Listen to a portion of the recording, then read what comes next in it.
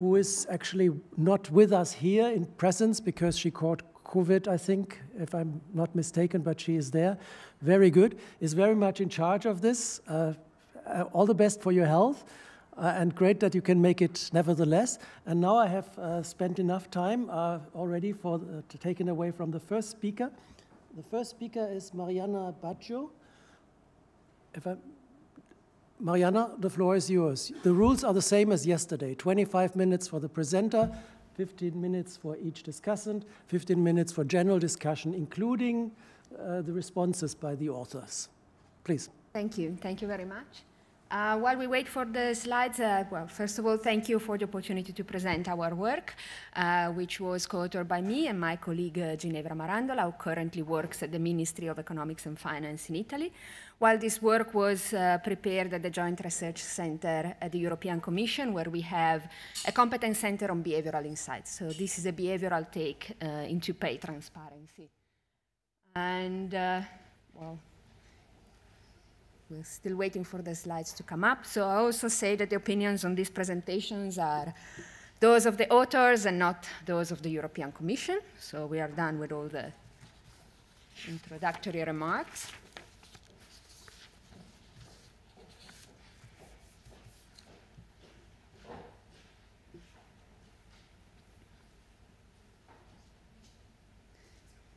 Okay, and it's up. Okay, so, well, let me tell you why we did this work. Uh, in early March, uh, the Eurostat has published the most recent statistics about the gender pay gap in Europe.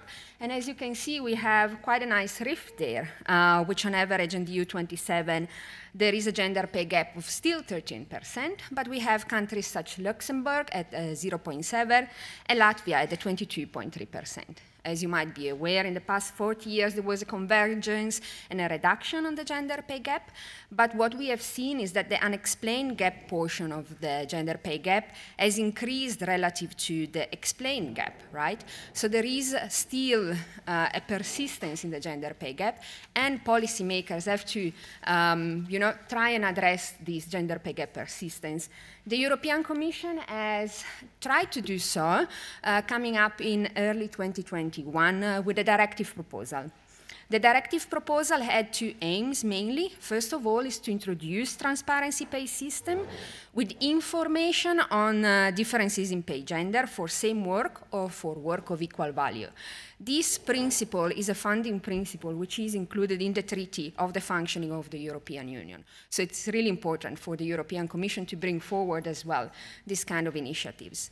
And the other part of this directive was to introduce better access to justice victims of pay discrimination.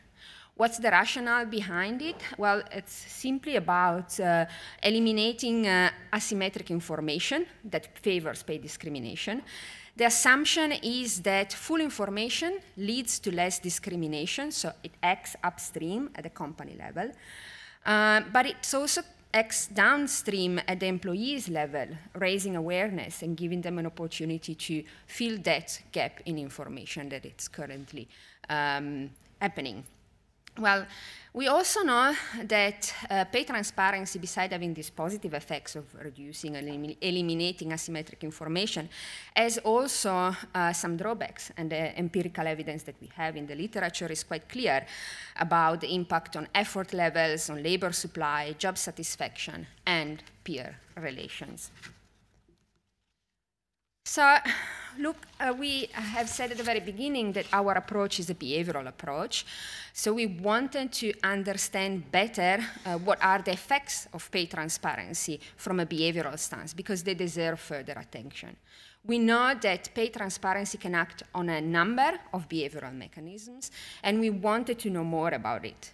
Of course, there is a lot in the literature of the literature, behavioral and experimental, experimental as well, on relative wages, and we can expect some effects from what has been done in the past. We know, for example, that workers receiving a lower uh, wage compared to their peers reduce their effort levels, they supply less time, and they quit more often as well. However, there is mixed evidence for those who receive high wages. So this mixed evidence means that there are positive effects and negative effects in terms of effort, for example. And last but not least, we also know there are uh, strong and uh, ingrained gender differences in reaction. So we know that women are less likely to retaliate. Um, and also this very much depends on who they have to retaliate against. Um, so there is this aspect as well that we should consider, but not only, there is another important factor that relates to self-evaluation. Self-evaluation, we know that women use less often to describe themselves, adjectives such as proficient and effective. But we also know that they evaluate themselves less favorably than men of equal performance. So as you can see, there is a lot going on from a behavioral perspective when we talk about pay transparency.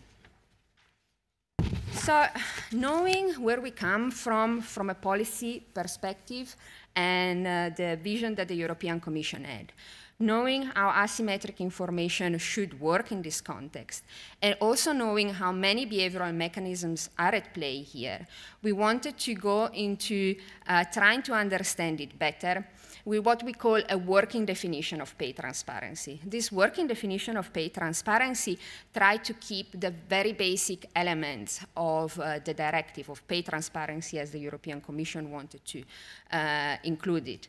And this um, working definition for us had basically two elements. First of all, disclosing average wages by gender for same work, which is that principle that we've seen earlier in the slides but also something about managerial role distribution by gender.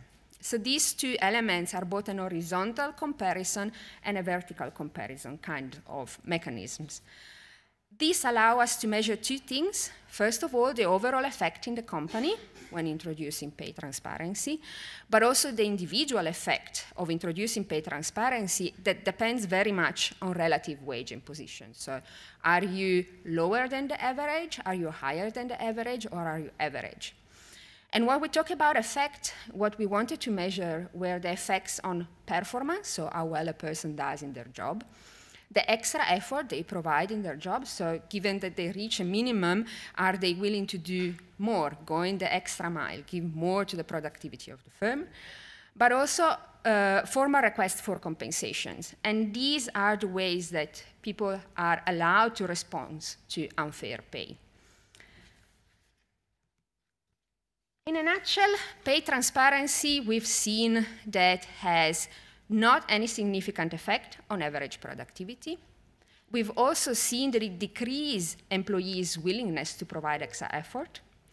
It also does not affect the number of requests for compensation, so it does not affect the number of actions uh, towards fixing unfair pay. But we've also seen something very interesting, that men and women show larger reaction to own gender comparison, so women comparing themselves to women and men comparing themselves to men rather than across genders. And when it comes to managerial positions, uh, we've seen that males strongly react to women's majority's presence. Okay, this is just in a nutshell what we found. And I'm going to walk you through what we did and how we did it. First of all, our methodology, it's that of an incentivized, so performance-based online experiment. Why did we do an experiment and not, uh, well, anything else? For two reasons. Well, first of us, uh, first of all, for us, it was very important to pin down these behavioral mechanisms that were at play rather than quantifying outcomes. So we wanted to understand what was happening with these mechanisms of behavioral uh, into the pay transparency. And then the other thing was that this was one of the many exercises that were done in a larger ex ante impact assessment uh, dedicated to uh, this proposal for directive on pay transparency. So ours is just a piece of the puzzles of the puzzle, and we wanted to understand the mechanisms behind it rather than quantifying really the outcomes. Why did we do it online? Uh, well, first of all, we did it uh, in the winter of 2020-2021, uh, so there was not much room to do uh, you know, anything on the lab or a randomized control trial because of the COVID.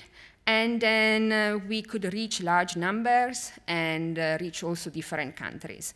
We are also very aware that uh, um, online experiments have drawbacks in terms of quality, but we put in place a number of quality assurance checks uh, that guarantee the quality of our observations.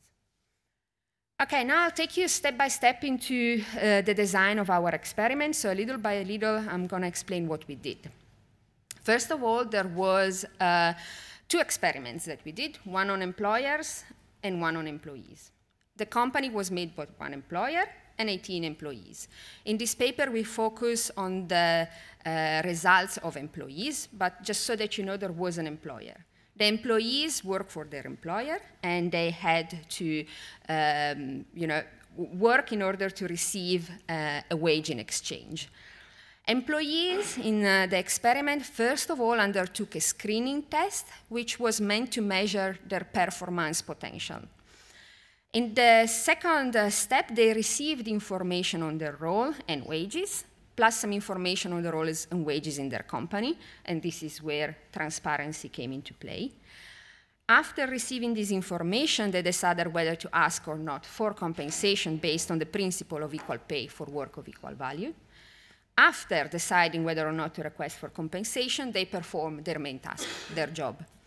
And while they were performing the main task, they had to decide whether or not to provide extra effort uh, to ensure more revenues for their employer. But let me take you a step further into our design. Um, in the screening test, people were classified into groups. Into group A, if they performed over a certain threshold, and so this was a signal of high performance potential in their main task, or in group B, if they were lower potentials, okay? Now, the employer was given this information together with the gender of employees, and they could decide whether or not to use this information to allocate their employees into two roles, role of clerk or role of manager. The same information was also used to allocate wages, and as you can see, for the clerks, there was either a low wage or a high wage. Then both uh, clerks and managers had to reach a minimum threshold, and then they could decide to work more. And when they worked more, there was a return for the employer. Okay? There was no returns for the employees when they worked more than the minimum necessary to receive their wage. And the last element, as you can see there in the bottom line, is that uh, only clerks had the right to request for compensation. And this was granted under specific circumstances that proved unfair treatment. And this kind of action was, uh, had an uncertain outcome and was a risky action. Let me take you a step further into the design so you try and understand better what we did. The information available to employees in the control treatment, so in our baseline treatment, uh, was, as we see in this slide, first of all, very important. Employees did not receive any feedback on their performance in the screening test. So they did not know how well they performed or not. Okay? If, uh, you know, they could make uh, own assumption of, on how well they did. Then employees know, knew their role as clerk or manager, and the employees knew their wage, but didn't know if their wage was low or high. And employees also knew that the employers had a budget constraint and could assign high wages only to one third of employees. Employees also knew that the employer was informed about their performance in the screening test and about their gender. So they knew this information was available to the employer and that the employer could use it or not to make his own decisions about allocation of wages and roles.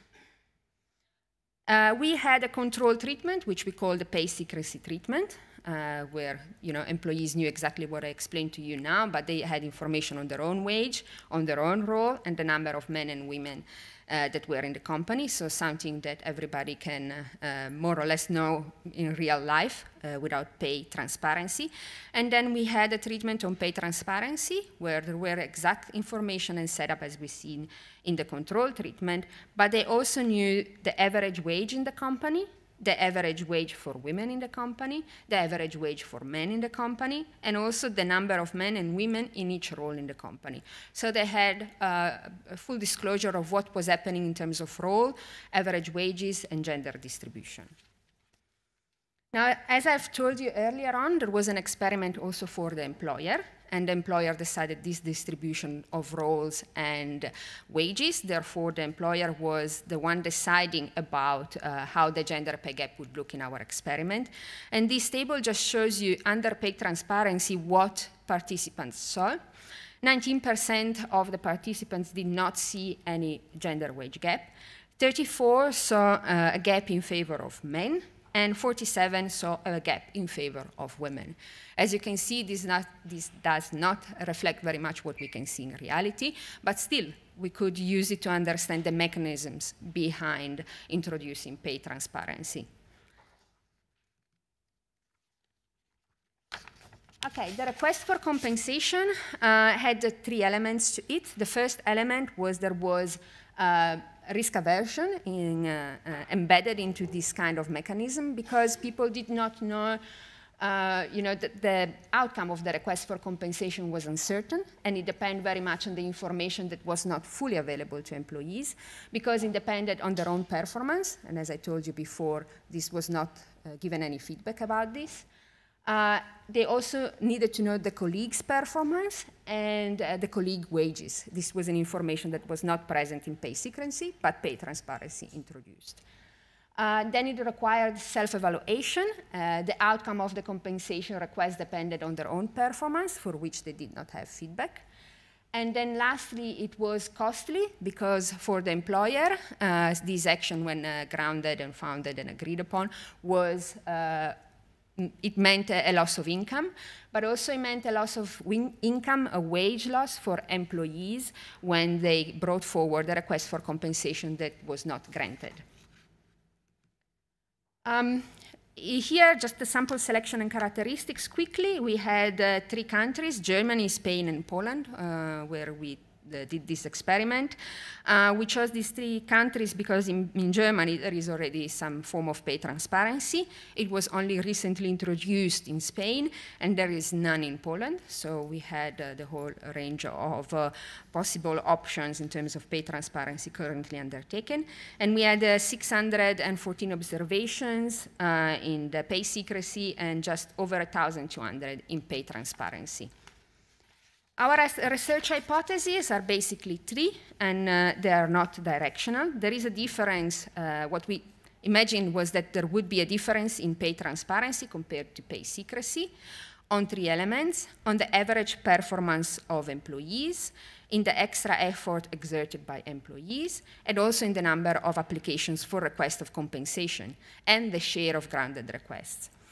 Why didn't we make any uh, sort of directional hypothesis? Well, because in uh, all three uh, effects, there could be both a positive and a negative direction, and uh, which one would prevail was not clear, also because previous um, literature was not you know, agreeing on, on which direction it was going, but also because this very much depends on the work environment, for example, trust. So differences in uh, pay could be um, you know, mm, accepted if there is a high trust in the company, but also worker characteristics, self-esteem, risk aversion, and fairness views, but also because it very much depends on the distribution of wages within the company. Uh, we had three outcome variables. The first one the was the performance in the main task, which is the number of correct strings correctly classified uh, in 10 minutes. And you can see that clerks, uh, on average, classified 131 strings, managers 156. We also had uh, included in our paper an alternative measure, which is a binary measure of, for passing that threshold that was the minimum required to receive the wage. Then we had a dummy variable for stop when employees stopped exactly at the threshold. So uh, continuing after the threshold was, a, was for us a way to reciprocate to employees and other intrinsic motivations such as proving themselves or uh, making a point about uh, the, their uh, role or wage assigned. And then last, we had the request for compensation, here again, which is a dummy variable for the employee who asks or not for compensation.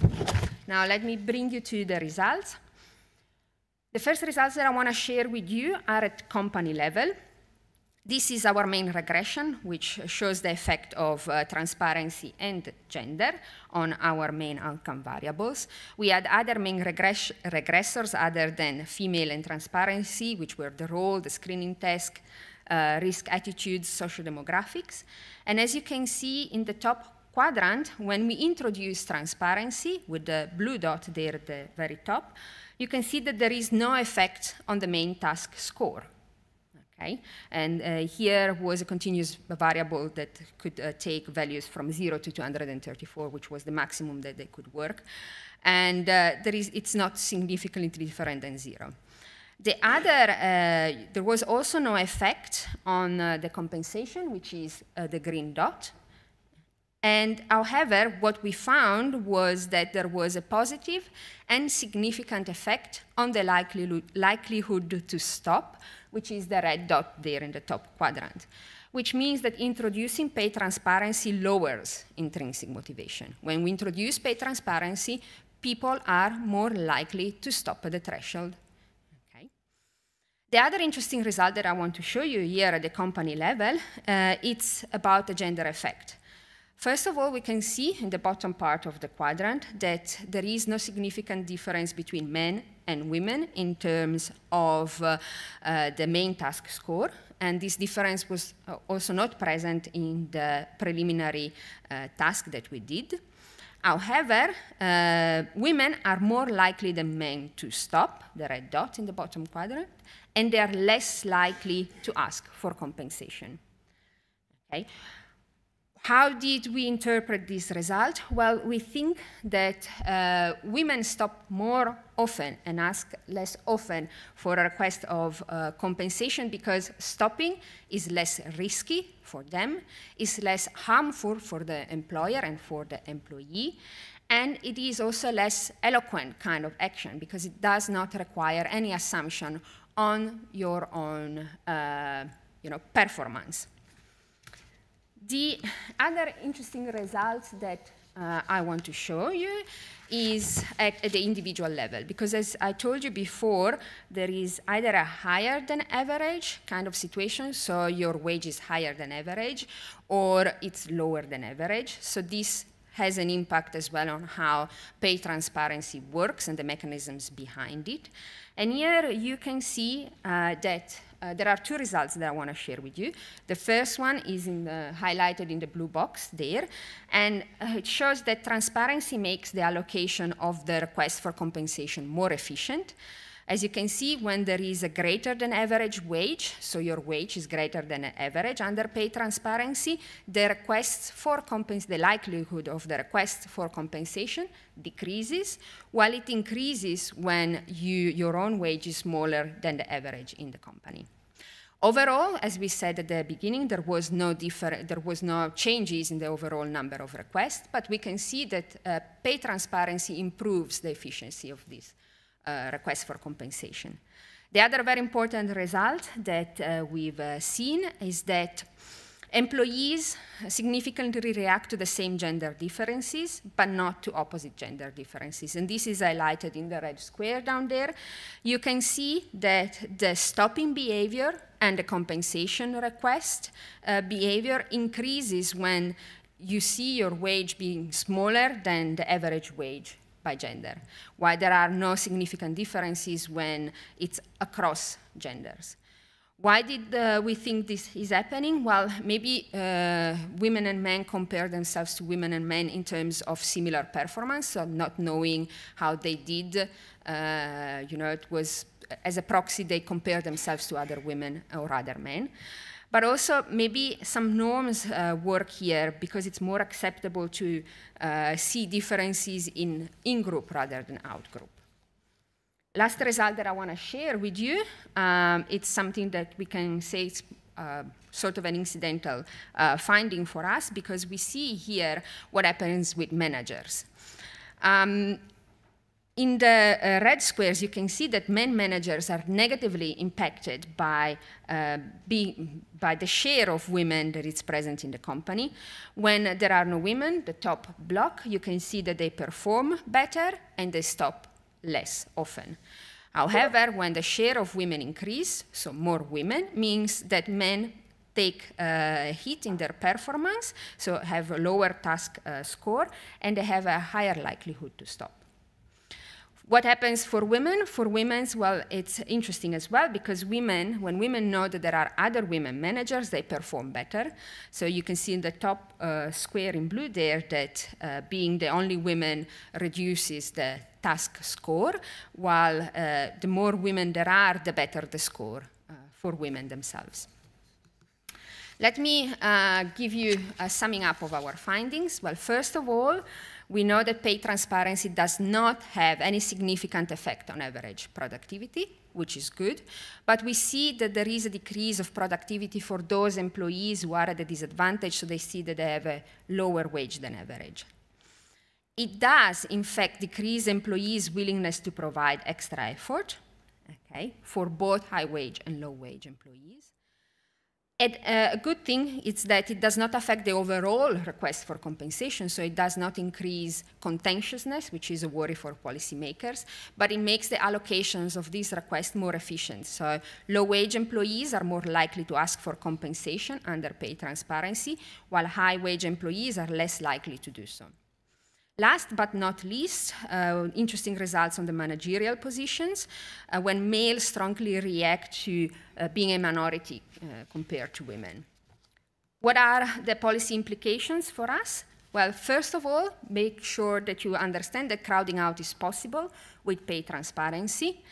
Also, pay transparency is not enough to increase trust, and other forms of transparency in the company should be introduced to justify and support those fair wage differences. And uh, pay transparency as well is not alone to encourage women to stand for their rights. Uh, so measures to strengthen self-esteem, balanced self-evaluation are needed and need to be put together with pay transparency measures. And it is important also to stress the overall effect of pay transparency uh, that very much depends on what it shows, so depends on the distribution of wages in the company, which is a result that is also quite strong in the literature, and, and we confirm also with this experiment. We are very aware that our study has its own limitations. First of all, that these results should be one minute, introduced uh, qualitative rather than empirical valid. Uh, we know that we not, did not include uh, peer pressure, peer support, emotions, mobbing, or any other kind of repeated interaction. And we also did not account for uh, differences in judicial system. Last, last, last thing, uh, we think that uh, to make pay transparency work, we should do three steps. First, introduce pay transparency. Second, make more, women more aware, so introduce complementary actions. And third, make sure that the actions that are there available for women to fix unfair wages are uh, designed around them and they are not uh, made to incur in big economic uh, losses or reputational costs. Thank you. Thank you very much. Great start. And the first discussant of this paper is Zsofia Barany.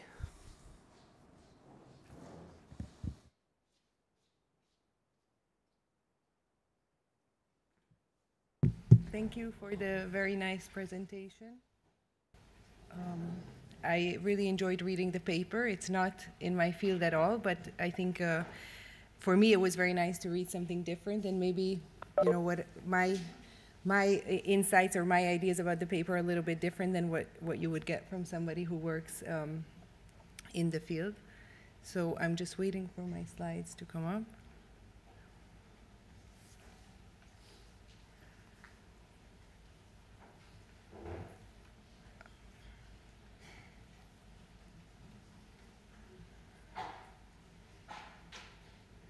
Okay, thank you.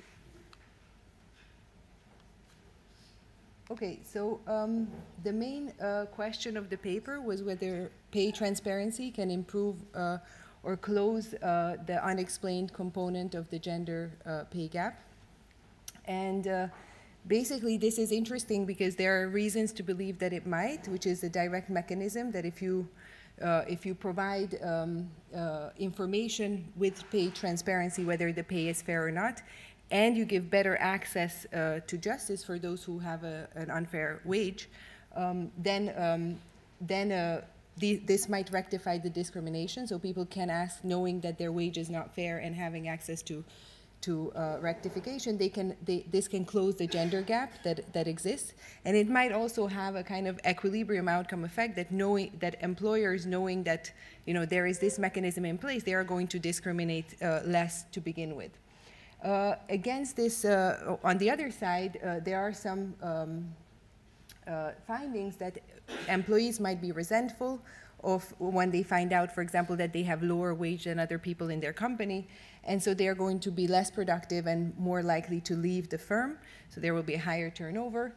Uh, there might be increased litigation, so maybe more people are going to ask for uh, compensation uh, if they have um, if they have uh, access to this. And of course, this has a cost. Uh, this pay transparency has a cost, a bureaucratic cost, at least for the companies. Okay. Um, so what the paper does is they analyze the response of employees to these two joint policies um, in an incentivized online experiment. So I think you explained the experiment very well, uh, but I put it here on my slides anyway. So there is a, there is a screening test to, to, to begin with, and people are put into group A or B based on their performance. They don't, people don't know which group they end up in. And then uh, participants are assigned by other participants who are employer participants in the experiment into uh, managers, which can be at most one-sixth of the, of the people that, the, that belong to this employer, high-paid clerks, which are at most one-third of the people, and low-paid uh, clerks. Um, so I think this is actually very important, and, and a lot of my discussion is going to be about how these employers behave and what is the, the outcome uh, uh at the firm or company level. And then the treatment is uh, is whether what information uh, the, part, the employees receive. Okay, so the baseline is that they only know their own wage and own gender, uh, sorry, own, own wage and own role. They know their own gender, of course. Uh, and they know the number of men and women in the in the firm. And then in the there are two other treatments where they find out their the the wage of people in the same the average wage of people in the same role as they are uh, also by gender, and they know the number of people working in the same role. And they also find out finally uh, in the other role, what are the, what are the shares and the average wages. And uh, the, this, this compensation request is only for clerks because the managers, they always have the same wage, so there is no uh, room for compensation request. Clerks can ask for compensation if they get unequal pay for, uh, for equal work. And what this means exactly is that they get low wage while somebody in the same role in a group that is like theirs or lower uh, gets a high wage. Okay, so it's important. An important criteria here is that uh, somebody who is in a in a group, the same group, so in group A or group B, the same group as as the person is in, uh, based on the screening test, or, or in a lower group, uh, gets a higher wage than this person. Okay. And uh, people are paid if they reach a threshold number of strings that they needed to classify. And they can stop at this point. They are told when they're doing the experiment that they, they reach this threshold. Um, but they can also classify more and they don't get any extra pay for that. So this is the extra effort component. Okay, so I have some questions about the experiment. So the first one you, you answered, the average firm size is, is uh, the average and the, all firm sizes are 18 uh, people and a firm is equal to an employer. Uh, one thing that I would have really liked to see is the alignment of pre-screening scores and, uh, and the roles. Okay, so I have no information on whether these employer participants were rational, were how did they assign people. Uh, also, in general, it would be good to know the distribution of, of, of A, of groups uh, and, and positions also by gender. Okay, so it would be good to see whether, you know, people who are in group A tend to be more uh, managers or more high, high, high, um, high paid clerks and whether there's any difference in this between men and women. Okay. Um, and then you told us that there are these revealed gender gaps. So these are the gender gaps that people who are in the pay transparency treatment see. This 12% no gap, 30%, 34% higher wage for men, 47 uh, higher percent higher wage for women. But it would be also good to know the distribution of this across firms. Okay, how in how many firms do we see, you know, um, um, uh, a lot of uh, uh this gender gap? And not just the sign, but the magnitude, okay? Are there big differences across men and women or just small? And whether these are explained or unexplained differences, okay? Do all the differences come from because, you know, men, women are more in group A or men are more in group A? I don't know. Uh, so, so that would be interest, important. Um, also, the tra pay transparency treatment, I think, is completely different for managers and for clerks because for managers, the way is the the pay is always the same. So there's no, you don't, managers know this and they don't get any extra information. They always find out that my wage is 400 and everybody else's wage is, is 400. So all the information that managers get in the treatment is how many men and male and female managers are. Uh, and they find out about the wage distribution a bit, uh, the average wage of the other group. So the, their treatment, I think, is completely, they, they can't find out that, oh, I'm a manager, but I earn less than the average or more. Uh, so I think that all the manager should always be treated separately, which means that you should always interact, I think, the treatment with being a manager, or just do separate uh, regressions for the, the, the, the, the, two types of groups. And uh, I have a question about this equal pay for, uh, for uh, no, the, the, the, request for compensation. So, so you can request compensation if you get unequal pay for equal work. But the work just depends on whether you're a clerk or not. So you have to reach this, the given threshold. If you're a clerk, whether you're a high or low paid uh, clerk, the threshold is always 120.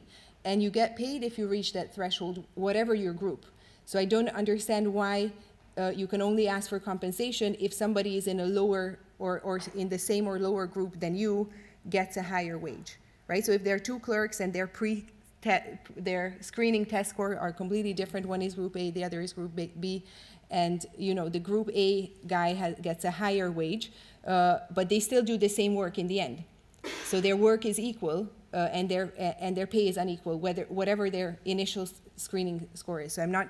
I think you need that for this for this request to be risky, but I, it doesn't. Uh, you know, it doesn't correspond to equal work for or unequal pay for equal work, in my view.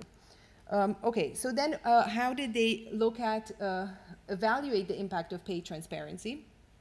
Basically by running regressions of pay transparency, also interacted with male, uh, female, and manager on these three outcome task scores, stopping at the threshold and, and submitting compensation requests. This is only for clerks. And then uh, also they, so that was the baseline uh, analysis, and then they looked at um, uh, pay, the impact of pay transparency by relative wage group and gender. Uh, that was a second uh, an analysis, which I think this is only really interesting for clerks because managers are always in the same relative wage group as themselves.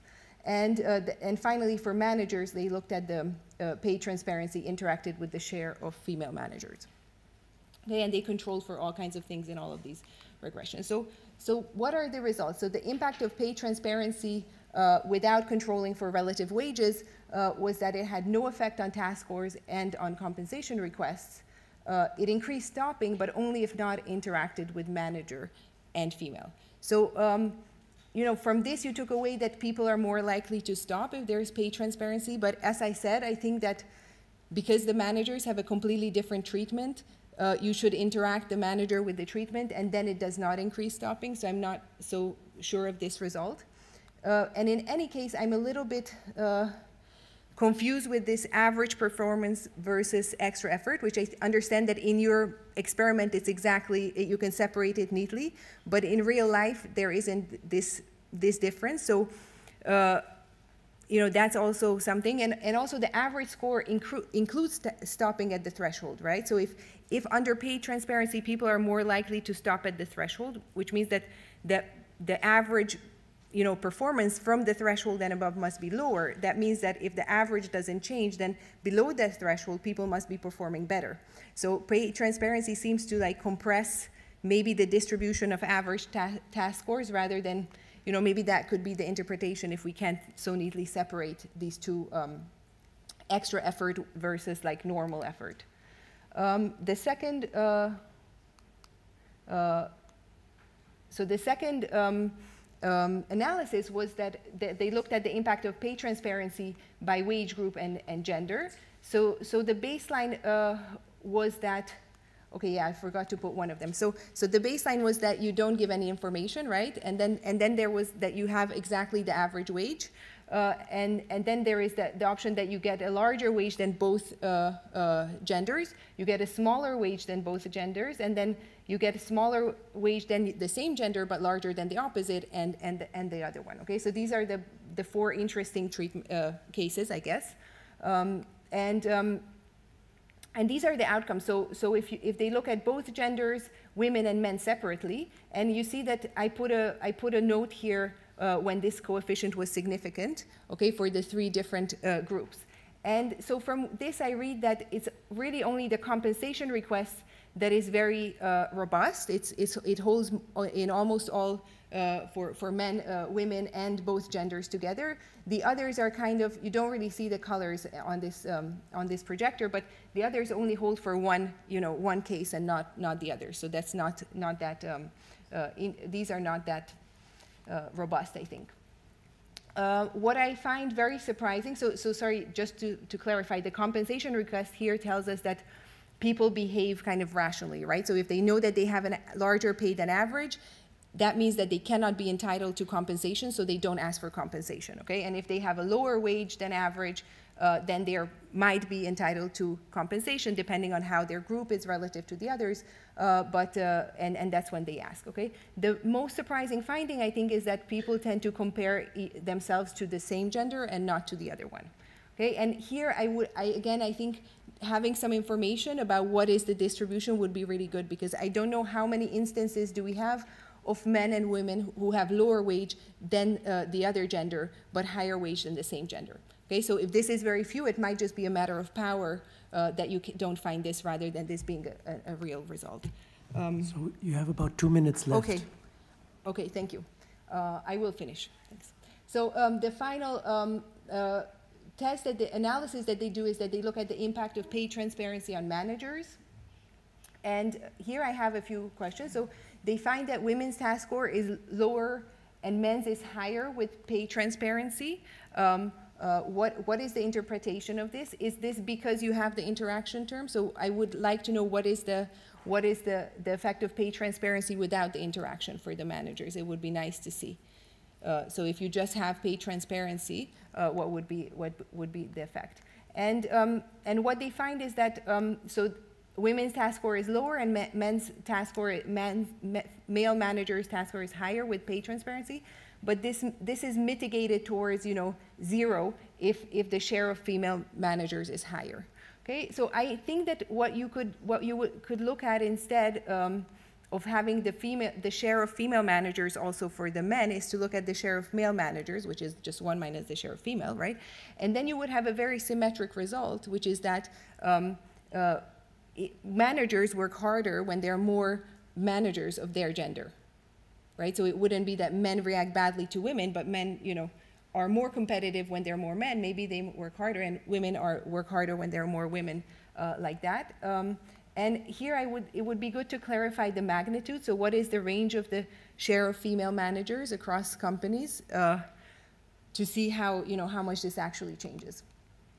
Okay, so what are the policy relevant findings? I think this First one is that there is no effect on average per performance, potentially some negative effect on extra effort.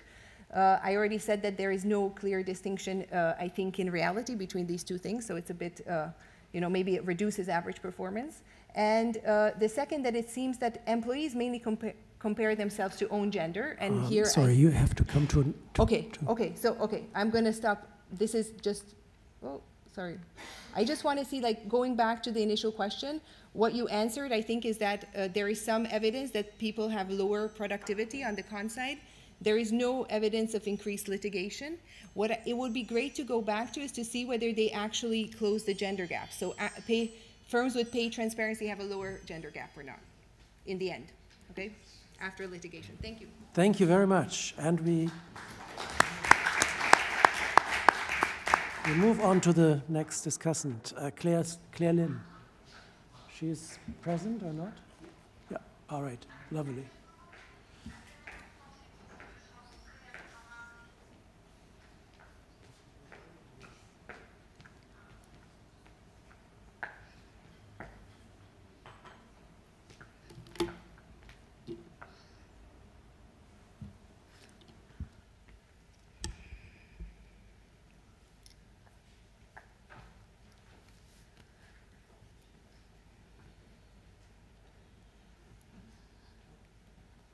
Can I use this time to, uh, to organize the, the open discussion session later on? So we have about 10 minutes for open discussion. I would ask everybody who wants to raise a question or make a comment to put up this like this. And then we have one, one little and quick round, and then we will complete the discussion.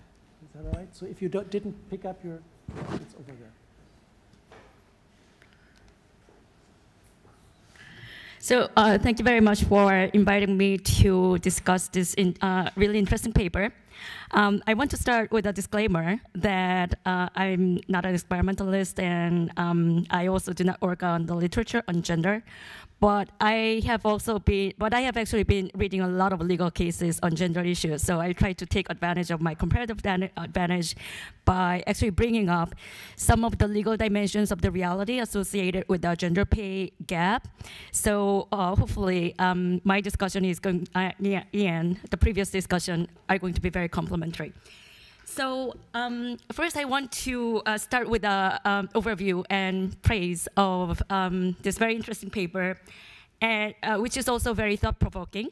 And um, a, a significant portion of the experiments are very carefully and cleverly designed. So I, uh, it was actually a great pleasure to read this paper in detail. And I'm going to focus my uh, discussion on three dimensions. So first, I'm going to start with the discussion of um, the broad concept of the uh, gender pay gap and the overall econometric measurement of that. And um, in, in the main body of the discussion, I'm, I'm going to spend a lot of time thinking about the linkage between the reality of the gender pay gap overall, not just the uh, information treatment, but gender pay gap overall, and the sort of interpersonal dynamics associated um, in the real world. And um, in that process, I'm also going to uh, talk quite a bit about the players' uh, perceptions and motives, uh, both in the experiments and in the real world as well. So this paper starts uh, talking about uh, the, the time trend in the gender pay gap, the overall gender pay gap, and also uh, they in, throughout the process, uh, throughout the paper, they also talk about the sort of cross-country differences in the gender pay gap, and. Um, the GPG uh, that they introduced in the introduction is basically a combination of the portion that is explained by observable characters of the workers and, and also the unexplained uh, GPG uh, that could uh, be potentially attributed to discrimination.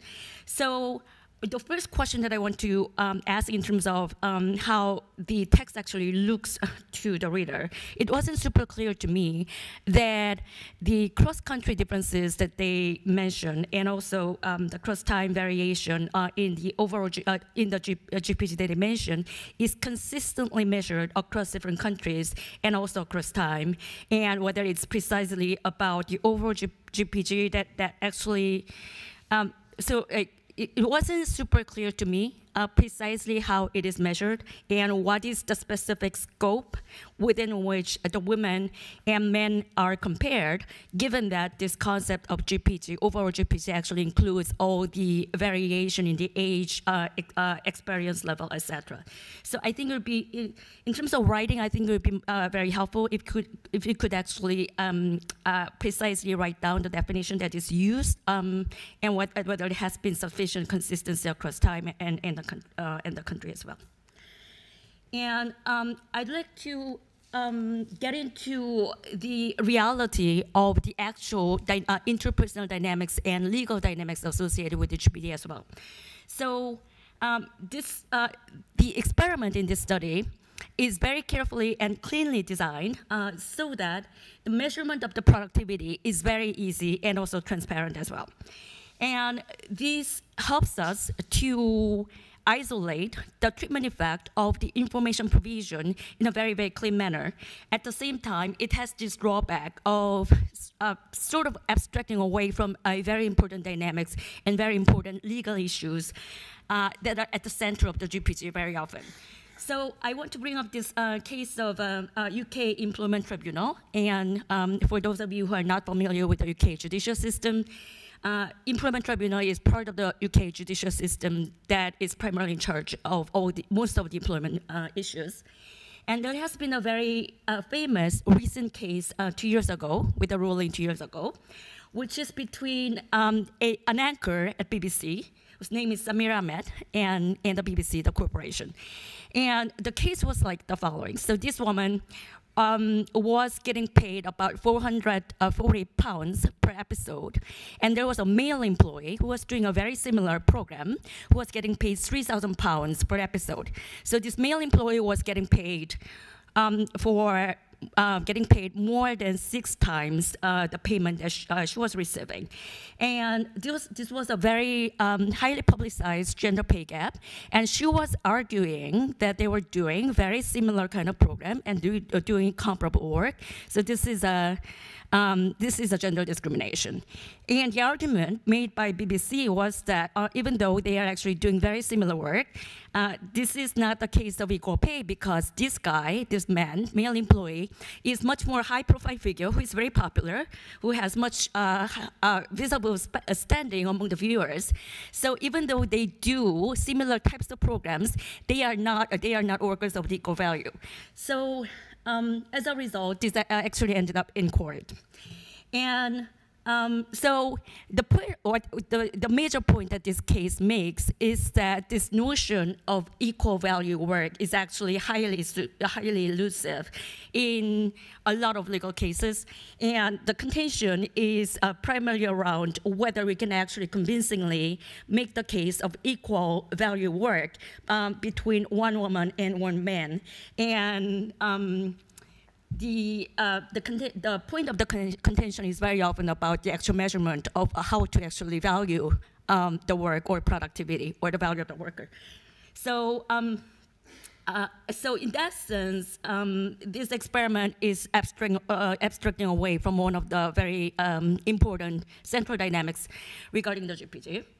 And um, that begs the question of what kind of industry do we actually have in mind in designing this experiment? Because the kind of industries where the measurement of productivity or performance is very, very super clean is, uh, I would say, typically the kind of um, industries where uh, workers are relatively low skilled. And as we actually move to the high skilled uh, uh, occupation, it becomes more, much more subjective in my view. So it begs the question of whether the low skilled uh, occupation are is the kind of places where GPG is particularly significant pro uh, problem or it's high skilled occupation where GPG is really salient. And um, there's also um, a very clean design of um, what is necessary work and what is extra work. And this, is, uh, this also helps um, to isolate the um, treatment effect of the information provision in a very clean manner. At the same time, it has this drawback of um, letting us abstract away from a very important dynamics. So um, one of the reasons why people do uh, the sort of uh, quote-unquote extra work very often is not because of their intrinsic motivation, but because organizations very often deliberately make uh, the distinction between necessary work and, and extra work very, very vague. And um, uh, one of the important motives of the workers of engaging in um, extra work is for maintaining the relationship, um, which has this label of career concerns in economics. So they, even in the case that they do not actually get rewarded immediately in pecuniary terms, very often they get praise um, for their citizenship, engagement, loyalty, and the promotion reviews, which is very, very uh, often the case in economics promotion review. And even uh, in the in the very long term, they can or they can also expect um, other kind of rewards such as job referrals, um, being praised for a, a, a, a, being a great citizen when they actually try to move to different companies, etc. So. Um, there is a, a very uh, the second uh, important central dynamics um, affecting extra work and the GPG that is um, that is uh, somewhat missing in this experiment as well. And I also wanted to um, raise questions about this uh, linkage between the uh, rewards for asking for correction. So in this uh, experiment, um, it is the case that when they ask for a legitimate correction, uh, they get granted, and, and the uh, co compensation is actually larger than the compensatory damage that they deserved. And in the case they uh, make a request that is not legitimate, then they actually uh, get punished very severely. And my view of the reality is that it actually works very, very differently for women and men in the real world. So very often, women ask for legitimate correction and they get, uh, they, uh, they get denied for the correction. At the same time, they get illegally retaliated against. So that's a very uh, common phenomenon. And in contrast, uh, men uh, ask for, very often, somewhat questionable raise and they get it and they do not get retaliated against. And there's also this um, issue of the gender norms. So when women assert their value, very often they get portrayed as a person who is bitchy, aggressive, unlikable. When, uh, while when men assert their value, they are portrayed as people who are smart, confident, and charismatic, etc. So um, I think there's a, quite a bit of gender norm issue associated with, um, in terms of the consequence of asking and which uh, is, is, is a sort of one of the um, differences between this experiment and reality as well. Okay, and there's also um, sort of a very interesting result that appears in this paper, which is that employees are more sensitive to lower wage with, uh, with respect to own gender rather uh, than the gender pay gap. So they talk about sensitivity, but it wasn't very clear to me it was whether it is actually driven by sort of information or perception, or whether it's actually driven by their sort of um, conditioning, uh, behavioral conditioning regarding the social barrier or political barrier. So uh, it may be the case that they become more surprised by, by, their wage relative to their own gender, or maybe that they uh, feel relative power, like women feel relative, relative powerless uh, when the pay gap uh, is associated with gender. And also, when you ask for correction relative to uh, other members of the same gender, you are not accusing your employer of illegal discrimination. But when you're as actually asking for correction for gender pay gap, you're essentially uh, asking, um, you're actually uh, very often accusing your employer of uh, illegal discrimination, which very often uh, results um, in retal illegal retaliation from the employer as well. So that's a very important um, interpersonal dynamics that is associated with asking uh, practice. You have well. about one, one to two two minutes yeah. left. So, um, so this is um, so uh, this is very much an overview of the, the primary dynamics, um, interpersonal dynamics associated with GPG, GPG that I've been talking about, and I wanted to bring one legal case that is associated with the uh, uh, interpersonal dynamics that I've been talking about. So there was one very uh, high-profile legal case in the UK Employment Tribunal with a ruling uh, in this year that resulted in $2 million damage award associated with GPG. And among these 2 million, uh, 2 million pounds uh, uh, damage awards, and among them, 400,000 was about the back pay. And uh, in this case, which is between Macken um, versus uh, the UK branch of the uh, French bank, um, she asked for um, the correction of the gender pay gap a lot of times because she was uh, getting paid about 120,000 per year, while may, uh, men who are uh, doing very comparable work were getting paid 160,000, and there was also substantial gap in the bonus as well. And whenever, as, whenever she asked her boss for the correction, she was always told, not now Stacey, uh, in a very demeaning manner. And her boss said it too many times. Her, her male employees, her male peers began to mimic it, uh, always saying, not now Stacey. And there was also um, retaliation in terms of, um, in the form of negative appraisal, and her male colleagues also um, uh, placed a witch hat on her desk as well as a sort of retaliation. So um, this is a very uh, typical kind of um, uh, dynamics um, that follows when women ask for legitimate correction.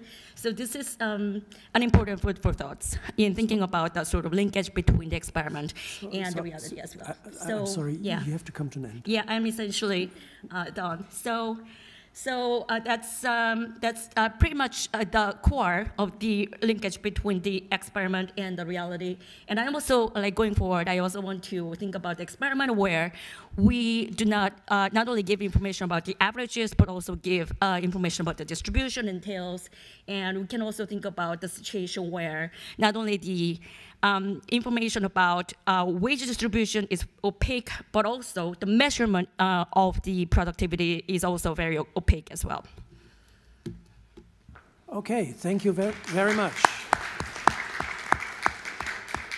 We are slightly behind schedule, so we have to shorten the uh, general discussion. Please put up your name like this, ideally, and then I'd go one round. And if someone did not, not pick up, just um, please, Emeric. So yeah, I had a question on the, the countries you mentioned initially. So you had these three countries. Seemed like an interesting validation. So what's the result uh, per country? Yeah.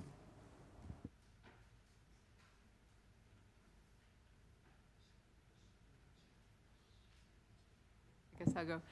Ghazala Azmat Sciences um, so very interesting paper, and um, I mean, I think the discussions were also great. I mean, I think I just wanted to follow up a little bit on this point related to um, the sort of results on comparing oneself to one's own gender, and in particular, what the policy relevance could be here. I mean, it seems like this could be very important to trying to understand potentially the unexplained uh, parts, and you know, also to see if there's something we can actually do with that. So if there's some way we can actually use that.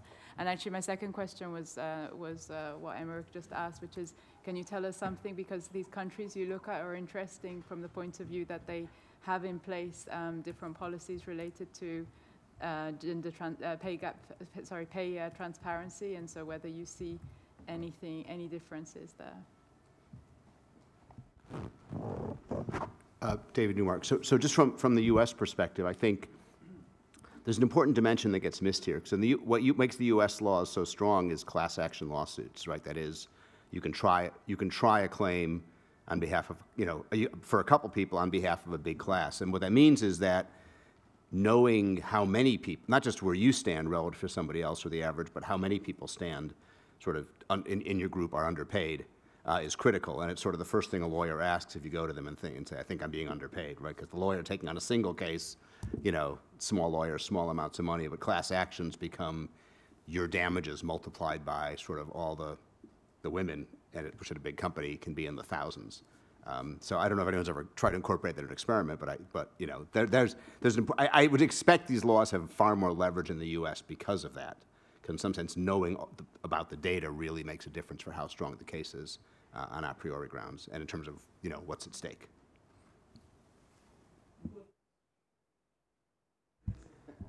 I, I, just followed your instructions. So, um, Moritz Kuhn, University of Bonn.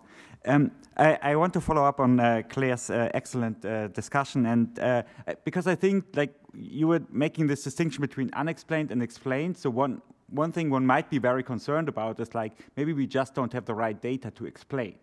So um, I think many firms have actually very clear like pay scales, pay bands where you are like located, and so then within these bands there's like not a lot to like discuss. If there's a woman and a man on pay level 13, they get the same pay. So it's really this question about like, um, like do we do we already have the right data to to compare? Because like in many cases like we did something comparable for the German public service where we have exact pay bands and you still find a gender pay gap. So which seems like very hard to to explain unless it's a it's a measurement error. Um, and then the next question would be you, you expect, or the, the related question would be, you're doing a static experiment, but may, maybe the gender pay gap is a dynamic, uh, dynamic thing where we, we really have to think about promotions and how women like climb the career ladder and come up to the higher pay scales. And if we don't measure these pay scales, then in the end, we think it's something that is static. And at this moment in time, because like our data tells us it's women on the same, like, or with the same observables, although it's something that is um, somehow in the, in the past where uh, women just didn't have the chance to climb the, or like like because of social norms or whatever might then be the reason, didn't climb the career ladder as, as, as quickly or as, as far as men.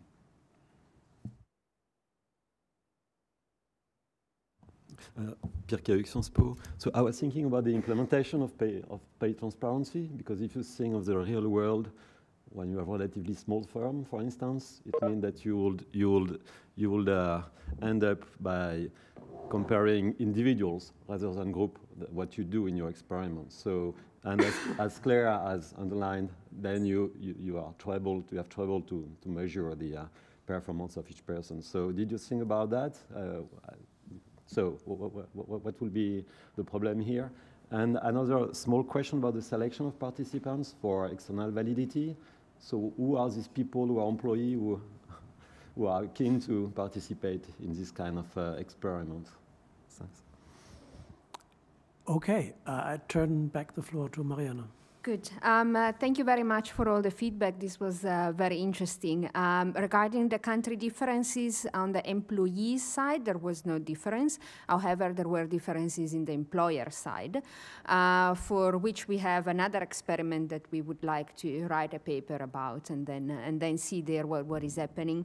And then we can definitely give uh, uh, more information about all the distributions and and, and so on uh, there, but also in our paper. And if I have to divide the feedback that I got, uh, there is some uh, more technical uh, feedback and on the analysis that we did, which, which we could definitely implement.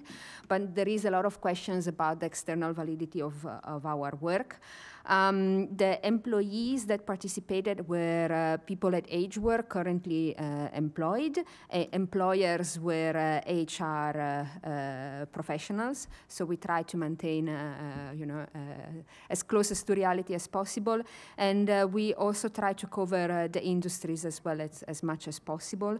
Um, and I think that there on the external validity, yes, there is a, a, lot of things that come into play.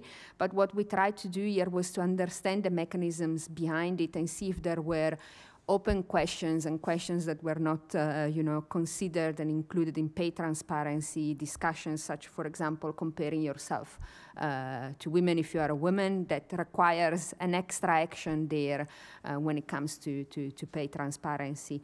Um, so uh, yeah, uh, there uh, there is more information that we can include in the paper definitely to make it more clear.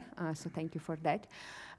but also there is a lot that goes around pay transparency and many complications that could be uh, included as well. But I think that, yeah, we tried to um, open questions for more debates about pay transparency that cannot be a very straightforward policy mechanism as it is included now. So.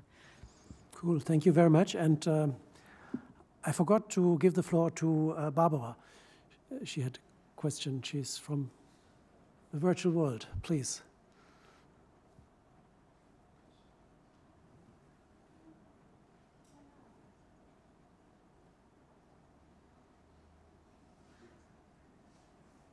Barbara, are you there? Or yes, can you hear me? Yes, yes. Mm, we, we could hear you short, briefly, but now you, we can't. I, will now it's again, better. sorry. Is that okay? Okay. So what, what, what I thought was interesting was the differential result depending on the wage of the individual with respect to the distribution. And uh, what I find kind of harder to reconcile with what we know from other evidence is that when people were paid above the average, they didn't exert any more effort once they knew about the pay transparency. So there are a few, a few results, for example, from the gift exchange literature, where we see that if people have this kind of unexpected surprise, they pay more than the average, then they would sort of compensate, they would reciprocate with higher effort. I wonder whether there is an issue of, say, lack of power there, or it could be investigated further whether this effect about being paid more than the average could work differently according again to whether depending on whether you're paid more or less than the average of your own gender. So the own gender thing i thought it was missing there.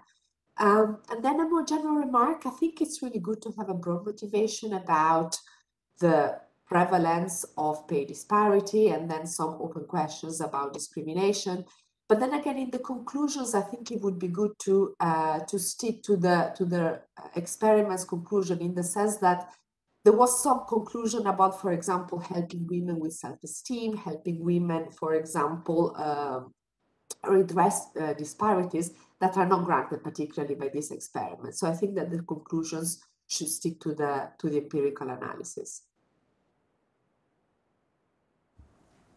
Cool. This, this I, I take this as an editorial comment, uh, not, uh, and we can thank you very much. Uh, so we move on uh, to the second paper of the morning, and the presenter is Marco Alberto De Benedetto. The floor is yours.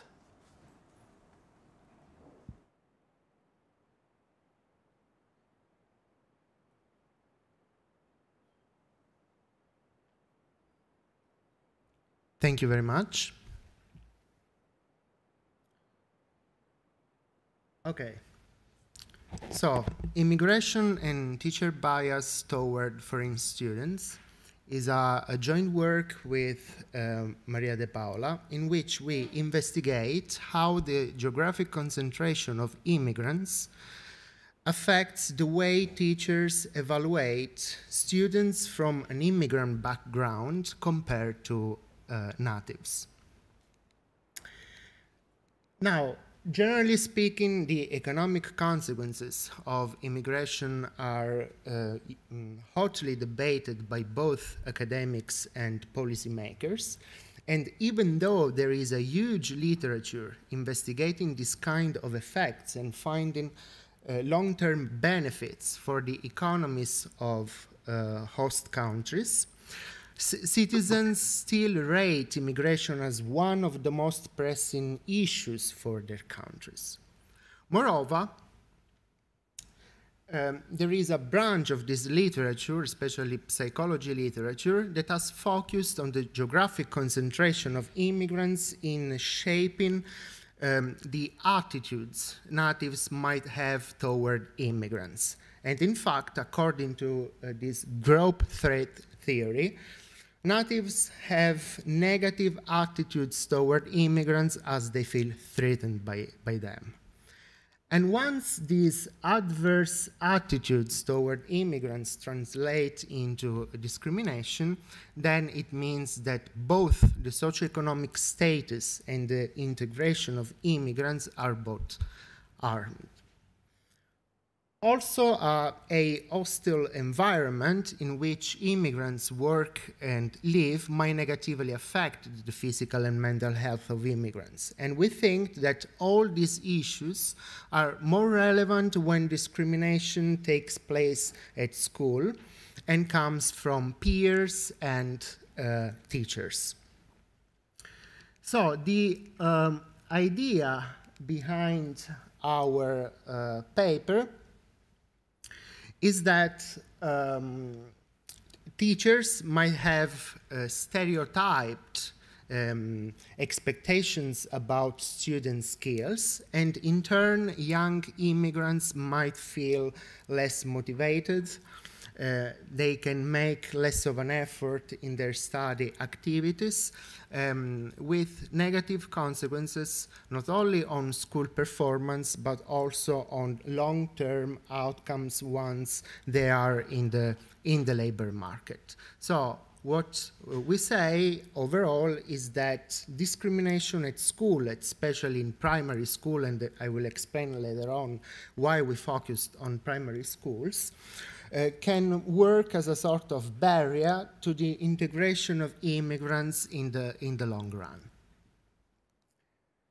Now, just to give an insight of, of what the immigration flows is in, is in Italy, we can say that it has increased over time, even though the share of immigrants in the population is lower compared to other European countries such as Germany and France and it reached 8.8% in uh, 2019, whilst in Germany and France float, floated around 9 and, and 6%. And along this general trend, of course, the presence of children from an immigrant background has increased eh, in Italy, especially in, in primary and in middle schools. It reached roughly 11%, and it is lower in high school it is roughly 7% according to uh, the information provided by the Ministry of Education in Italy.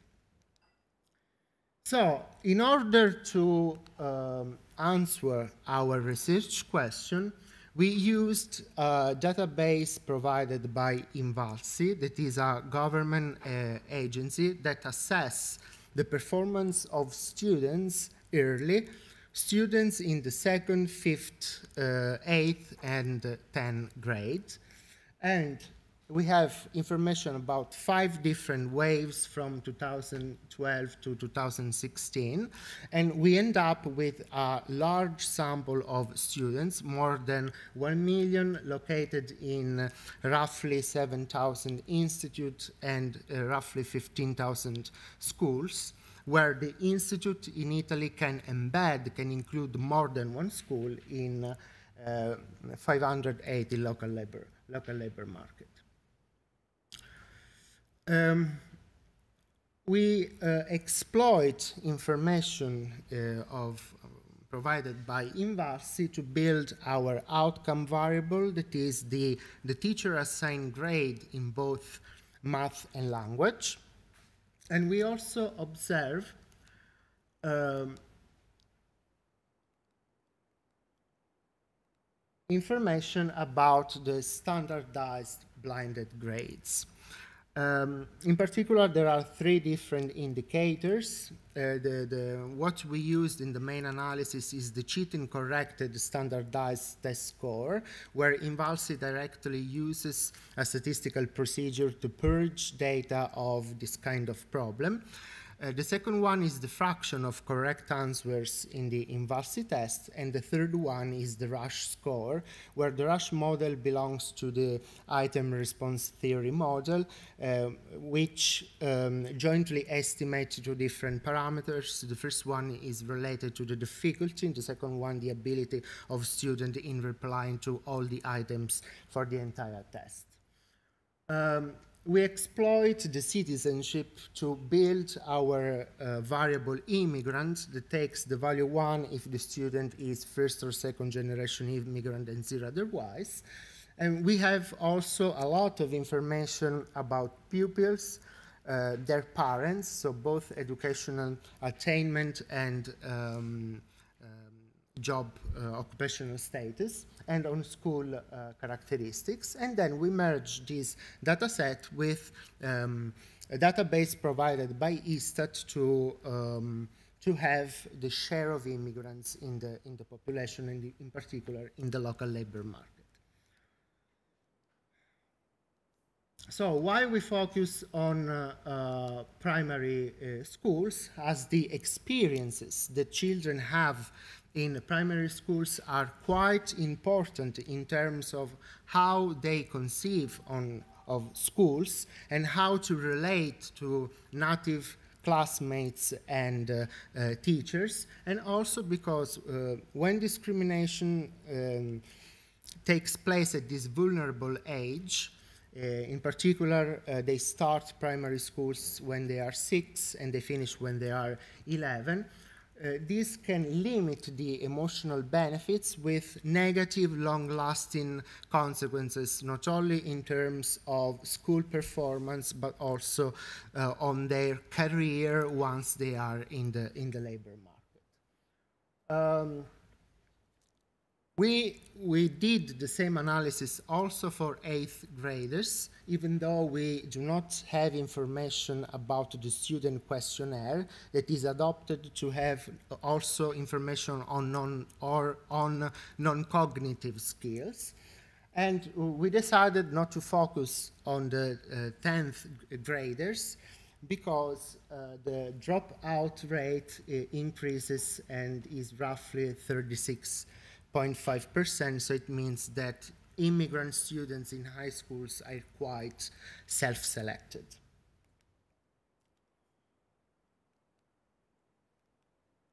Okay, so in order to recover the, um, the, the effect of the share of immigrants, so the increasing presence of immigrants in the local labor market uh, on the way teachers evaluate immigrants compared to natives, we estimate this, uh, this model where, as I said before, the dependent variable is the uh, teacher assigned grade in both math and language, whereas the main variable of interest is the interaction between the immigrant dummy and the share of immigrants in the labor market. we control for characteristics at the pupil uh, level. W is um, a vector containing information on school, so uh, number of classes, number of students enrolled at the beginning of the school year, the share of immigrants and the share of female students in the class, and we control for um, labor market fixed effect and for year, year dummies. Uh, why we focus on the local labor market for two different reasons. The first, uh, the first one is that Invalsi only provides us with the municipality where the institute, so the headquarter is, is located, uh, where in, uh, in each municipality there might be different schools belonging to the same institute. And the second one is that if it's true that the share of immigrants or the increasing presence of immigrants in the area affects the way teachers evaluate students, then we actually do not have information on where the teacher uh, lives. So, uh, which share of immigrants, so the presence of immigrants in which municipality affects the behavior of the behavior of, of teachers, share of immigrants in the municipality where uh, he lives or where he works. So this is the reason why we focus on the, on the local labor market. So even though we control for this uh, labor, local labor market fixed effect, we cannot say that the coefficient of our uh, variable of interest can be interpreted in terms or in a causal manner. Uh, because th there are, of course, endogeneity issues. The first one is the omitted variable bias. So there might be potential economic shocks in the labor market that affect the demand for immigrants and the way teachers evaluate students according to their citizenship. Uh, there might be a self-selection as immigrants self-select themselves in the labor markets or measurement error because there is it's very hard to have a perfect track of the movements of immigrants from one, municipality to the other, even though our information comes from official data. So in order to solve endo endogeneity issues, uh, we rely, we hinge on the main literature and use the shift share instruments as proposed by Card, uh, Z, that is the sum with C, that is the country that goes from 1 to n of lambda MC 1991, that is the share of immigrants from country C in the local labor market M in year 1991, multiplied the uh, number of immigrants, okay, coming from uh, country C at time T, uh, everything normalized by the population uh, in the local labor market in 1991. So what we exploit here is the so-called enclave effect. So before presenting uh, the results, I want to show you uh, the average gap that the, um, there is between immigrant and natives in our sample. So we have the first three specification for math and the last three for the language score. Um, in the first specification, we do not control for the um, score that is used as um, proxy for student ability. Uh, in, the, in the second one, we control for uh, a linear uh, polynomial, whereas in the third one, for a linear polynomial for both math and language standardized test score. As we can see, the, um, uh, the coefficient of immigrant is negative and statistically significant, and one, uh, once we control for the standardized test score, so for the student ability, it drops, but it's still uh, strong. So here I mm, provided also graphical evidence of this average gap. In this case, we have on the y-axis the teacher assigned grades in language by quintiles of the standardized test scores. As, as, as we can see, immigrants receive always a lower grade by their teachers compared to natives, and the same pattern is found for uh, math. So main results. So we added here our variable of interest, so the share of immigrants times the, the immigrant dummy. Um, uh, we found what? So the effect is statistically significant only for language, but it is sizable also for uh, uh, math score. In fact, a one standard deviation increase in the share of immigrants in the local labor market leads to a decrease of 0.04 for math and 0.05 for language in the uh, teacher assigned grades. Uh, that is roughly one fifth and one sixth, respectively, of the average gap that I uh, reported in the previous in the previous table. Um, from the first stage, we have the, uh, a strong enclave effect, so there is a strong correlation between our instrument and the endogenous variable. And these results, uh, of course, are robust to a series of robustness that you can find in the, in the paper. Um, another thing uh, regarding the instrument, uh, we um, implemented a series of tests just to reassure the, the reader that the exclusion restriction holds.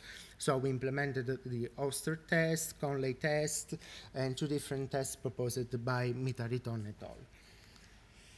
Um,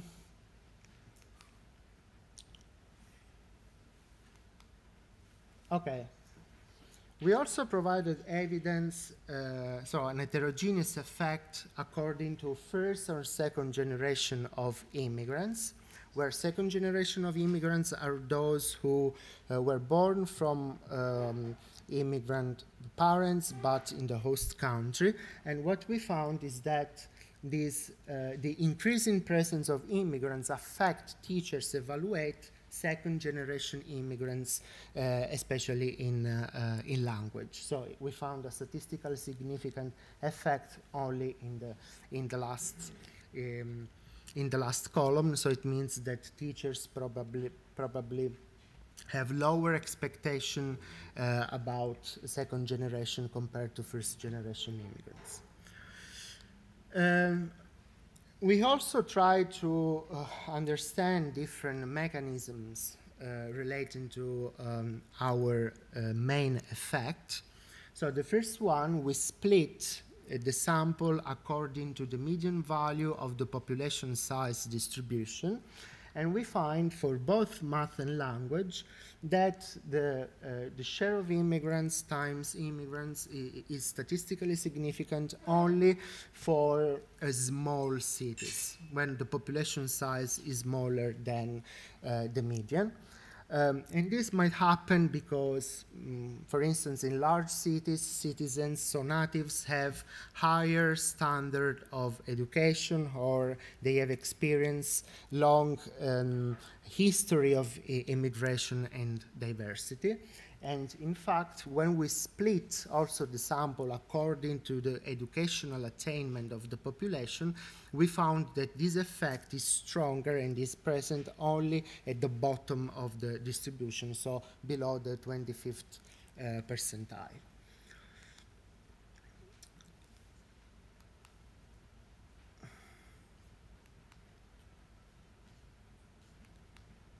Okay.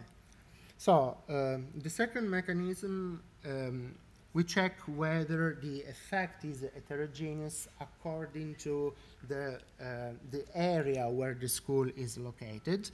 And we actually found that um, this sort of bias, of teacher bias, is stronger in the south compared to the center north where for, for sure the, um, the migration inflows started in the center north uh, first. And in the center north, maybe citizens have acquired more accommodating uh, attitudes toward foreigners.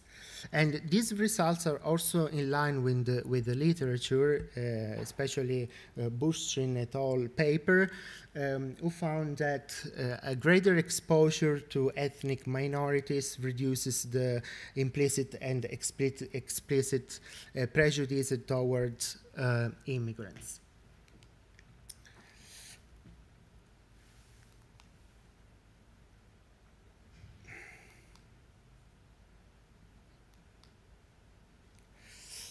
Okay, so of course in the papers we um, we investigated other aspects, but I had to pick up uh, some of the mechanisms. Here, um, thanks to the suggestion provided by one of the referees, uh, we provided further um, evidence that the share, so the, the increasing presence of immigrants in the area where the school is located affects teachers' behavior and not the behavior of, of students in the class. So we, in this case, we exploited two different waves. So the student questionnaire provided by Invalsi for two different waves in which students were asked about victimization or bullying behavior. So we built different dummy uh, variables, victimization, bullying, or uh, some proxies of the socialization, let's say, of students in the class. And as we can see, we never found any statistically significant effect of the interaction between the share of immigrants and immigrants. So it means that the main channels goes through the behavior of teachers and not the behavior uh, and the integration of, of, students in the class. And uh, last but not least, uh, so we focused in the main estimation, we presented results for fifth graders because we had information on uh, student questionnaires and so on and so forth. But also we wanted uh, to check whether the, the age of students or statistical discrimination was at play. But actually what we found is that for second graders, uh, the results are very similar to uh, what we found for fifth graders, so it means that uh, we, we, can exclude the so-called statistical discrimination behind our results. So in conclusion, uh, we uh, contributed to the literature investigating the average gap between immigrants and uh, uh natives, and we explain part of this average gap by means of the, this increasing presence of immigrants in the area where the school is uh, located because this increasing presence of immigrants might generate, even unconsciously, uh, feelings of hostility toward immigrants. And uh, uh, uh, we found also that this effect is heterogeneous according to the size of the municipality in which the school is located. Um, it is heterogeneous in terms of the area where the school is located. And also, um, I didn't present here the tables, but they are in the, in, in the paper. Um, it is true only for older and less uh, educated, less qualified uh, teachers. So, in a nutshell, what is the policy uh, implication of of our paper. So since there is this teacher bias toward immigrants, and this teacher bias might affect the uh, short-term and long-term outcomes of immigrants, so not only school performance, decision uh, of dropout uh, of schools, um, but also the labor market outcomes, so their careers, then it means that different policies should be implemented in order to uh, increase what is the social welfare. And in fact, according to the Ministry of Education, different policies should be implemented by principals, such as the peer mentoring, on, but also um, all those policies aimed at boosting the skills of teachers in the aforementioned areas. So in small municipalities, especially in the south, and affecting specific characteristics, specific groups of teachers, so older and less qualified. And that's it. Well, thank you very much. This was a, this was a precision landing, really. Uh, we have two discussions of this paper. The first one is uh, Gabrielle Fack. The floor is yours. Ah, very good.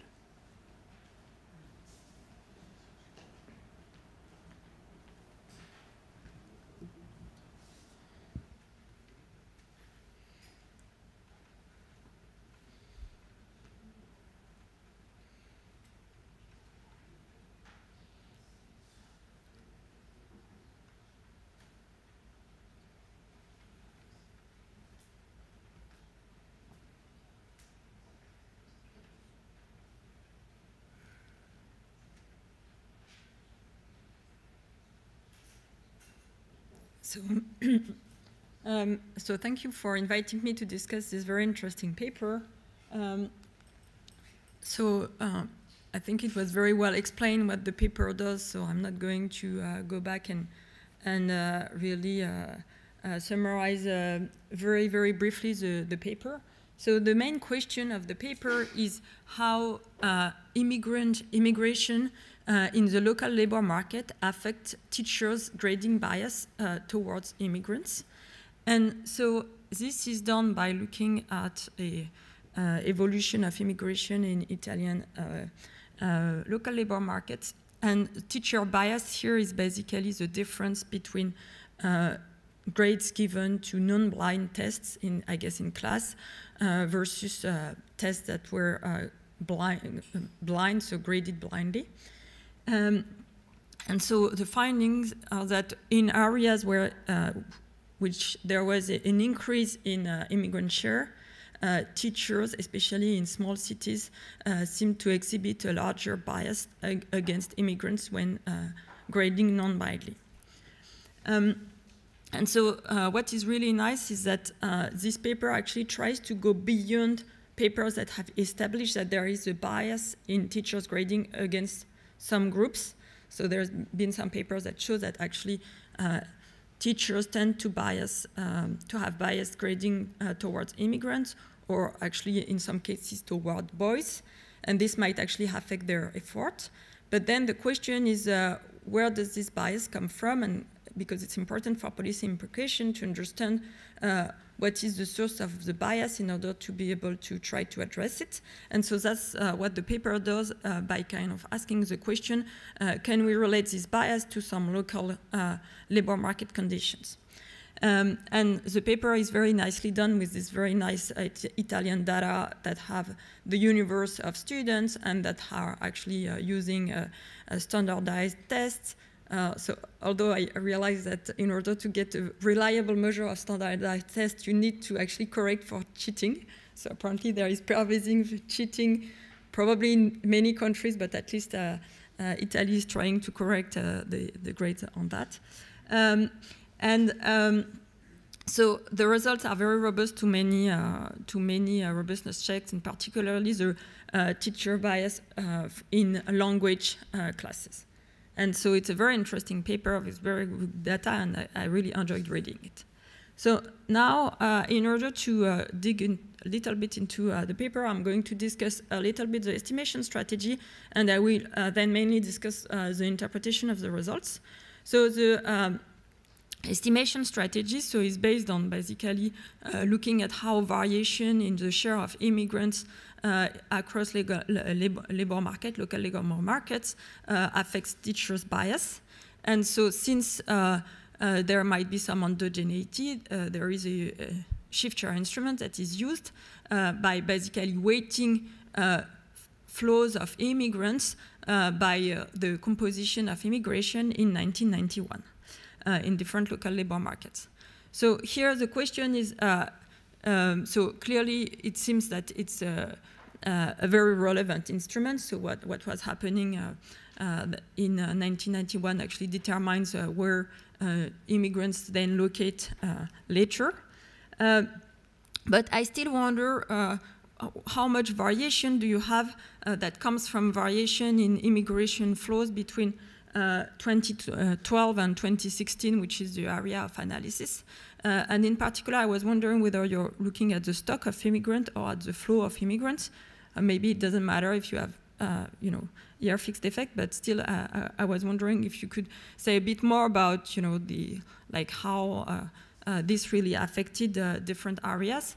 And also something I was trying to understand is that here, actually, uh, some of the uh, interesting result is that uh, bias from teachers seems to come from second generation migrants. So basically those are the children of potential migrants who migrated uh, in the 90s or at least earlier. So then in a sense, uh, I'm wondering whether then the exogeneity of your instrument uh, is, is, potentially a bit uh, more uh, complicated to defend in the sense that then uh, you're looking at basically uh, people who migrated in the 90s. And so if there is correlation with immigration shock later, maybe this, uh, there could be some uh, um, problems here. So, uh, I mean, maybe you can do uh, something later uh, related to the different groups of migrant, migrants, immigrants, and I, I, will come back to that later. Um, so then the second uh, main question related to the estimation strategy uh, uh is about uh, what is basically uh, the uh, scope of the analysis. So here it was very, very well explained in the presentation and in the paper that the choice of looking at local labor markets is kind of due to practical constraints that it's very hard to know where teachers live and not we don't know not necessarily know exactly where the school is located. However, I think uh, you might think of very different mechanisms through which uh, teachers might have some bias against immigrants. So here the idea is really like basically in their daily interactions, uh, they see more immigrants, and so then this creates a bias against uh, immigrants uh, students or maybe it's because uh, at the local le um, level you have uh, lots of information about uh, migration shocks, and so that's the relevant level. But uh, I think it would be interesting to know, uh, to try to discuss a little bit more uh, why this local labor market is relevant in terms of mechanism. And I mean, it can be a relevant mechanism, but then you can think of other kind of smaller units, geographical units, where it actually matters. And so you could think that uh, what matters it not, is not only the local labor market, but also the neighborhood or the school, or even within the school, the class.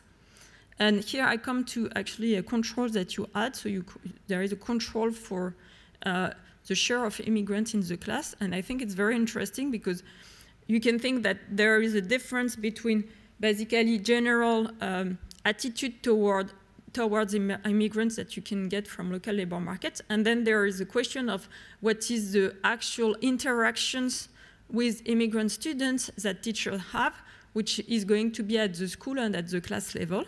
And maybe if there are many more immigrants in the school, it makes the interaction uh, different than if there are less, less, immigrants. So you might want to control for that.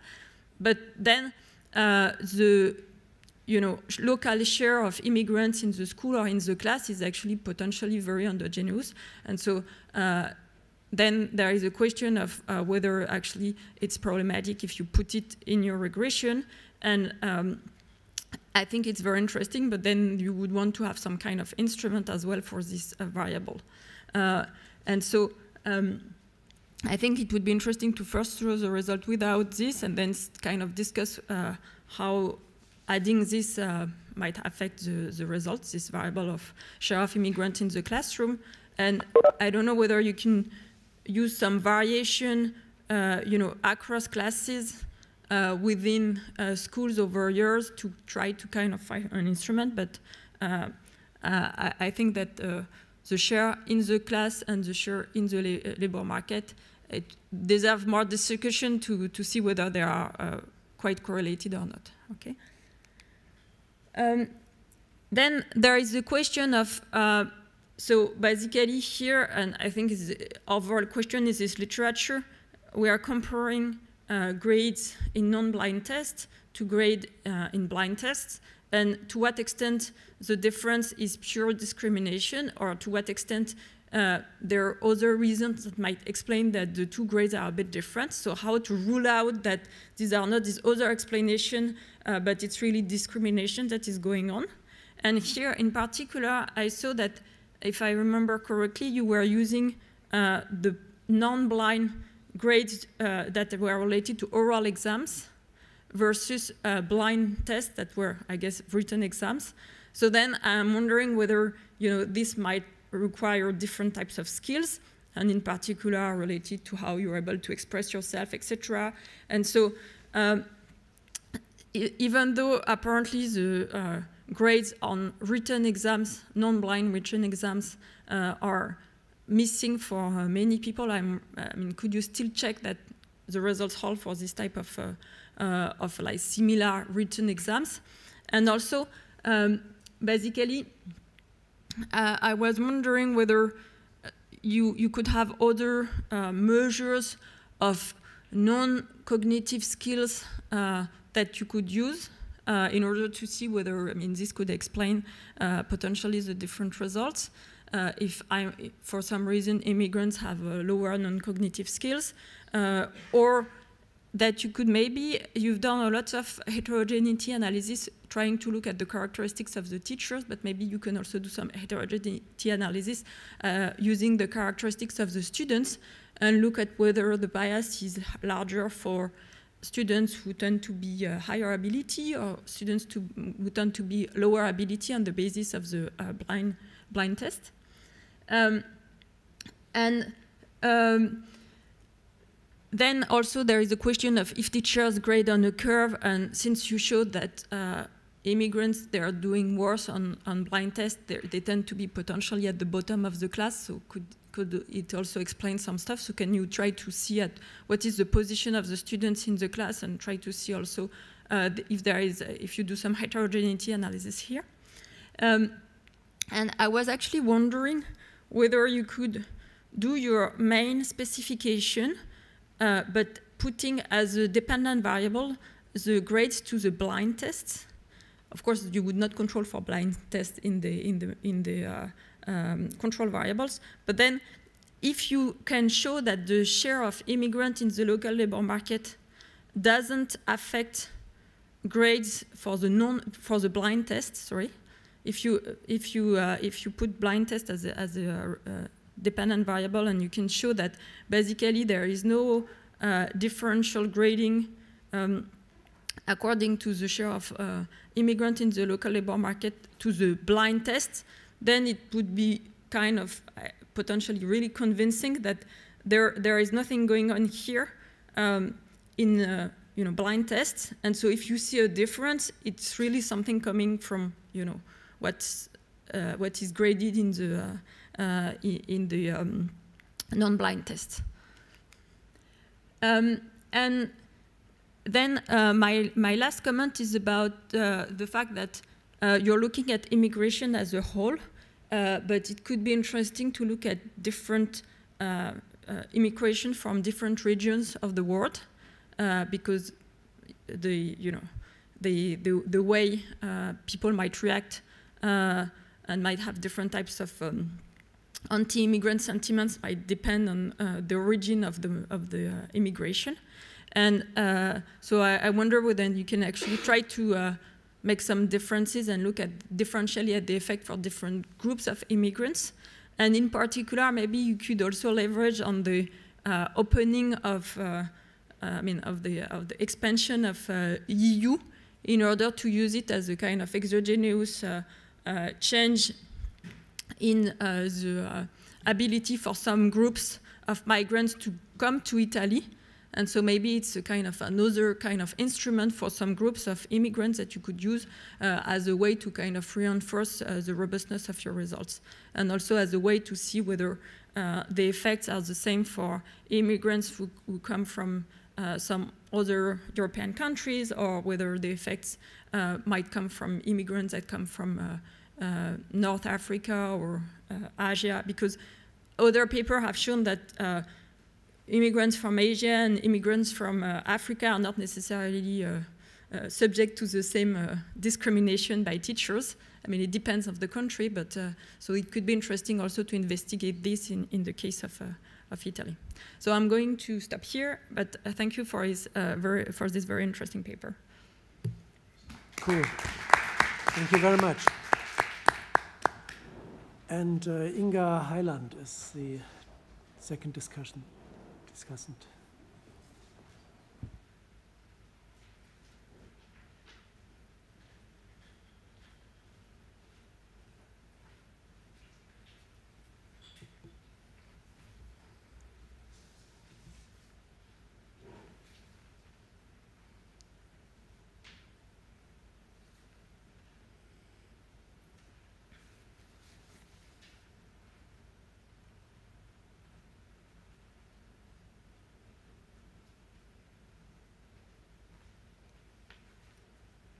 Great. thanks a lot for giving me the opportunity to read and uh, discuss this paper. Uh, let me start with a one-line summary uh, of the paper. So the, uh, the paper is interested in understanding the gap in grading uh, the, um, between native and foreign students, and in particular how this grading gap changed uh, with regard to the increased prevalence of immigration in different uh, regions in Italy. And the methodology that the authors employ is a within region analysis. So they're, they're studying uh, how the change in immigration in, in different local labor markets in Italy affected this uh, relative grading of immigrants versus uh, natives. The authors employ an instrumental variable for the share of, of immigrants to address uh, endogeneity concerns there. And importantly, they also uh, control for the ability of the students, uh, which of course is key when we think about how to interpret this gap or whether we can interpret this gap as uh, discrimination. Um, my uh, view on the contribution of the paper is that it kind of connects two interesting literatures. The first literature that has looked at this uh, grading gap um, with regard to different groups of, of students. And it uh, connects this literature to a broad literature which has studied the impact of uh, immigration on, on social outcomes. And the most important uh, takeaway from my discussion uh, is going to be that this is, I believe this is a very uh, carefully executed empirical paper, and it addresses an issue of high relevance.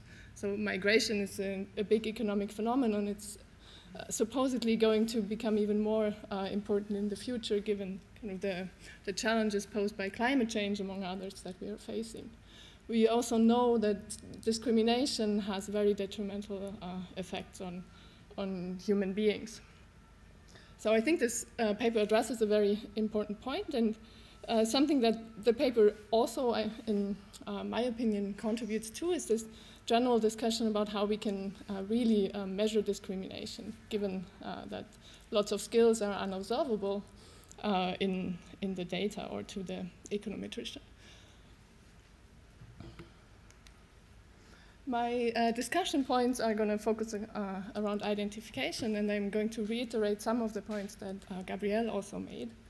Uh, in order to think about uh, identification or how we can identify this, this change in, in discrimination potentially uh, associated with an increase in, in the prevalence of migration, um, I want to think about what the uh, ideal experiment would be to identify this uh, effect, and then contrast it with the methodology that the authors have chosen in order to understand which uh, assumptions they have to make. Some challenges uh, that I will discuss in this uh, respect are going to be teacher and student heterogeneity, um, as well as uh, the, the, possibility to really measure the relevant uh, abilities here. And I'll end with one uh, short comment on the uh, motivation of the paper. So the ideal experiment, I think, to, to study this question or to identify this, this effect on discrimination would be a situation where we observe the same student graded by the same teacher, either at different points in time, like a point in time where immigration was large uh, versus a point in time where it was low, or in two different municipalities uh, characterized by different levels of immigration. This is, of course, uh, asking too much. So what the authors employ instead is that they uh, construct something like a quasi-experimental uh, design which is that they compare the treatment of the group of students that lives in a certain municipality by a group of teachers that works in a certain municipalities at uh, two points in time, with high immigration and with uh, low immigration. And the uh, assumptions needed here uh, in order to identify this effect on the change in, in discrimination are twofold. First of all, in order to identify the impact of the change in immigration on the change in the grading gap, the authors need an instrument for the, the share uh, of immigration, which they have, and I think uh, is, is convincing. However, in order to interpret this change in the gap as a change in discrimination, I believe um, more assumptions are needed. In particular, what needs to, to be assumed in this uh, setting is that the composition of teachers and the composition of students either is uh, uh, constant, exogenous, or can be uh, controlled for. And uh, this concern about the composition of students and teachers uh, changing, I think, is valid here because there are several results in the paper that point to the effects of or the, the, heterogeneity of teachers and students being important for, for grades or for the, the relative grades as well. So there are results in the paper suggesting that teacher characteristics matter. So teachers in smaller cities or in, in regions where the population is less educated uh, seem to be driving uh, the results. There are also findings that uh, student characteristics matter to the extent to which they are kind of subject to, to this biased uh, grading.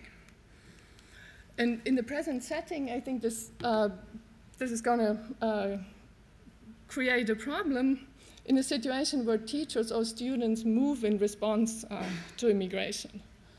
So if this is the case, like if for some reasons, more teachers would move into regions where immigration uh, has become more prevalent. I mean, more teachers that are, uh, have a higher propensity to, to discriminate against uh, students. The effects that we see, like this identified gap on the change, uh, this identified change in the gap uh, of grading, could just be due to more uh, discriminatory teachers living in, in that region. Or it could also be that students move in response to this uh, change in immigration, which um, could kind of generate this change in the gap that we see in the case where students with characteristics that make them sort of more likely to be discriminated against have moved to these uh, regions. And this is, of course, a very different interpretation of the gap than uh, from what we initially are interested in, which would be kind of a change in the, in the attitude of the same teacher towards the same uh, student. And uh, to the extent that this moving can happen in response to the change in immigration, it's not something that the instrument uh, can address. It's also uh, problematic in the sense that if all we see is about moving, so it's really just um, teachers that discriminate more moving from one region to another in response to this change in immigration, there's not going to be any effect on, on the country level, while we're still uh, measuring this, this change in, in the gap so what does the, the paper do about uh, student and teacher heterogeneity? So for teacher uh, heterogeneity, or in particular changes in the composition of teachers, I didn't find any, uh, any um, result in the paper that would kind of alleviate this concern. A lot, uh, on the other hand, is done about student characteristics. So there the authors observe a lot so they can control for the composition of students uh, uh, in terms of observable variables, which cover socioeconomic characteristics, um, as well as ability to some extent. And so um, seeing that there are lots of variables that matter, of course, also raises the question, are there other unobserved variables that also matter that, that are not here? And one point that uh, Gabrielle also mentioned was the country of origin of students. So if it was, if it was possible to control for that as well, I think it would be uh, very important. Then the other aspect is the, uh, the possibility to control for skills that affect the relative uh, grading. And I think the, the paper goes a long way with having these uh, blindly graded uh, test scores, but I'm still uh, wondering whether uh, more needs to be done here. And this goes also back to a point that Gabrielle made about these different kinds of tests potentially requiring different skills. So I, I can uh, imagine that there are uh, lots of reasons why immigrants might perform uh, less well in these uh, uh, standardized, uh, sorry, in these non-standardized and non-blindly graded tests than in the standardized ones, because potentially they are really designed to test for a different skill set. Or it might also be possible that these standardized tests can be, can be practiced in advance and maybe immigrant students put more effort into practicing for these uh, kind of tests. And uh, one result in the paper that actually made me uh, think about this was uh, this regression analysis where the authors relate uh, the, for, for, example, the math score in, in the uh, non-blindly graded test to the math score in the blindly graded test. And we see a positive correlation there uh, but we also see a posi positive correlation with the language score in the uh, blindly graded test, and vice versa for, uh, for, the language score. So we see that the math uh, score in the blindly graded test affects the language score in the non-blindly graded test, which makes me wonder about whether there are other skills that also matter that uh, are not controlled for uh, here. And of course, this, if unobserved uh, skills matter for, uh, for this uh, grading gap, then this, this threatens the interpretation of the gap as discrimination. And it could be potentially the case, kind of going back to this idea of students moving, that the change in the gap that we see reflects a, a change in the, in the composition of students with these different kind of uh, skills. So if we have uh, a case where high immigration regions receive more migrants with this, this additional valuable skills that you need for the uh, non-standardized tests, then this could be uh, also explaining uh, the results. Then uh, one last comment on the motivation of the paper. So the, the first paragraph of the paper states that uh, many empirical investigations have only, only found minimal economic consequences of uh, migration.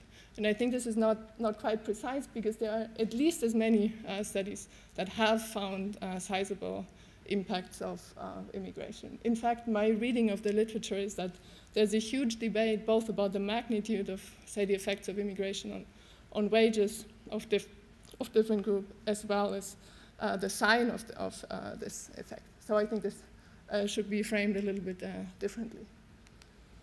All right, uh, this brings me to the end. So I want to conclude with uh, saying what I said before, that I think this is a very well-written and well-executed paper. I think a paper could gain from discussing this ability measure a bit more and convincing the reader that you're capturing the most important skills and also to uh, think about what could be done to address this issue of uh, teacher and student mobility in the presence of uh, uh, heterogeneity of, of, teachers and uh, students. Thanks.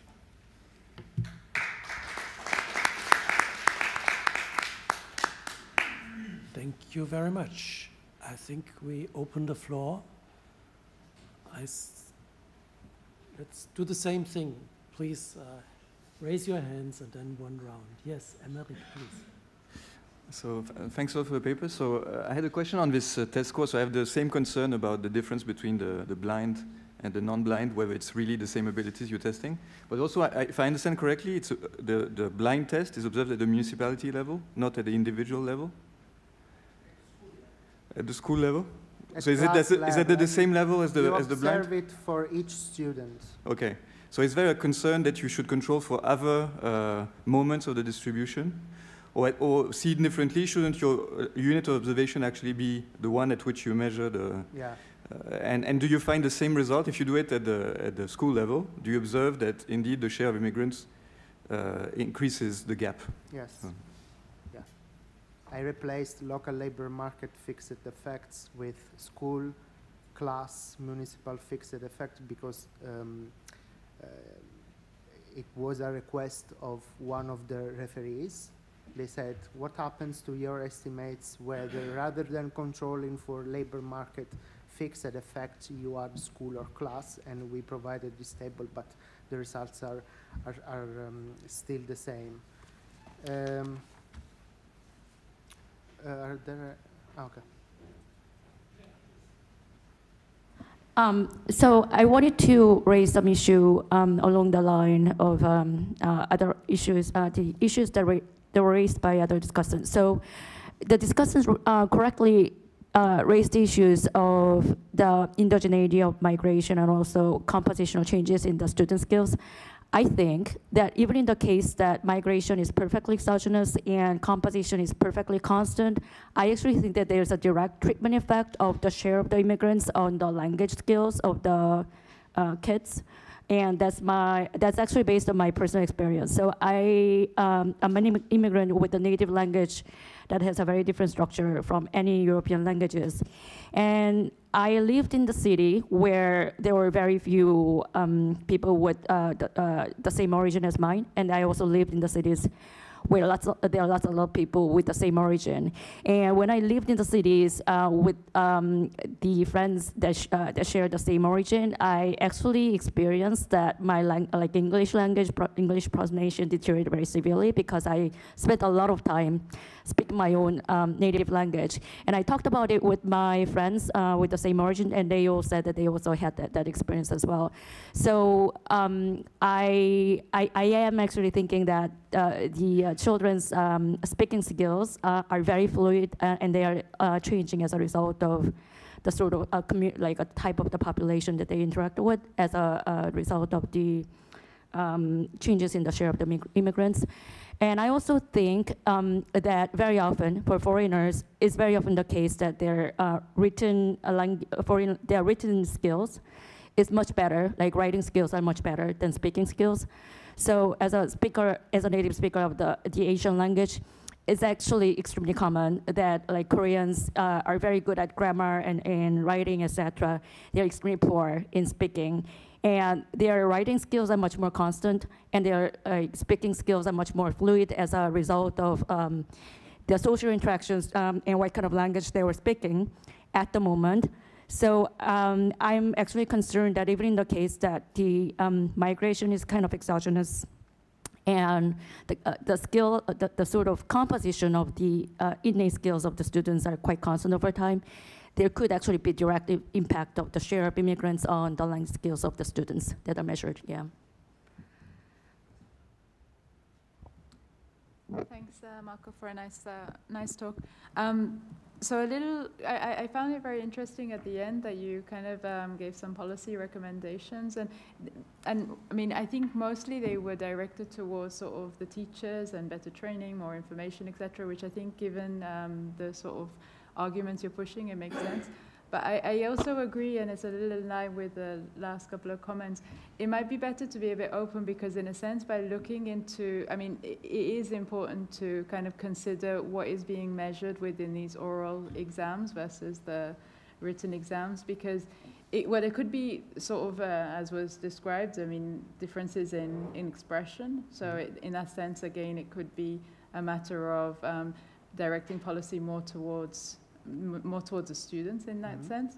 But the other element, and this might be easier for you to measure, which is looking at classroom behavior. So if you can get measures of, for instance, uh, absence uh, rate, um, or I mean, it, so so there might be a way in which you can get administrative data on sort of uh, something which is correlated with uh, classroom behavior, and this can also see whether the teachers are in a sense punishing for differences in, in, in behavior.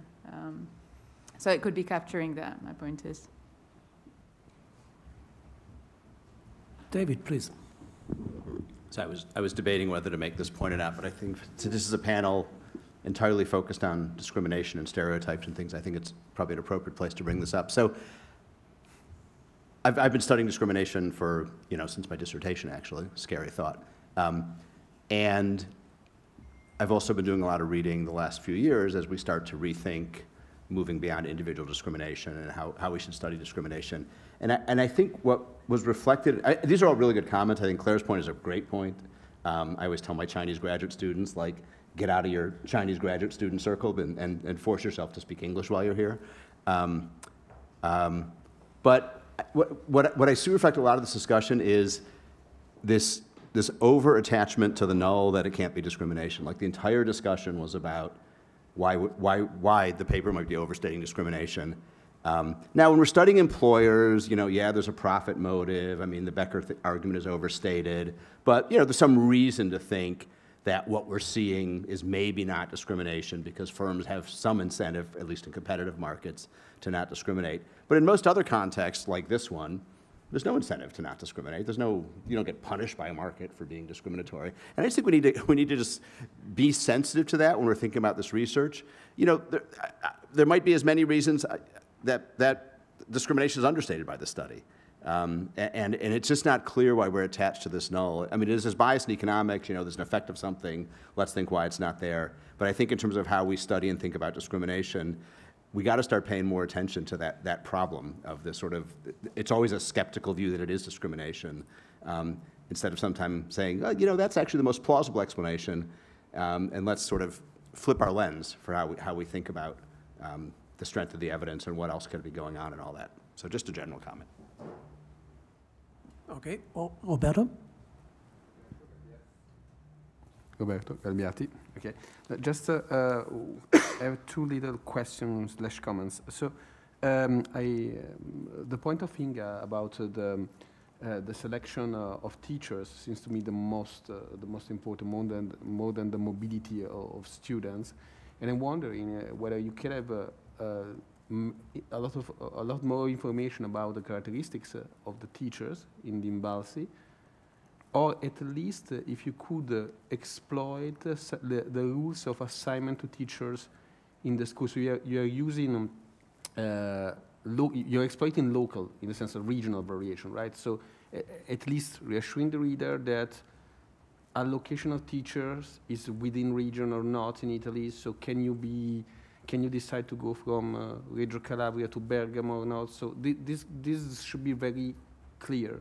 So mm. how they move, uh, what is the second question? We were wondering uh, with Pierre, we never seen the OLS of your. So uh, I understand that you that you the the reason why you implement uh, the, the shift share, but it would be nice to see the OLS also and compare OLS to the shift They share. were in the in the table. I, I didn't. Ah, they were. Okay, okay, good. But so in the paper there, there are. Okay, yeah. Okay, great. After the the first stage estimates, we reported the DOLS estimates.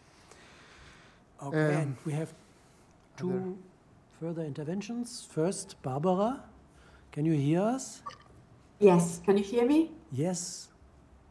So uh, th thanks, Marco, for the presentation. Uh, I have a question about this kind of very important variable in this uh, in your whole analysis, which is the presence of immigrants. So this captures various things. So one is basically the generation of feelings of hostility among teachers, which is basically your your headline result. Then you also mentioned that the presence of immigrants, in, by exposing the native population to migration, can also generate an evolution of those attitudes. So that's where you were talking about the divide between the North and the South.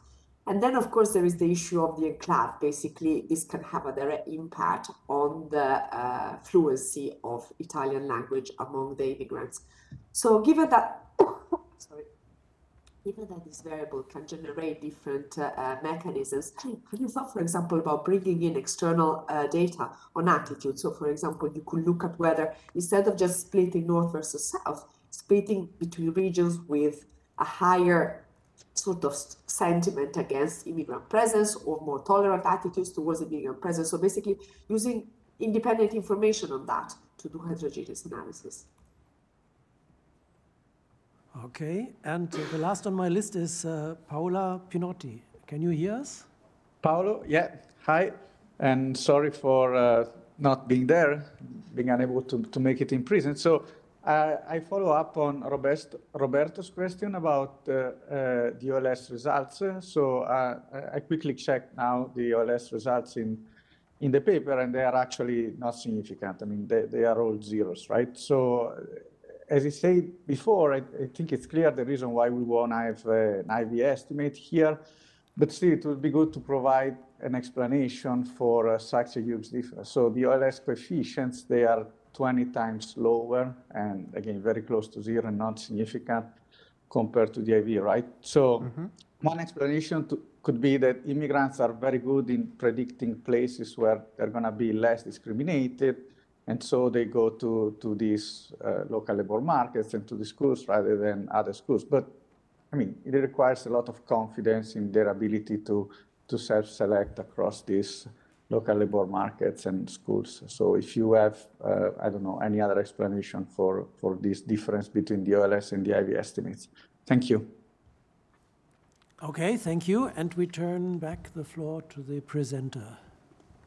Okay, let's try to answer to some of, of the um, questions. So first of all, we haven't used written non-blind uh, test because there are a lot of missing values in the uh, data set provided by Invalsi. So this is the reason why we, we focused on the on the oral um, oral test. Um, the second one, um, so it might be true that there might be uh, other skills we do not take into account about students, but actually we, we, we controlled for this uh, student ability, so uh, blind, um, blindly test scores and also on non-cognitive skills. So this is the only information available from, from this um, data set. Um, the other thing, the share of immigrants in class, we know that it is potentially endogenous, and this is the reason why we explain a bit of the literature and we, we state in the paper that is endogenous, but one of the referees asked us to add it in the, in the main regression. Uh, I can try, actually I don't know if there is um, an external data set about the sentiment, um, um, for instance, at uh, regional level about immigrants, but we, we can try to see if, if there is something in order to reply to Barbara um, comments. Um, the other thing replying to Ghazala, um, difference in students' behavior, what we did is to, as I said in the, in the presentation, we used um, as dependent variable some um, victimization, bullying, uh, indicators of socialization in, in, in the class. Um, so we did the best we, we could in order to, to answer to, to this question. Um, and that's it. So I, I, will try to, to recover all your comments and try to, to embed everything in the new version of the paper. Thank you very much. Okay, thank you very much. But before we go the coffee break, I would like to hand over the floor to Georges de Ménil, who most of you know it, but some may not know it. But he is uh, one of the three founders of this event, actually, uh, something like 30, 40 years back. I don't. 30, 35, and and um, um, uh, this is uh, my 75th panel. Uh, also, Richard Portes's 75th panel. He was here uh, yesterday afternoon. Um, and um, uh, you've really come up uh, in the world. Our, our first meeting was in a modest conference room uh, on the ground floor of the Maison des Sciences de l'Homme. Uh, and today, here you're on the top floor of the Ministry of Finance, and, and uh, we're received by the Directeur du Trésor, uh, whom every Frenchman knows is one of the most powerful civil servants um, in the country. Um, I, I, think, I mean, one of the things that has uh, um, changed also is the diversity of the group. Uh, I think that the gender balance is better now, certainly, than it was uh, initially. Um, the geographic balance is also quite remarkable.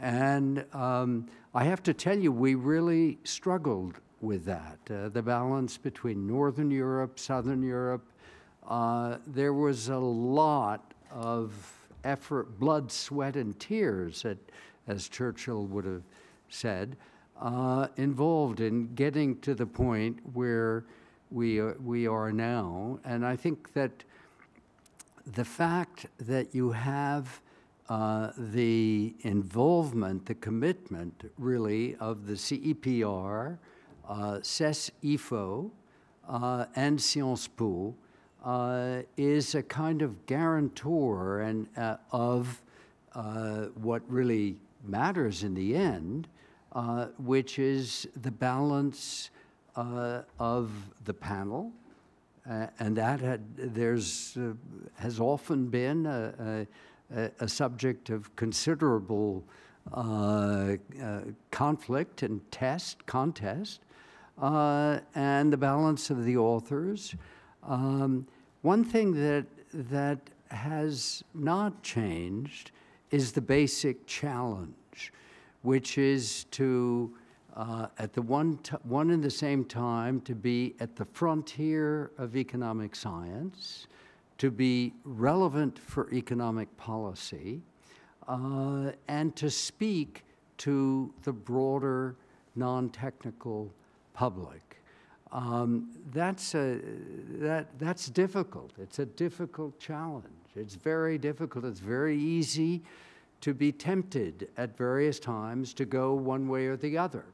to become uh, an a really purely academic uh, gathering or to uh, give in to the impulse to speak only uh, to the public. Uh, and uh, I congratulate you because you're really, uh, you're not doing that. Uh, it's not easy, but I think it's worth it. It's worthwhile effort. So I congratulate you. Cool. Thank you very much. And I assume coffee break is just over there. So cool. Yes. I think this was very useful.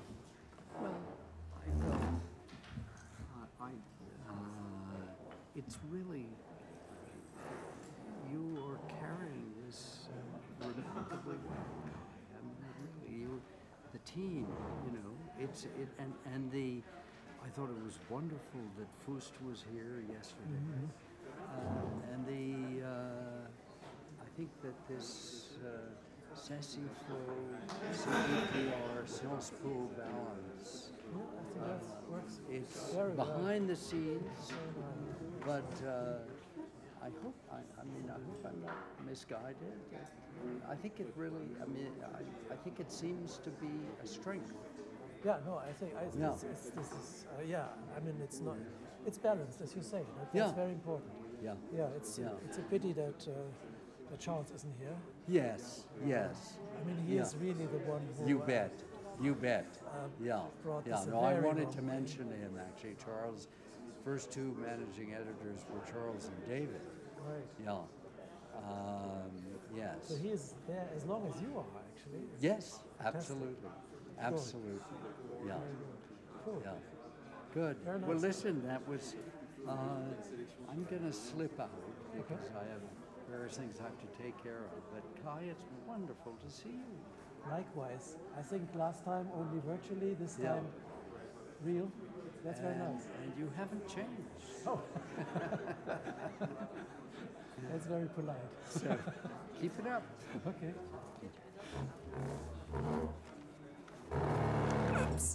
Oh.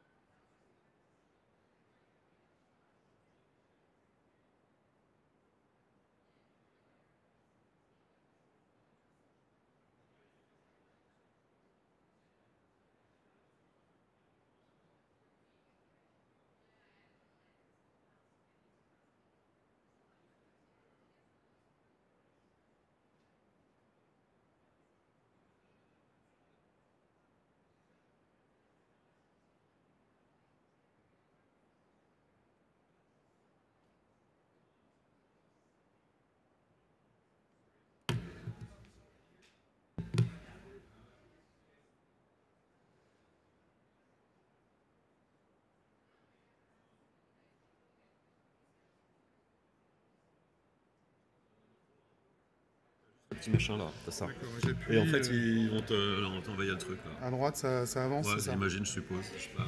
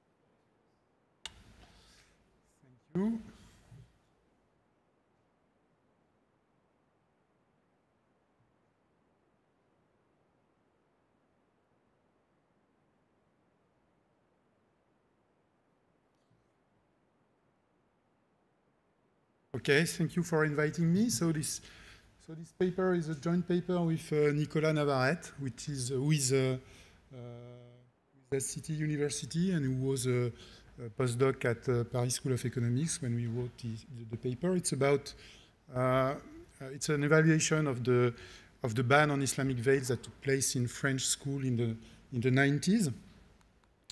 So, uh, as you know, uh, rising immigration from Muslim countries is creating uh, very strong political tensions in, in Europe.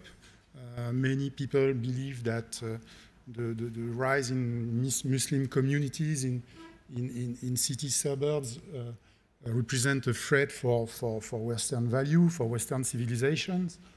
And uh, in this context, you also know that uh, many countries have started to to, to have started to restrict the, the wearing of clothes that that that that, hide the that hide the, the face of people in public space. So, in Belgium, in Norway, in Denmark, in some uh, German regions too.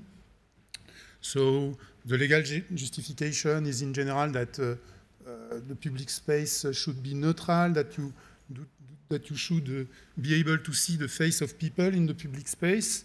But of course, there is a deeper, a deeper debate behind that uh, between uh, those who argue that uh, it is uh, such policies are necessary to, to counter the, the influence of, uh, of extremists of, uh, of extremist religious group in, in, in our in, in western suburbs, and uh, those who argue who argue that uh, these policies uh, represent new symbolic violence against the Muslim group and and limits and attacks against the, the freedom of, of religion. So the the ban I'm, I'm going to talk about is kind of a pre- precursory policy that took place in France in basically two steps. So the, the, the first the first fundamental step was in '94 when the when François Bayrou, the, the, the Ministry of Education at that time, uh, issued a, a- circular, a ministry circular, where he officially asked a school principal in France to, to ban uh, non-discrete, uh, let's say this way, non-discrete religious symbol, religious sign in school. Uh, the reason he, he, he- argues that uh, the circular argued that uh, that such non-discrete signs were as such act of proselytism and were as such hurting the neutrality of the school space And also, he, he also argued that in uh, some cases there were uh, obstacles to, to the good running of classes, sport classes or technology classes. Uh, so that was the first step. This, in some sense, this, uh, this, uh, this first uh, policy was kind of success. If you, if you look at the numbers produced by the minister, reports produced by, by the Ministry of Education, the number of veiled students in French school which was not that high before the circular, uh, let's say about 1%, a little more than 1% of Muslim girls were, were wearing uh, some kind of veils, a veil, and after that, some years after the circular, we were at about uh, uh, four to 500, so it was not big number before, but we, we, we see, at least if we believe the, the report of the French Ministry of Education, we see a sharp decrease. So this was the first step. One issue with the circular is that the implement, uh, he, something important, he also appointed mediators to help implement the circular in school, to help uh, discuss, uh, to help the pedagogic team to, to, to, to interact with uh, families uh, who were asking questions and were not always fully aware of, of, of, what to do. One issue with the ministry circular, it, has not the, it has not the same strength a, as a law, so it's very much uh, on uh, on teachers' shoulder to to implement it, to inform at the beginning of each school year parents and so on. So many teachers were asking for something stronger. For, for, they were asking for a law. And after, uh, I, I, will not go into the detail in my presentation, after after several debates, after several official committees uh, uh, giving uh, reports, um, Uh, a law was uh, eventually uh, passed in 2004, which definitively uh, ban something that everybody is supposed to know now, irrespective of the information received from school, that ban non-discrete religious symbol in, in French school. So our research question will be to assess, to try to evaluate the extent to which uh, the impact of this uh, of this uh, of this uh, uh two-step regulation on on uh, on uh, on female on, on, Muslim group female students. So, in theory, I, I will not write a, a, big model, but in theory, the ban has at least two two immediate effects. it forces it forces the veiled student to remove their veil and their veils, and it removes the pressure on non-veiled students to justify uh, their choice not to wear the veil. For those who are under pressure in their family and who choose not to wear the veil, if there is a law or, or, or, or is there a, a, regulation for, which forbids the veil, it's, it's easier. They have, they have not to justify themselves anymore. So this is the two first immediate effects. So at the end of the day, the effects on, on school trajectories can be positive, they can be negative also. They can be, of course, negative for those uh, who, are who are happy with the veil, who, who are really, uh, who really want to, to wear the veil and are forced to, to remove it. But it can be positive, of course, for those who wear the veil but uh, are forced to wear the, to wear the veil, are unhappy with that. And it can be also positive for those who don't wear the veil but are under pressure at home or in the neighborhood to, uh, to wear the veil because uh, it removes them to, from the pressure of, of having to, to justify themselves. So it's, so it's, it's basically, uh, there is no strong prediction. It's basically an empirical question uh, uh, about what, what effect is uh, dominating. At the, start of the, at the start of the project, I was thinking that the, the outcome of, of, of our evaluation would be a zero effect, in fact. So the data that we are using are, are mainly data coming from the, the labor force surveys, French labor force survey. So we use uh, the full set uh, of uh, surveys conducted between 2005 and 2019. So you have in this survey the, the usual uh, labor force survey information. Something interesting that we have uh, since uh, 2005 is the the nationality of, uh, of the parents and the nationality in particular of the father. Uh, the Muslim faith is, uh, is transmitted mainly by the father. So we don't have the religious affiliation of, of, of the parents, of the family in which the, the, the, the, student is, but we can construct a proxy using this uh, nationality information. So in the following, what I call the Muslim group is the group of, of people whose father's nationality at birth is from a country where we know that there is a majority of Muslim, where, where, where, where, where at least 50% of the population is, uh, is Muslim. So it includes mainly Maghreb. Uh, Maghreb is the, is the main uh, country of origin in France that can be called uh, Muslim. We have also Middle East, and it is mainly Turk, Turkish, uh, Turkish families in the French context. And we also include non-Maghreb African country. You have in France both uh, African countries that are not, not really uh, Muslim. You have uh, others that are mainly Muslim. On average, it gives something like 50% of Muslim. And we have checked that our results are, are robust to using or not to including or not uh, the non-African, the non-Maghreb uh, African country uh, in our definition, in our, in our definition of, of the Muslim.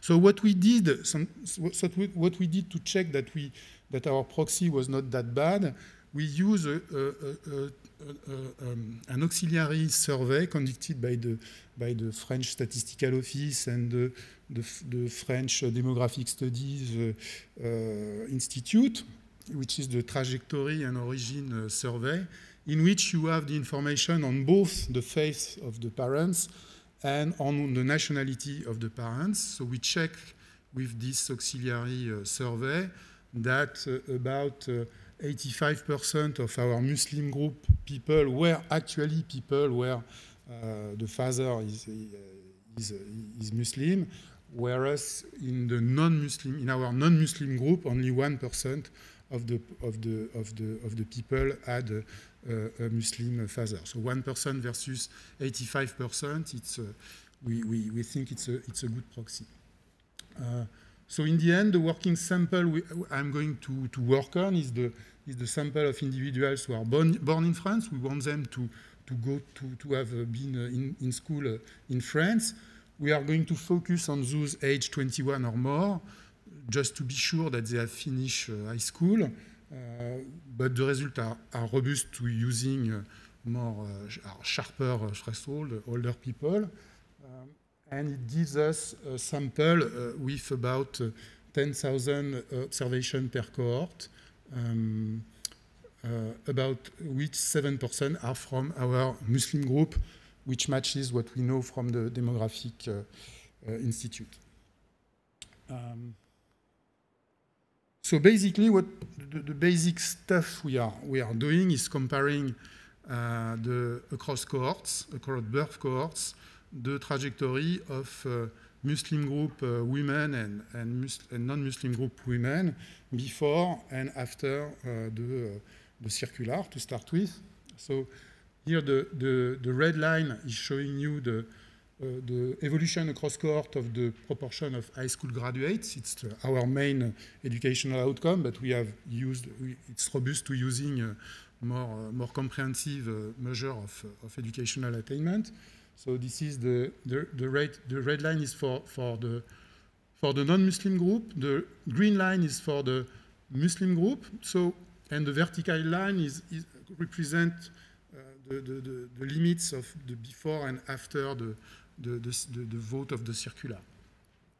So what we see is that before the, before the circular, that is for cohorts who left middle school uh, after the, uh, before the circular, who, didn't, did, who, who reached puberty before the circular, we have a gap, an important gap, the, educational gap between Muslim and non-Muslim group. It is not surprising which fluctuate between 10 and, and 15%, but with no, uh, with no trend, that is to say, it's about 15% in the early 70s and about 15% in the late 70s. It's difficult to, I will show you more, more specific tests. There is no trends in this gap across this pre-circular reform. And the gap is huge, it's about 15 percent point. When you look on the right-hand side of the graph, uh, cohorts who, who, enter middle school after the circular, who spent their, their whole middle school years in, after the circular, then, then what you see is again something which is not trended. The gap is not trended either, but the gap is much lower. Let's say it fluctuates between uh, 5 and 10%, and the, the average is about uh, 7%. And all the action, all the narrowing of the gap between the pre-reform and the post-reform uh, post-reform uh, cohorts happen between, uh, for these uh, in-between cohorts, who are cohorts who, for which a fraction of middle, of, of middle school years have been spent in, middle school after, after the circular. And the, and the progressive narrowing is, is in line with the idea that the more years you have spent in middle school after the circular, which I interpret as the, la the larger the fraction of the cohorts who has been who, was who reached puberty and the age of the of the of the wearing of the veil after the circular, uh, the larger disproportion, the, the narrower the, the gap. So, so this is about the this is using the same information, but this is plotting the estimated uh, gap for each cohort using a full set of controls, and it replicates what I, what I, what I've just said. That is to say, the, compare with the, the, the, reference is the gap observed in the late uh, 70s. So you, you, have a gap which is fluctuating uh, uh, near this level uh, for the pre pre uh, pre pre circular cohort, and then you have this increase in the gap for the in between cohorts, and then the gap stabilizes. and the relative level of education of the Muslim group is about between 5 and 10 percent point higher. Um, five minutes left? Okay. So uh, we can do the same stuff with the 2004 law. So it's about the same story, let's say, but the effect is, uh, is less important. That's to say we, you have this uh, pre-law uh, pre-law gap, which is about uh, 5 to 10 uh, percentage points. Then there is a narrowing of the gap, and the gap is uh, fluctuating at a, at a lower level after the, after the law. So we have, we have something attenuated for the 2004 law in compar compared to the, to the uh, 94 steps. Okay? So this is the, the same thing with the, with the estimated gap. So to test the robustness of this graphical result and to explore heterogeneous effect, we have, we have developed several, uh, several re regression models using uh, several possible uh, specification. Our preferred specification is this one, where you regress outcomes on uh, nation nationality of the father's dummies and, and time cohort dummies and an interaction between the Muslim group dummy and a treatment dummy, a dosage of treatment dummy, which is a variable which uh, capture the fraction of your middle school years that you have spent in middle school after the circular, for the circular, and after the law for, uh, for the law. So when, when, you did, when you do that type of, of regression, sorry, uh, doesn't work anymore. Okay. So I've dropped, so, so you, can you go back for one slide?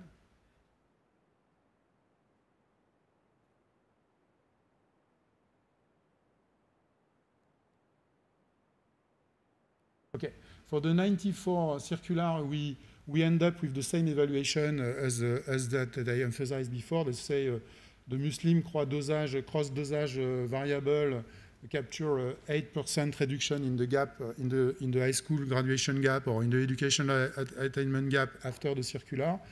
What, when you do that for, the, for, for men, which we, we have also replicated the graphical analysis for men, as expected, we find no effect. Let's say the, the, same, the same specification applied to the sample of men did not show any, uh, any reduction in the gap for, for men after the, after the circular.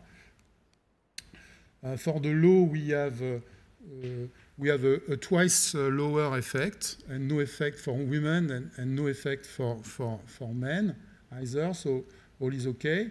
So what we did uh, with, um, um, with, the, with this model, we also explore heterogeneous effects. So the, what we find is that, as expected, when we when we replicate this analysis for the different group for the different subgroup of Muslim families, uh, we obtain larger effect for those that are more Muslim.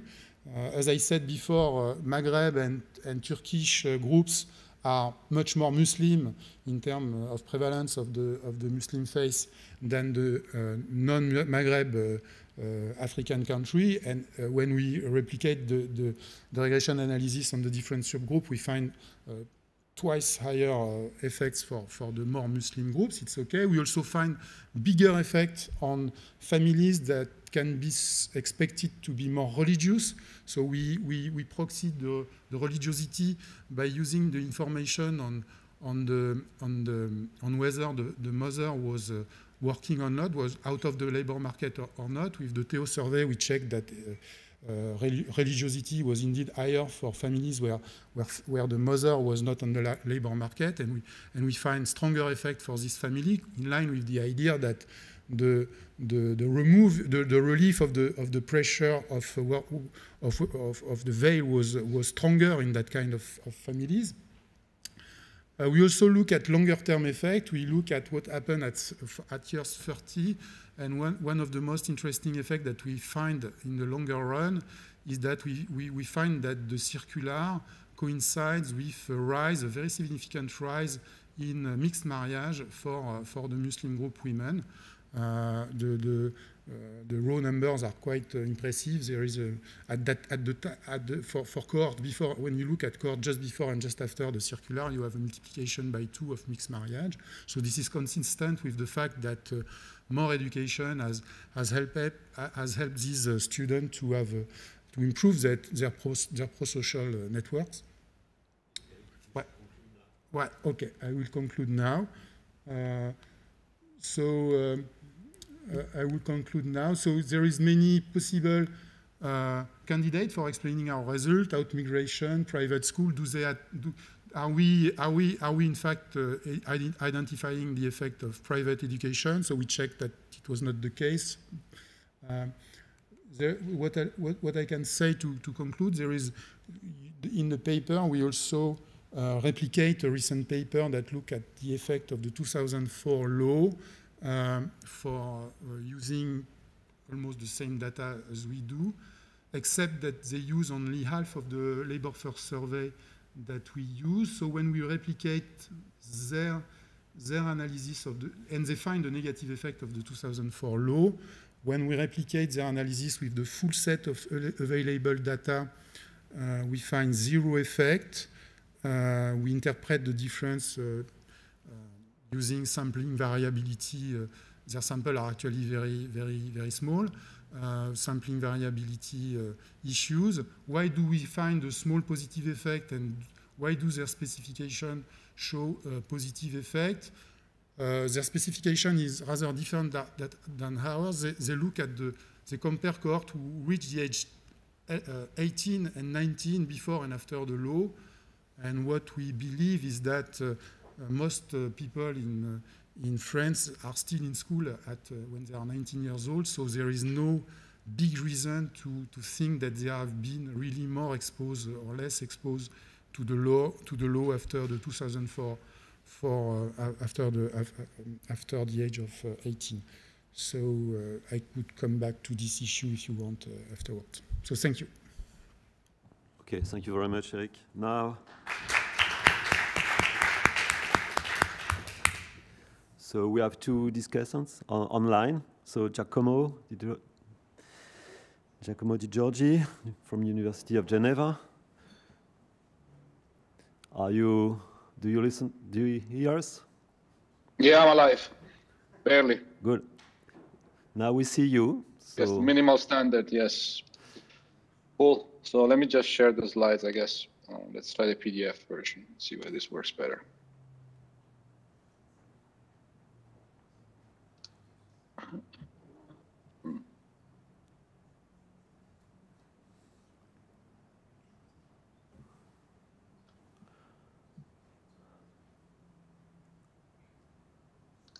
Okay, I'm gonna go for these ones. I guess you can see them. I can see that you can see them. So I'm just gonna jump in. Is that okay? Okay. Cool. So thanks so much for you know giving me the opportunity to read the paper, go through it. Sorry, I'm gonna be there. I brought a little bit of the Swiss mountains in the pictures. Um, I'm gonna blame my illness if I just say something completely crazy. So that's you know just pencil that to some post-COVID things. So this is actually a you know first thing that you want to do, I guess, in such a panel is to understand whether you know summarize the paper and whether the paper is important. So what I did was I just asked Google. Uh, you know, and Google tell me that it seems to be a big deal today. Uh, apparently, it's coming back uh, in many dimensions even with more reputable journals, like I guess is the, the FT, the other ones, I don't know what they were, but Google gave me that as a first search. And in other countries too. So, you know, first thing first, this is an important question. Now, um, what is the summary that I can find? Uh, to me is that uh, there's a, a, positive effect. Let me say 10%. Actually, I have some issues on the dosage model and other stuff. We'll talk about that, I guess, quickly. Uh, I prefer the sharper thing. So let's say it's about 10%. Um, the identification is essentially in this type of design is actually fairly standard. Uh, it's a core difference in differences. Now, if you add the dosage model, it's actually slightly different than that, but it's that's, that's what it is. Uh, and you know, in principle, we could do triple differences with gender, which, I, by the way, would be my preferred specification there. What um, I'm going to talk about, I guess, in this next uh, seven, eight minutes or so, I'm going to try to sort of go to mechanisms. Um, and I think that's where the important stuff could be. So I'm to skip ahead a bunch of slides uh, and, and try to sort of get here. And then maybe we go back if there is time. Otherwise, I can share the slides with the, you know, the others and, and, whatever it is. So is there any suggested mechanism? So the, the paper has a, a tiny toy model. Uh, I, I yeah, uh, so I think I will go back to that a little bit. But so my hunch is that one of the things that the authors believe to be true is the reduction in conflict, uh, one way or another, is within the household or within the neighborhood. Uh, unfortunately, there's no real test for this in the data or in the paper, actually. Maybe it's possible to go a little bit more direct into this and just take some part of the model to the data. Um, now, maybe there are time use surveys in France. I honestly don't know. Um, and maybe there are other ways which I'm going to be suggesting. Maybe there's other ways to think about this. Uh, you know, it's true that on the one hand, conflicts may be reduced because, you know, now there is a choice to be made. But on the other end, as uh, Eric said at the beginning, uh, you know, this actually could be going the other way around. So it could be that, you know, conflict is actually not reduced within the household, it's actually increased because now you have, uh, you know, you can just fight it over because someone else in the state tells you that you don't have to wear the veil, and uh, that's what happens.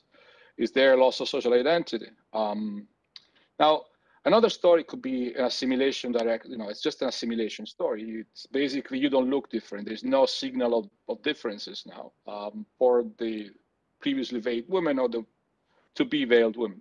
Um, so I think this is sort of easier maybe to check because I'm guessing you can find occupational distribution data um, in the labor force survey. Uh, I'm not a huge expert on, by the way, in French data at all, but uh, um, so maybe it's one of the countries I've never really worked with. So, um, but I'm guessing the occupational distribution is not that hard to find, and the simulation would actually lead towards something like that. But there are other measures of simulations that people could uh, easily, I think, get at.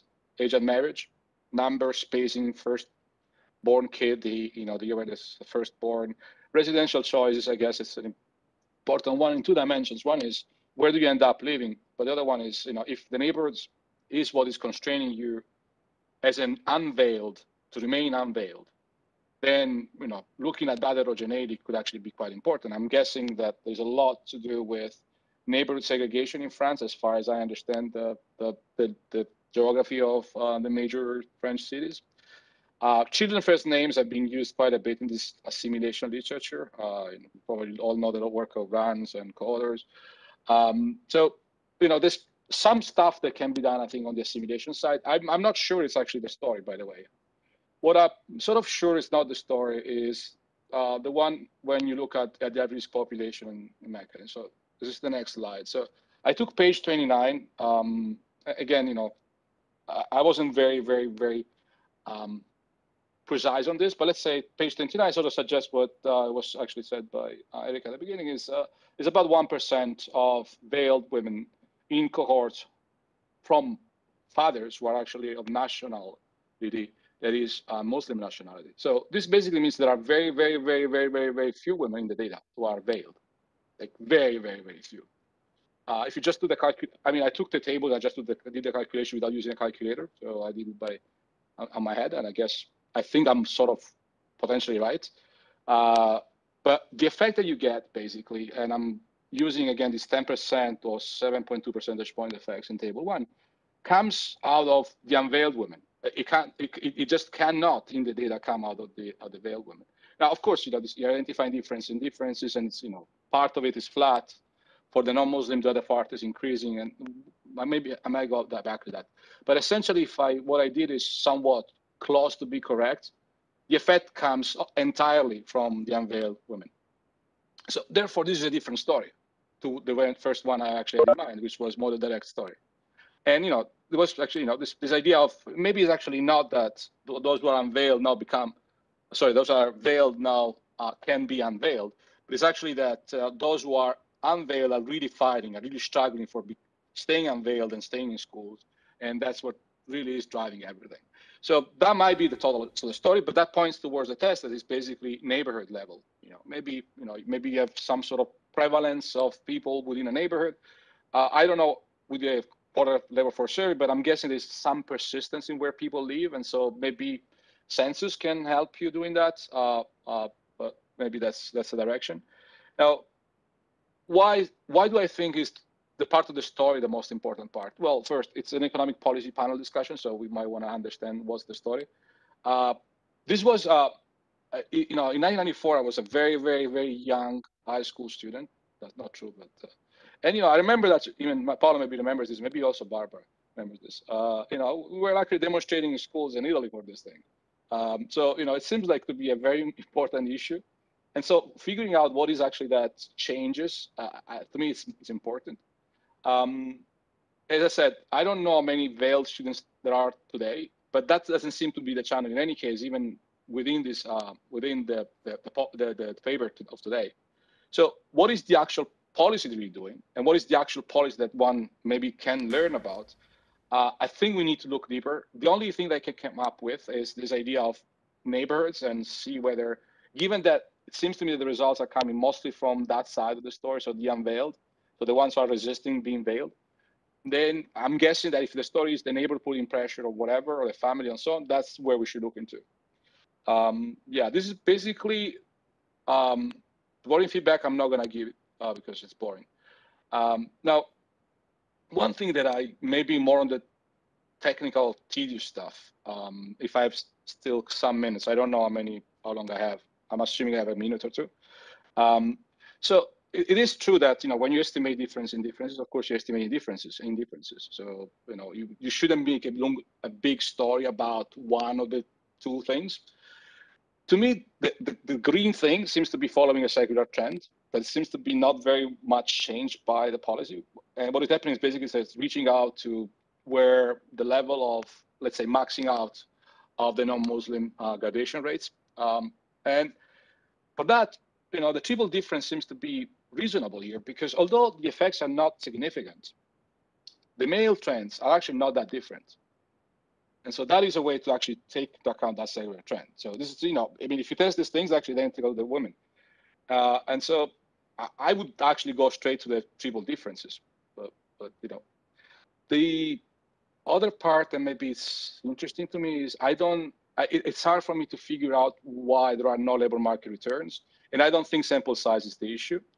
Uh, in fact, actually, you can expand sample size very easily because we sort of know how experience and labor market progress evolve. It's a, it's a quadratic form, so you can actually account for that. If you're worried about you know people not being old enough, uh, it, it's actually not that difficult to do that for you know income and stuff.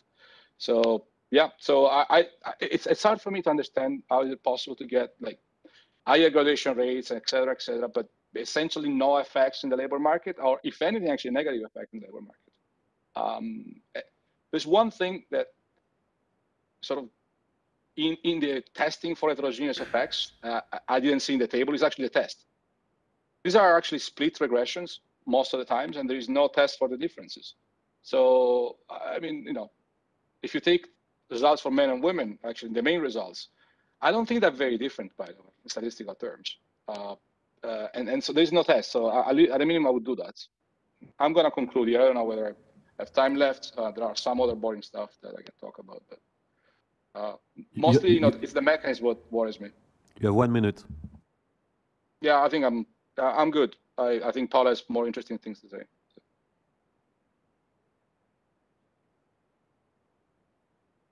Okay, so so Paolo, the floor is yours. Yeah. I guess I maybe I need to unshare or you can do it directly. Uh, let me see if I can. Well, I can stop sharing, so I sorted out. Oh yeah, you need to. You need to... I, I did, did I did I did I did stop, so you should be able now. Okay. Can you see my slides? Yes. It's fine. Maybe better like this. Okay, so uh, thanks a lot and sorry uh, for uh, uh, not being able to make it in presence. I, I cannot invoke COVID like uh, Barbara or Giacomo, but uh, just conflict conflicts with my teaching schedule this afternoon, so sorry about that. Um, I agree with, with Giacomo. I mean, it's a very important paper on a very important issue, although I, I don't remember protesting about that when I was in high school, but I, I think maybe I was not very engaged in high school in, in these things, and that's my bad. But uh, again, so just the third summary of the paper in a row, so maybe I, am going quick on this. So uh, the paper is about the effect of banning the Islamic veil on educational attainment. So it focuses on uh, two policy experiments. So the first one was uh, ministerial circular 1994, which is carefully explained what it is in the paper, and then uh, 2004 law. And the main result is that there is an increase in educational attainment for Muslim female students relative to non-Muslim female students. Again, it's true we don't really, we cannot really measure the religion, but we just infer that from the uh, the father's country of origin, and, and I think it's okay. And what is kind of very convincing to me is that we don't detect the same differential effect on males. So I also thought a bit about the point that Giacomo made about the secular trends that you can see uh, the same secular trends for males and females. But as you also mentioned before, once you go for a diff in diff, you should kind of trust that uh, you know the, the, the, common shocks they are captured by the control group and therefore, I mean, you should just interpret the, the difference in difference and not just the level. So, um, and then some qualifications, the effect of the 2004 reform is much weaker or, or absent, uh, depending on the specification. And something that it's, I think, relevant to discuss is that the effect is limited uh, to females that are exposed in, in middle schools, but there's no effect for female students that were exposed later on when they were already in high school. And I will get back to this. There are also positive effects on intermarriages and number of children, while no effects on labor market outcomes. I was also a bit puzzled, like Giacomo, about this uh, when I first saw it, but I think the explanation that is provided in the paper, like opposite effect of higher educational attainment uh, against having more children and therefore lower attachment to the labor market, it's kind of plausible. Then, of course, it, it's sort of an hypothesis. It, it's not really tested in the paper, but as an exposed explanation, I found it uh, quite plausible. So let me go uh, straight to what I think it could be done to improve a bit the paper, which is already uh, very good, as I said before. So I, I, think it would be important to explain better the institutional context. So uh, of course, the, the description of the schooling system is key for understanding the results and especially for understanding why you have an effect only on female students that are exposed in middle school and not in high school. And just, you know, the, the way the paper is written, it was unclear to me. I don't know if it's just me, but there was some back and forth between uh, you know, the description of the schooling system, the description of the policy. I think it could be explained in, in a much better way and even, you know, shorter and, and concise uh, to the point. And then related to this, you kind of detect an effect for uh, course that were exposed quite early uh, while still in middle schools. Uh, there's no effect on the course that were exposed while in high school. So if you remember the graphs, no effects uh, uh, on the 1979 course and all previous course. Uh, and then you know, you, you, you kind of justify this with, with some sentence like this. So we see the lack of the effects for those in high school in 1994 as an empirical result that may be the consequence of the bank coming in an age when most of the educational career is already settled. Now, like Giacomo, I'm not an expert in, in the French uh, schooling system, but if I were in Italy, I would say that, you know, when you are in high school, it's still a crucial moment for uh, your educational career and later on your working career, right? So we see students that change their educational trajectory, uh, their performance uh, during the first or second or third year of middle school. I, I'm not sure that the games are already uh, closed when, when you are first or second or third year of high school, right? So in particular, you, you mentioned in the 1990s, low achieving middle school students had to go into pre-vocational vocational education with very few opportunity to find their way back to high school afterwards. So can you show that? Is there any way to uh, find in other data the track choice or even in the labor force survey? Again, I'm not an expert of the system, uh, neither I'm, I'm, an expert on, on the data, but um, can you like identify the type of uh, school degree that uh, that these workers have, and therefore see whether you know uh, you should see a, a, a strong effect on on on the track choice, right, as an additional outcome. And I, I think it would be important to justify again why you find an effect only for those exposed in, in middle school and, and not in high school.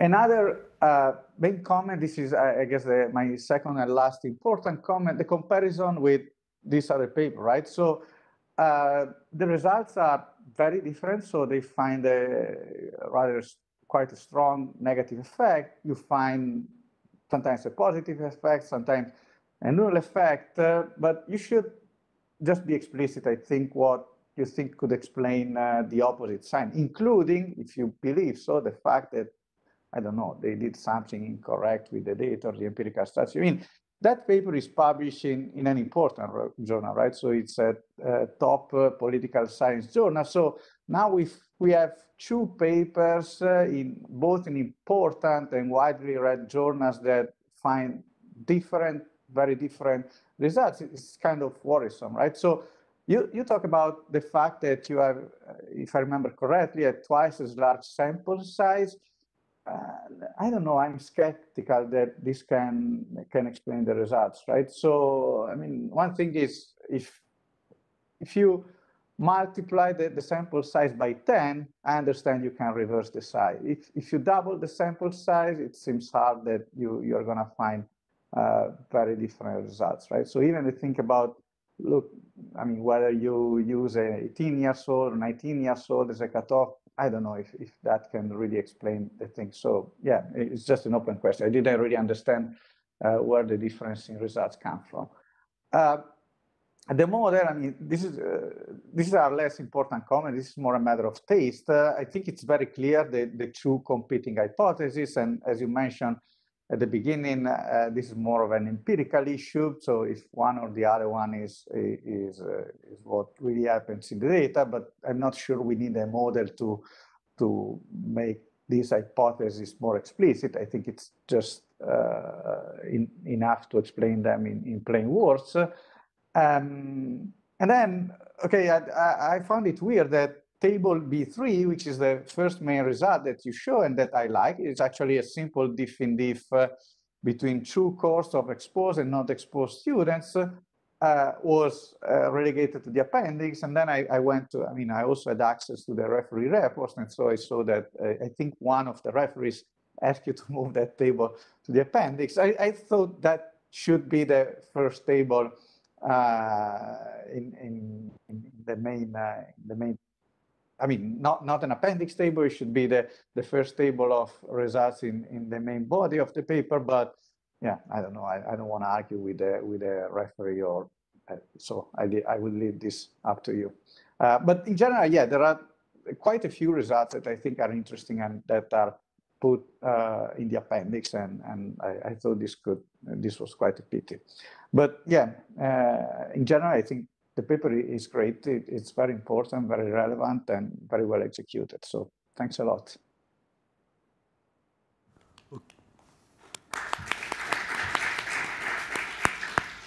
Okay, thank you very much for this very nice discussion. So we have time for questions before Eric can answer. Gabriel, you want to start?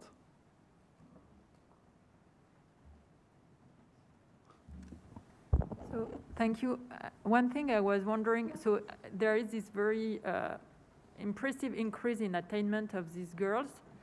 And the question is, uh, I mean, can you really partly, um, is it partly related to the fact that there was a push in uh, increase in attainment for some groups of the population in France and those who have been pushed are those who were initially at the margin of actually not going to higher education or to high schools. And so I'm wondering whether you, you, you try to actually use a kind of smaller control group, but that could be actually maybe a, a control group also of people who were also at the margin, so maybe like other group of uh, second generation immigrants that are, were not from Muslim countries, so maybe you already did it, or groups of from you know lower socioeconomic backgrounds, so that you can basically show convincingly that even though there was this trend, the trend was different for this group of women than to other groups of women. So thanks. Okay, Claire. Oh, sorry, you want to start? Sorry. yeah. Thank you, thank you. Uh, Nicola Limodio, also from Bocconi University. So I. Uh, one of the mm, key descriptive results that was shown, it was about the trends in education. And what I thought was a, a result of the paper, but I was that basically after the reform, the trend of Muslim graduated actually slowed down quite, quite a lot. So it became a lot less steep. I thought that was a central result of the paper. And, uh, but you know, I must have missed something. I mean, I would be happy to, to hear a comment. And whether there is any information on, you know, the alternative education uh, systems that, you know, some of these uh, female may have enjoyed, you know, relative to, uh, I don't know if mosques in France have schools. I mean, not madrasa style as it's, it happens in some of, in some, you know, in some Muslim countries, but if there is any information about, you know, what was the alternative uh, system in place. Sorry, Claire. Um, I have a question about the 2004 law. So I actually strongly suspect that it could be uh, a violation of the Article 9 of the European Convention on Human Rights. And I think it may have affected the sort of um, motivation and reasoning and enforcement um, uh, by the people who are supposed to enforce it, and also the people who get affected by it. And the reason why I believe that it could be a violation of Article 9, which protects religious freedom, is because the statutes of Article 9 protects uh, public manifestation of the religious belief. And there's also a, a sort of UK Christian adult version of a lawsuit related to this issue. So there was a, a British employee uh, of a British Airways uh, who was banned. Uh, so all employees of British Airways were um, prohibited from wearing a Christian cross necklace. And uh, the employees of the British Airways actually sued in, in the domestic courts, and they all lost three stages in the domestic um, employment tribunal. And then they appealed to the European court, and they actually won in the European court. And, and it was ruled to be a violation of Article 9 of ECHR. So um, if the people who were in the position to enforce um, this law were kind of suspicious of this issue or mindful of this issue, and the people who are going to be affected or mindful of this issue, um, and mindful of this backlash of this um, like legal dimension of it, it could have affected the, um, the, the teeth of the law. So I was wondering if there was any sort of national level legal um, uh, discussion about that at all. Yeah. Is Isabelle? Yes, so Isabelle Méjean from uh, Sciences Po. I uh, also uh, had a question about like the control group, let's uh, call it like this, because in the figure that, the main figure uh, that you showed, we see that for the control group, the, the trend is very smooth, while instead we kind of see um, some volatility for the, for the treated group. So I was wondering where this volatility comes from. Also because you mentioned that part of the, some of the results are a bit sensitive to which cohort you're uh, including into the sample, so potentially this volatility might matter as well at that point.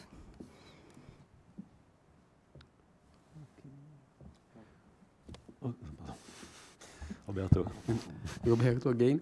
So uh, Nicola's comments uh, made me think uh, about the fact that uh, so probably from that moment on, um, that's my I don't have data uh, clear in mind, but it seems to me that the number of pupils enrolled uh, in private schools increased a lot from that moment on.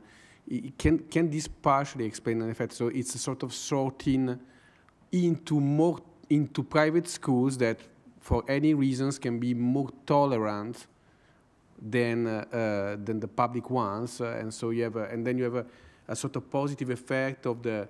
Uh, let me use this French word, the cocooning of the private school toward these guys, towards these these, the, these young women. That's my question. Okay. Okay, the related question about uh, your outcome variable graduation, because there are many different type of uh, graduation, uh, the baccalaureate level in France. So do you observe common trend for different type of graduation?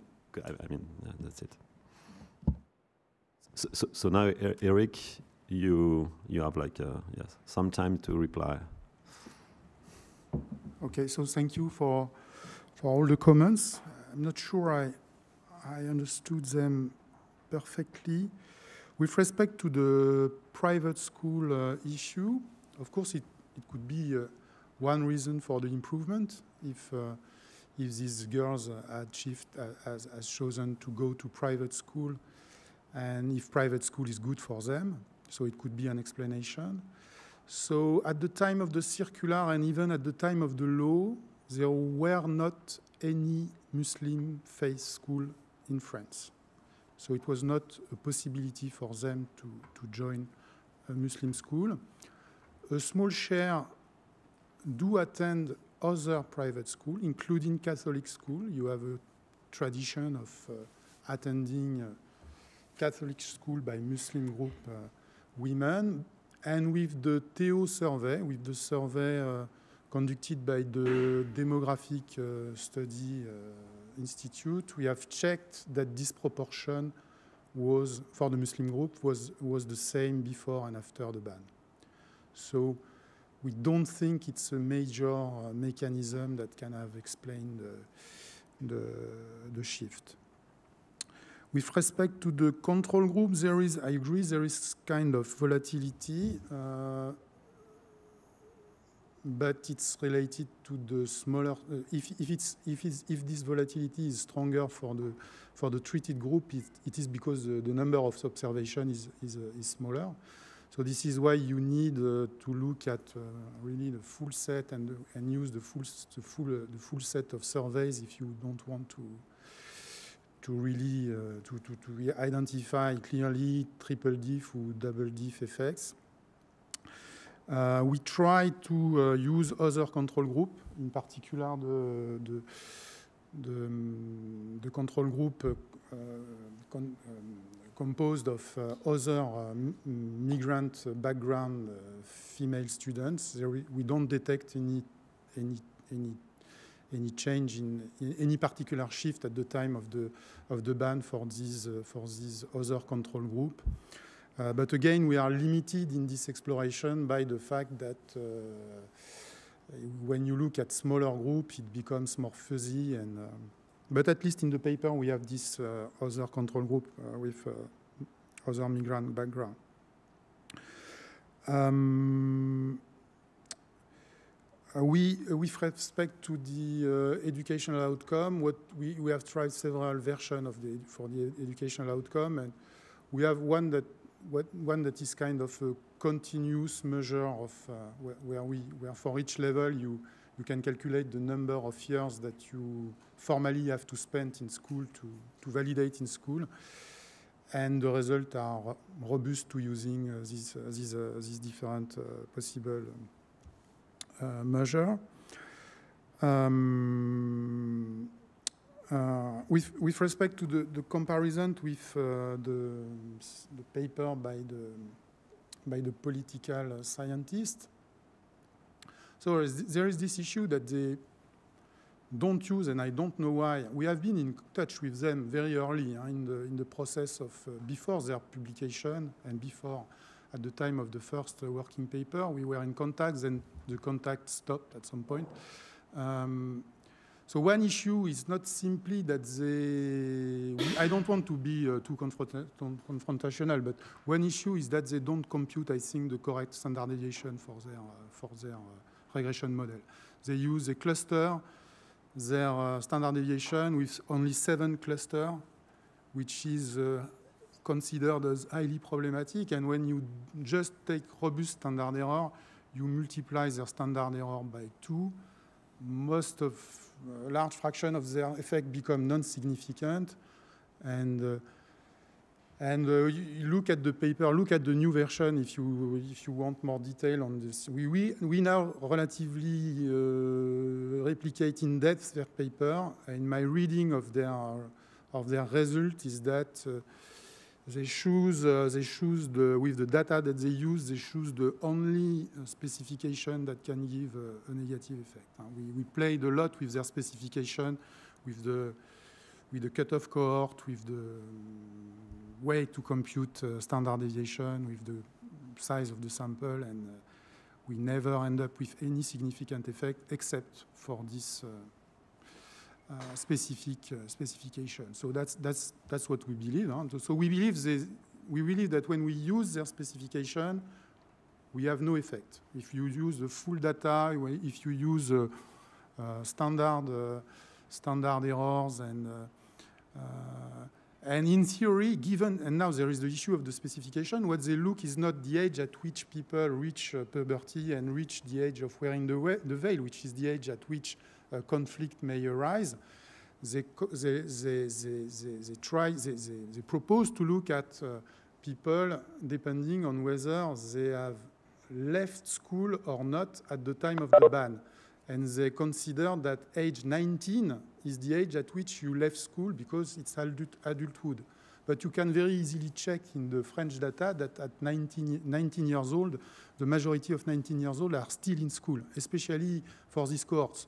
19 years old was the normal age to obtain the occupational uh, high school diploma uh, for this cohort. So, uh, so I don't think this is uh, this is this specification is uh, really designed to capture the effect of this uh, reform. Well, it's it's explained in the in the in, the, in an appendix of of our paper. it's something we have been very we have been very clear with them. Uh, we started the project uh, at a time uh, we didn't know that they were on the same kind of project. they were more rapid than us to publish their paper, and and that's it. Um, uh, maybe I missed some question. I, I, I, agree with the first referee. With, I don't think he's wrong in arguing that the that the action is mainly for the unveiled students. Uh, that is to say, so this is, uh, uh, this is uh, why we think uh, maybe we have no positive argument in favor of some mechanism, but we think that it excludes some mechanisms that are often in the public debate. To say the public debate is really about uh, on the negative side, uh, is really about uh, the ban having uh, driven many veiled students to drop out from school. In fact, veiled students were, were not the share of veiled students were very small. The share of students that were actually excluded uh, from school at the time of the ban was even smaller. We are talking about uh, 150 people excluded. In France, when you are excluded from school, you can still have access to free distance education, so it's not complete, uh, complete uh, exclusion. So uh, we believe that these numbers go in the direction that the potential negative effect, at least for this fraction of the population, cannot have been that big. I agree with this uh, assessment. So I take the comment from uh, the referee, uh, from the, yes, the table, I agree that table one was uh, pretty cool, but it was, uh, the referee asked to, to drop it, and uh, the referee asked to keep the model, if I remember correctly. So I would be happy to drop the model and to keep table one. Um, I don't know if I miss some some big comments. Um, uh, yes, I agree that of course we would like to dig uh, deeper into the mechanism, but uh, the data the data are not. Uh, we have tried to do that. Uh, we yes, there is a, there is a, an important comment. Why do we observe no effect on on uh, on on labor market outcome? my interpretation is that we have more marriage for this Muslim group, more essentially more because of an increase in mixed marriage. You have more marriage because more mixed marriage. And uh, so you have also more children for these at, at age 30, between age 30 and 33. And so we interpret the lack of effect on, uh, on, uh, on, uh, on, uh, on labor market outcome and the small negative, marginally significant effect, if I remember correctly, on, on labor market participation as the as the joint opposite effect of uh, having more children and uh, being more educated. Thank you. Thank you. I think there is, thank you, Eric. There is a question by Giacomo online. Giacomo? Yeah, just a little point. I, I actually I don't think you can estimate the negative effect on veiled women. There's basically no, none in your data. That's the point I'm trying to make if you just look at the proportion, the conditional mean function you're going to be estimating are going to have basically zero of those women. So it's not a huge deal in a sense because I think the effect is coming from the other end in any case. It, it cannot come, just, just mathematically cannot come from there. But the problem is that the negative side of things, unfortunately in the data, there are too few to be able to say something about that. Um, but you know, at least that, that was my lazy calculation of the thing. So I might be completely off there. But I would actually then correct page 29 because that's what page 29 says. You mean um, that you mean that the effect could have been very negative for this small fraction? This is what you no, mean? no, we don't. I mean, essentially, we don't know. That's what I okay. mean. Because no, I agree with that. Just by random what, what, draw, what I'm, what I'm saying is that um, on a, the, the, the overall effect is bound to be very small given their small numbers.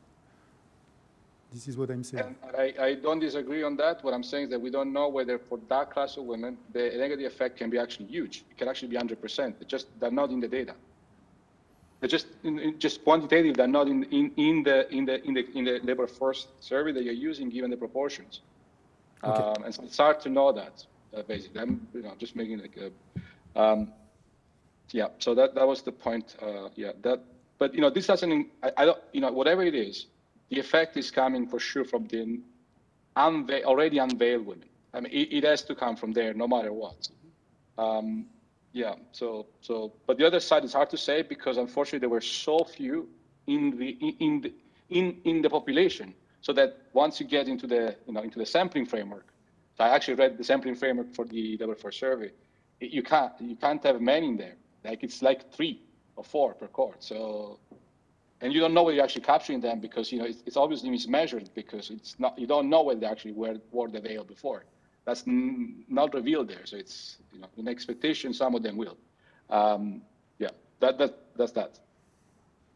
Okay, thank you, Eric. You want to comment on the fact that the effect come from the unveiled one? No, no, no not anymore. Okay. Uh, Barbara now has a question. Barbara? Sorry, Pierre, if I could add something very briefly. So perhaps one could have a slightly more nuanced view of the potential negative effects, if any. So I, I completely agree with what Giorgio says, Giacomo says, I'm sorry, that we really have to that we really have to re realize that the veil population is very small. So it's very important to understand what is the group dynamics involving the non-veil population. So negative effects may not just be generated among the veil population. It could be that even the non-veil population might feel sort of alienated by the ban and sort of might might be less likely to identify with the school culture. So I don't think that we would be bound to estimate zero negative effects, even if they're there. So I, I think um, it, it, would be probably interesting to dig a little bit deeper in possible group dynamics. So there is a little bit in the literature, for example, on team decision and the composition of teams and what happened with the introduction of gender quotas in board. Even people who were not women actually changed their behavior. So perhaps it would be useful to expand a little bit on that kind of dynamics. Thank you. Okay. One word for the about the unveiled. The the theme of um, the, the, the topic of uh, unveiled students being under pressure uh, was really a recurrent theme uh, in the in the report written uh, uh, by the Commission Stasi, for instance, uh, by by the mediator that has been appointed for this for for for, for helping pedagogical team to, uh, to, to interact with families. There was, in all these uh, uh, qualitative reports, you have this notion that many unveiled students are suffering, are even traumatized by being under pressure in order to, to, to wear the veil. So, so we are at least backed by, by that kind of, uh, of literature. Okay, thank you very much. Uh, Bob. and uh, now it's time for lunch. It is in the next room. We have uh, about one hour.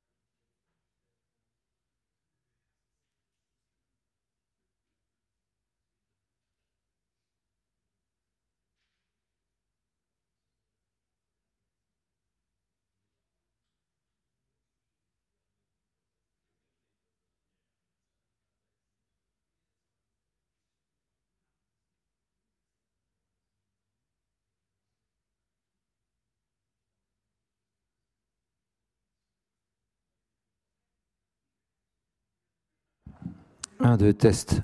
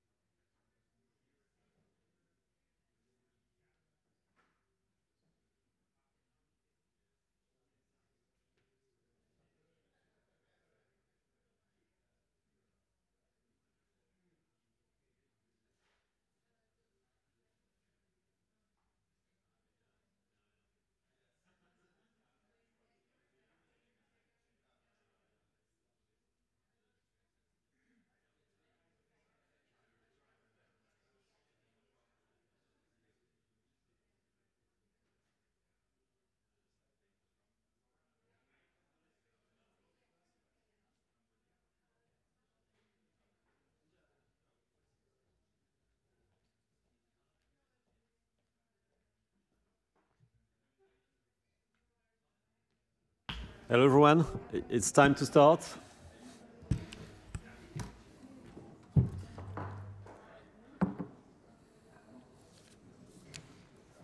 Okay, so we are very happy to listen to Jean-Benoît uh, from Banque de France. So, Jean-Benoît, the floor is yours. Thank you, Pierre. Maybe I should wait for my slides.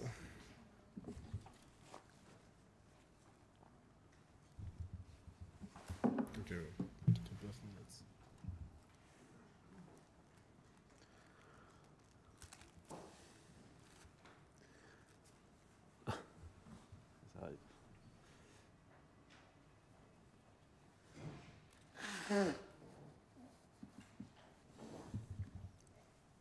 Ah, fantastic. Okay, thank you. So it's a pleasure being here today presenting that paper. So it's a paper that uh, I, uh, I wrote with Paul Vertier, that is uh, our boss, Sciences Po Yep, and I'm at Banque de France. And we started this paper when we were PhD student at, uh, at Sciences Po. It's a paper about gender discrimination in uh, French local election. So, I mean, as we all know here, women are really uh, underrepresented in politics. Is something that is, that is really known here.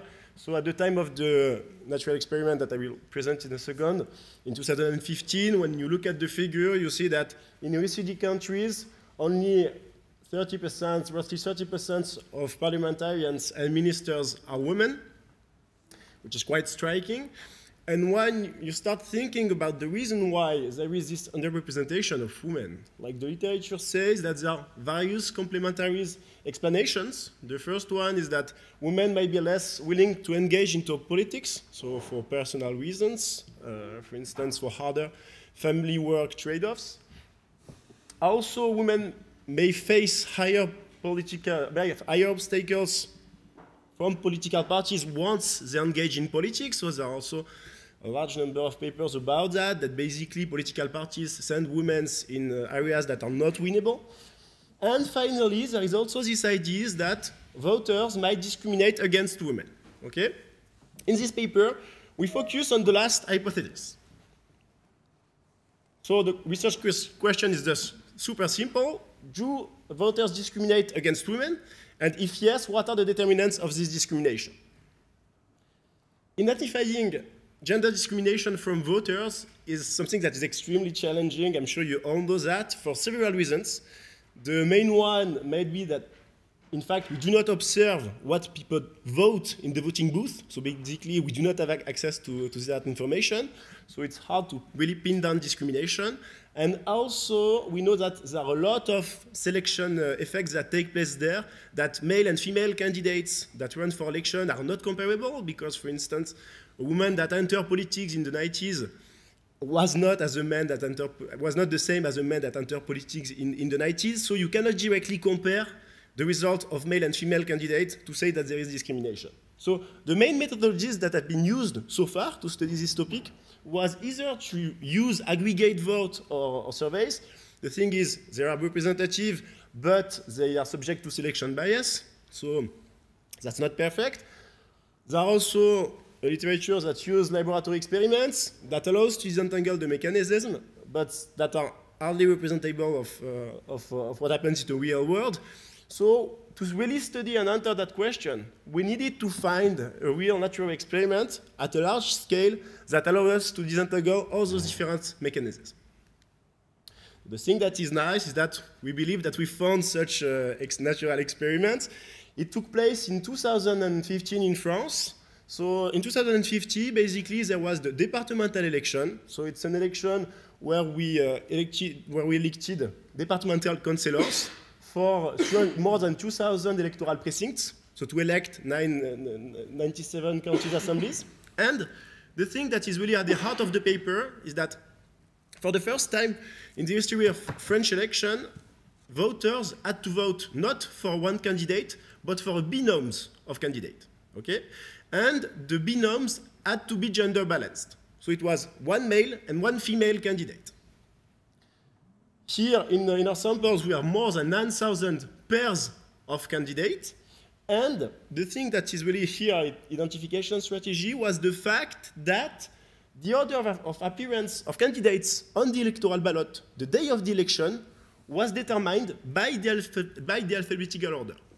So here, in a nutshell, the thing that we do in the, the rest of the paper is to check whether when you have in your binom a woman in first position, you receive uh, a number of votes that is significantly different than if you had uh, a male in first position.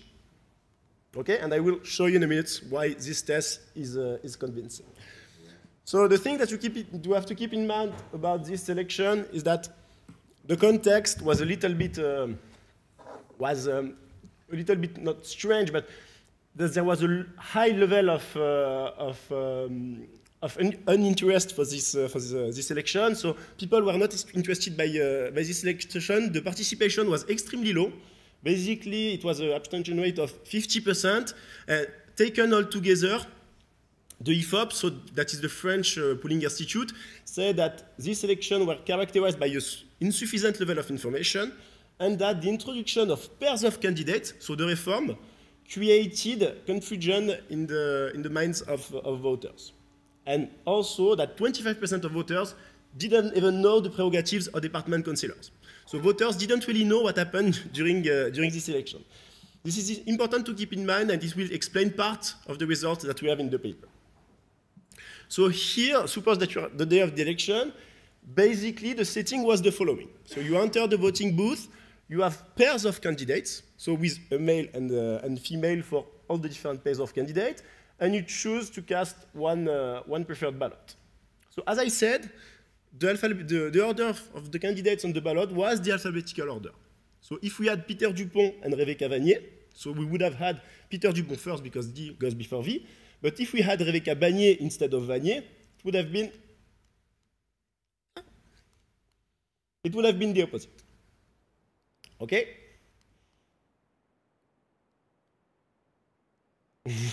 okay. So uh, identifying assumption. So we claim in, uh, in our setting that the fact of having a woman in first position was as good as random. So that this is completely exogenous. So su supposing that means that parties did not manipulate the order of the candidate. Namely that some male candidate didn't select uh, woman candidate just because of her surname so as to be first in the, in the ballot. We, we say that it was com completely, uh, com completely exogenous. And it also means that the treatment is absolutely uh, orthogonal to the characteristics of all the candidates. If we assume that, so if we assume the fact that this order is as good as random, then, and that's really the technical point of the paper, under this condition, finding an effect means two things at the same time. First, it means that some voters misunderstood the rule of the election. Why? Because when a binom was elected, the two candidates on the binom received exactly the same prerogative. So there wasn't any logical reason to discriminate if you had a, a, woman in first position. If you discriminate, it means that you missed the rule of the election. Okay? Second thing, it also means that there is a pure gender bias. Why? Because we control for all the selection effect as the, the, the treatment here, the fact of having a woman in first position is, uh, is as good as random. So the data that we use in this paper are pretty common. We use a bunch of uh, electoral data from Ministry of Interior. We use data from uh, the census at the local level to, uh, to, uh, to control for local heterogeneity. We also use lots of data on information. And here information will, as you will see, also play an important role. The first data that we use are aggregate data of newspaper circulation at the departmental level okay, provided by Pons and Tricot. And we use um, data at the ballot level. So here, the data at the ballot level, to get them, we used one uh, specificity of the French law that says that for, uh, for, for the election, on the ballot, you can, but you do not have to report additional information. But you can do it if you want. So we have tried to collect as many ballots as we could. We only could uh, collect 12% uh, of them from different sources, from Sciences Po, from some department that collected them all, also using Google and Facebook. And we coded from, this, uh, from these ballots additional information, the political experience, the occupation, the age, and, uh, and the photo. And we will use this, uh, this additional information to characterize the type of discrimination that we face in this, uh, in this election. So the overview of the results, what we find is that for right-wing pairs of candidates, there was an important discrimination as they lost between one to two percentage point vote less if they had a woman in first position rather than a man in first position. We do not observe it for left, uh, left parties, extreme left or extreme right. It's only for right-wing candidates. This, uh, this lower share of vote translated into a lower probability of accessing the second round and to lose the election. So it had an impact on the outcome of the election. Second, we show that the level of information available to voters matters. At the aggregate level, we show that discrimination is lower when newspaper circulation is higher, okay? And at the ballot level, we show that when additional information is provided, discrimination disappears, meaning that the kind of discrimination that we face here is of statistical nature. Finally, we show that the missing vote benefited to other candidates. It didn't translate into a higher abstention or a lower turnout, people went voting, just they decided to vote for other candidates. So the, the, the, relative literature here, we contribute to three different streams of the literature. The first one that identifies discrimination in a real-world settings. This the statistical versus state-based discrimination debate. And we also contribute to a growing literature that studies the, the ballot order uh, effect. So in the rest of the paper, we have decided to, uh, to, uh, to, to uh, distinguish all the different parties, considering extreme left with communist, front gauche, parti de gauche, left, the socialist parties and left-wing coalitions, right, UMP at this time and right coalition, and extreme right, le Front National. Okay, so here, first, uh, first table, the exogeneity of treatment. So basically, I need to convince you that the treatment here is absolutely exogenous. So the first thing that we did was just to run a test to regress the fact that a binom has a woman in first position on the characteristics of the binom. So here, first column, it's for uh, the whole sample, then for the different subsamples. So we, you, you, see that there are some stars here and there, but the joint, uh, joint, uh, jointly significant test says that basically we do not, uh, we do not explain the fact of having a woman in first position with all the different characteristics. And if you look at the R square, the pseudo R square, it's, it's, it's, super low. Also, as robustness checks, we have run exactly the same test, but with all the variables taken differently, and we, uh, we, uh, we, we have the same, the same conclusion. Also, to be sure that there wasn't any manipulation of treatment by parties, we showed that the distribution of letters for male and female candidates were exactly the same. So there wasn't any uh, candidate that decided to pick a woman uh, because of her name to, uh, to, be, to, appear, to be first on the, on the electoral ballot. So assuming that uh, the treatment is exogenous, the fact that we have done here, the model that we have chosen to run is super simple. We just regress the share of votes that you receive on the fact that you have a woman in first position controlling for some characteristics of the binoms and local characteristics. Okay? Here to ensure that we um, that we have that we, that we uh, we still that the SUTVA uh, the SUTVA assumption holds, we have decided to restrict on uh, precincts where we uh, where we had only one candidate running for the right uh, and for all the different uh, all the different parties. Okay. So why do we expect a stronger effect for, uh, for the right-wing candidates. So before turning to the results, just you can think about this idea, why is it only for right? So you, you will have people saying, okay, so for extreme right, it's the Marine Le Pen effect, etc., and etc. But if you look at the literature, there is this literature that tells you that statistical-based discrimination is fed by uh, the low level of exposure to female candidates. And when you look at the figures, you see that right-wing parties have a structurally low number of female candidates. So those voters, they weren't really exposed to uh, female candidates, and it's one hypothesis, it's one hypothesis that, that could have led them to, uh, to, to, discriminate against, uh, against women. So now, here the main specification, the results. So panel A, uh, we only control for the numbers of candidates. B, we, have, we add uh, individual controls. C, we interact individual controls. And D, we put all the controls that we can think of. And here you have in column the different parties. So you see that for extreme left, left, and extreme right, we do not have any, uh, any effect, while for right-wing parties, there is, uh, there is a penalty here, and the, the, the, that binoms with a uh, woman in first position received between minus, point, uh, minus 0.8 percentage point to minus, uh, to minus 1.3 percentage point less votes that binoms where uh, a man is in first position. Okay, so here it's robust even when we uh, add the, the standard uh, the, the p-value or when we adjust for multiple testing, namely Bonferroni test, uh, Bonferroni correction or Anderson correction. Here, on the probability of reaching the second round, it's the, same thing. You see that there is, a, there still a, negative, negative effect, and it reduces the probability to access the second round by minus 4 uh, percentage point.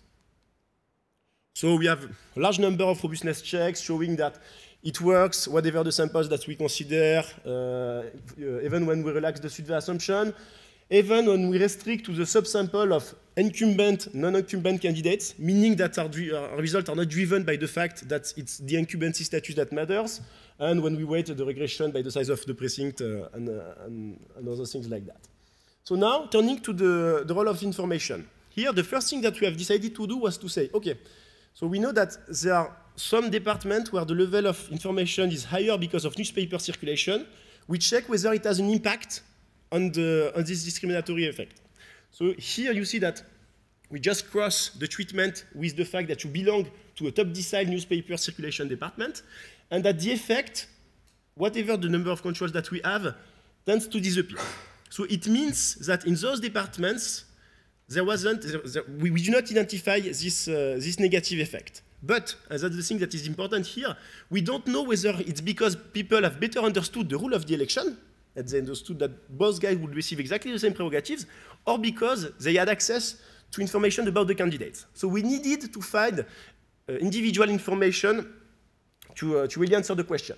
So the first thing that we have done was just to say, okay, let's consider the incumbency status, incumbency status, and incumbent voters should have more information about incumbents. So we, we try to see whether when we cross our treatment with the incumbency status, it has an impact. So here, first column, when we consider all different types of incumbency, second column, only mayors or municipal councillors, third column, departmental councillors. And for this different specification, when you consider only a woman incumbent in the binomes or a man incumbent, no incumbents, or the two incumbents, you see that the, the interaction between the woman first variable and the incumbency status here doesn't show up, meaning that there is no effect per se of incumbency. But, as that's the thing of the paper, if incumbency doesn't play a role per se, when you cross the fact of having a woman in first position with uh, additional information that you get on the electoral ballot, that were political information, that here that you tell the voters that basically you are an incumbent, in that case you see that the effect is uh, the, the effect disappears. And whatever the specification, we have that.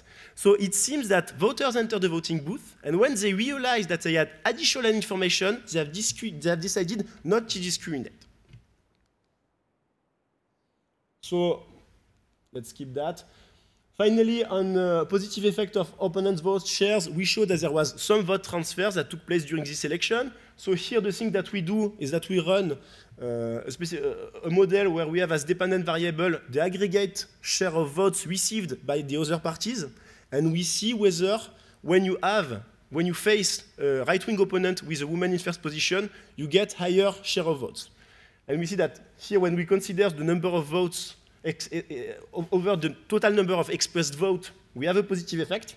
When we consider these uh, numbers of votes over the registered voters, we have a positive effect that is a little bit lower because there was a high level of abstention during this election, so that there was some vote transfer. In additional tables in the, in the paper, we show that this vote transfers was uh, targeted toward closer substitute to, uh, to the right-wing candidates. So to sum up the paper, we show that we have right-wing female candidate that suffers from statistical-based discrimination, that information plays a role both at the aggregate level and at the ballot level, and that finally vote transfers occurs towards the other candidates, and in particular those who are uh, ideologically closer. Thank you. Thank you. Perfectly on time. Okay, thank you very much. So, Emeric, it is your time for the discussion now.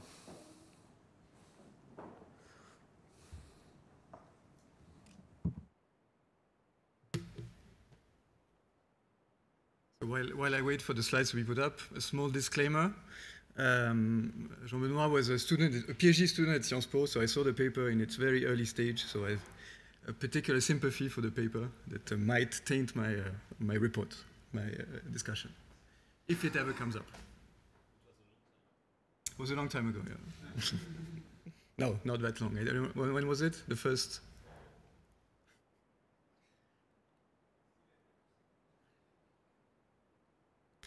Okay, so, uh, so I think it's an essential topic that's uh, tackled in this paper. Uh, the question of uh, gender um, discrimination in uh, politics. In particular, uh, we all, we've all asked the question, was, was Hillary Clinton not elected because she was a woman? is there a special discrimination that has, has, has played a role in, in recent elections? So given where we are today, uh, we are two days away from a, a first round uh, of the elections in, uh, in France.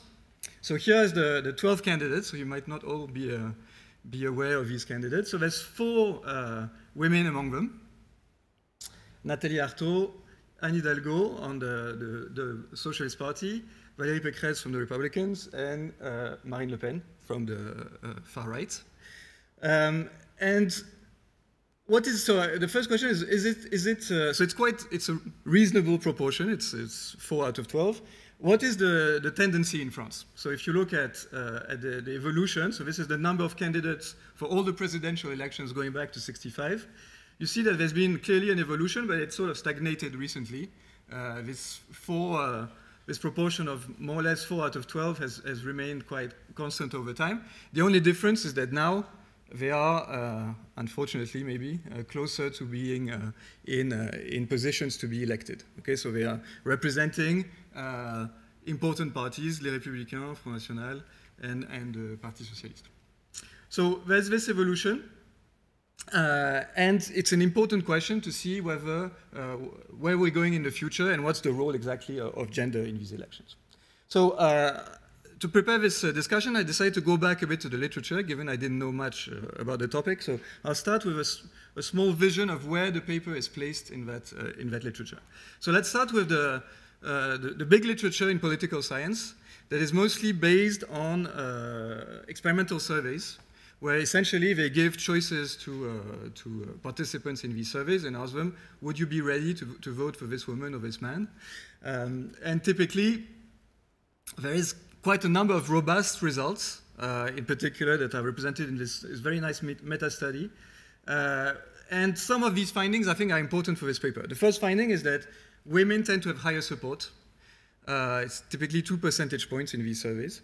Of course, it's partly driven probably by, uh, by uh, demand effects uh, and these survey settings. But still, there's this, this advantage for women. But it's much less uh, so for uh, Republicans versus Democrats. So we'll come back to it with this right wing story. Uh, and the second thing is that there's something that's very uh, standard, which is that marital status and number of children has a big impact on uh, the probability to vote for, for these individuals. And again, I think it connects to the paper. Uh, so if you, for instance, in this paper in APSR, you see that when you offer these choices for, for, uh, for participants, the probability uh, of being elected is very much increasing for both male and female uh, as a function of uh, being married and having children. So at the bottom, uh, forget it if you are male, unmarried with no children. And then if it goes up slowly uh, until you have male with married kids, and the same for women. And they argue that this is, is a clear disadvantage for women uh, because uh, it's going to be more costly for women uh, to have to have kids during during the electoral periods, and so there's this tendency. And secondly, it's much more pronounced for the Republicans because it's linked to family values that are more prevalent. So it partly explains the, the preference uh, uh, that you can find in Republicans. So that's sort of the, the, the, the survey-based evidence. And then there's a, a, literature that uses actual electoral data. So one part of the literature documents correlations, and there's one very interesting recent uh, paper in, uh, on French data uh, that shows that when you look at the, the, the, probability of having a woman, a woman elected, it correlates very strongly with local uh, wage uh, gender gap. Okay, so places where you have more uh, discrimination in the labor market tend to have more discrimination on the, on the political market, which suggests something about preferences. In this paper, they don't find any effect of party affiliation, so we'll go back to this right-wing story. And then there's this large literature on uh, looking mostly at causal effect of uh, gender quotas. But there, the problem is you have a hard time dis disentangling preferences from the choice of, uh, of political parties. Okay? How, do, how do political parties actually select their candidates? And you see that clearly they try to uh, use this strategically. So, for instance, the Bagues and Campa paper, they show that quote, when you put in place quotas, it, it mechanically increases the share of women. Uh, but it does not increase the, the, probability of women ending up in a leadership position, either as party leaders or as mayors. Okay, so there's strategic positioning within these, uh, settings. So essentially, the, the, paper comes in in a position where you have different pieces of uh, information, but very little uh, actual causal evidence on, uh, on preferences. And so I think there's a clear uh, positioning and contribution of this paper. Uses a very clean natural experiment. So you could, as, as, you showed, the distribution of names is well uh, distributed across, across uh, gender. There doesn't seem, therefore, to be a strategic use by the political parties of putting uh, women with letter A and men with letter W. So there's no strategic use of the, of the last name. And you find clear results. Uh, vote share of the right-wing candidates uh, lower by 1.5 percentage points and uh, less likely to win uh, the, the election if the, the woman is placed first in the, in the ranking. Okay? So there's two, so what you need to get this result, you need two things. You need a combination of what I call mistake, uh, and I'll come back to what is exactly mistake. So you need voters to make mistakes, and you need discrimination. Okay? At first, you could wonder if it's really discrimination or it's just that it's, it's correlated with incumbency because women are less likely to be incumbents. But the paper clearly shows it's not, it's not about incumbency. It's really uh, the, the, the, gender uh, of, the, of the candidate. So what I want to finish my discussion with is to understand the nature of the mistake and understand why it's only uh, right wing. And I think it's the two things where you can still improve the paper because we, we still left a bit in a, in a middle ground. So let's start with the mistake. So what I call mistake is this fact that uh, it shouldn't play a role whether you're first or second, and it does. So you have two, two versions. One is it comes from information, so people are just misunderstanding the system. Uh, and the second is a salience, a behavioral uh, mechanism of salience that the being the first choice makes it more salient and, and has therefore a higher impact. Okay, so a, be a behavioral uh, channel. There seems to be evidence that I find in the paper, but I think the authors should do a bit more to, to, to corroborate it. So uh, salience doesn't seem to be uh, so doesn't seem to be playing a big role in the sense that increasing the salience by providing a picture, for instance, or by providing other elements, uh, is uh, uh, that doesn't seem to be uh, playing a role. Okay, so suggests that the salience effect is actually not not the dominant one. Uh, and the information effect could be playing a role uh, with the uh, evidence you show with the newspapers that in places where you have more newspaper circulation, uh, there tends to be uh, less discrimination. Okay? And through, the through, through being more informed, you might be more informed about the electoral system in general. But again, this is sort of my take from the evidence that's presented, but I think you should, you should present a bit more and, and, and clearly argue which mechanism you think is, is, is the one that's, uh, that's underlying it. The second thing is why the right wing only? And there I think you seem to be a bit reverse engineering it with your story, uh, that you find this explanation after, after the fact. So you really need to be convincing on that point.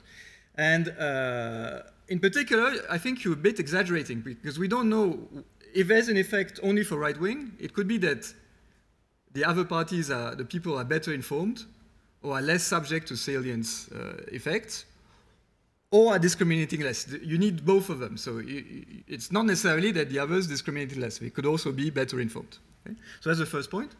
Second thing, you use switching behavior. So you look at where people go when they don't vote for the right wing if the woman is first. But you never tell us if they switch to parties where the woman is ranked first. So you need to, to at least convince us that that's, that's, not, uh, that's not happening, that it indeed. Uh, um, and, uh, and finally, I think what you, you, what you would need to do is to link it back to the survey evidence I showed you initially, to say, is it, the, is it something about family values? Is it something about uh, ideology of the, of the right wing? And in particular, I think you have information on family composition of these candidates, so does it play a role? Uh, so uh, maybe there's information out there. At the very least, you should you should really dig into the, the why you see it uh, only through right wing. Uh, just to point out, it, it's not a question of multiple hypothesis testing. There's quite a, a, number of elements in the paper that reassure us on, on that point. It seems to be really a right wing effect, and you need to explain it uh, probably better. So uh, I think it's an important contribution, uh, well placed in the literature where there's little evidence of really uh, identifying uh, voter preferences. Um, it also shows this, this story about uh, this, the, the, fact that, independently of gender, the fact that position has an importance tells us something also about how people vote. and I really think you should understand better this right-wing bias to, to, to explain it better. And finally, to conclude, uh, it's, I, I hope uh, if we end up in a, in a second round uh, with a certain candidate, I hope we'll have a little gender bias that, that kicks in, uh, in in two weeks. okay, thanks.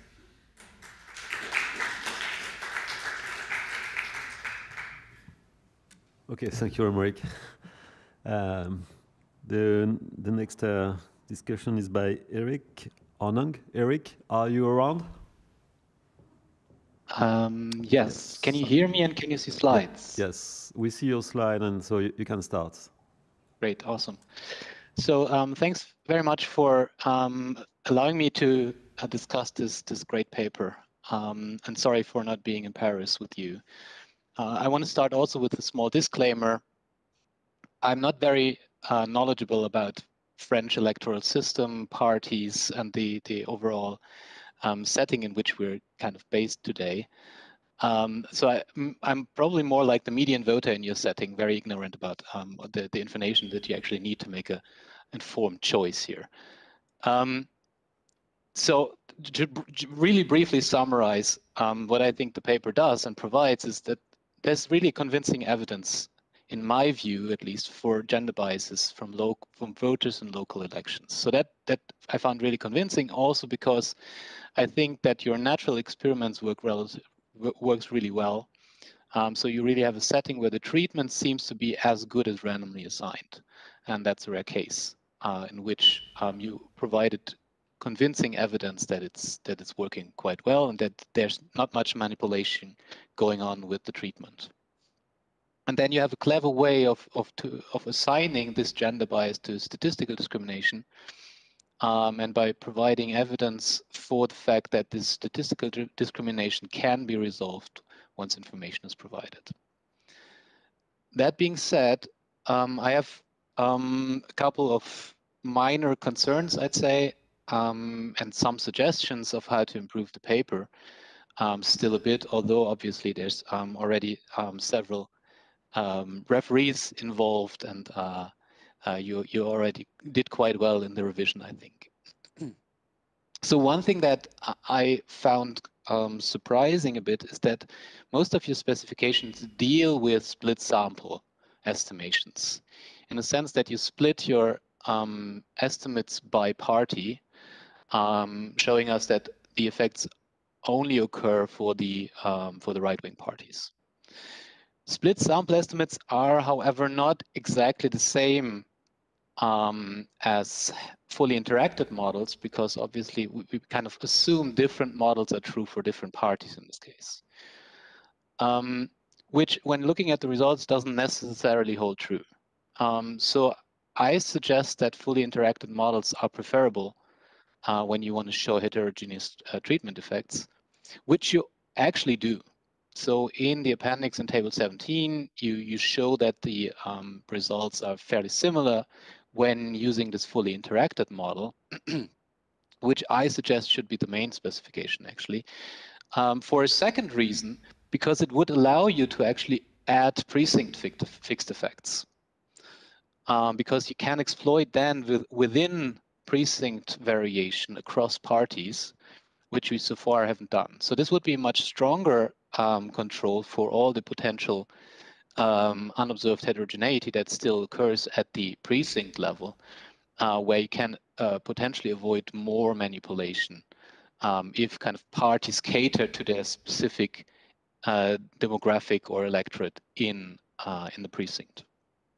So that would be one suggestion that you have. So far, I haven't seen any specifications with precinct fixed effects.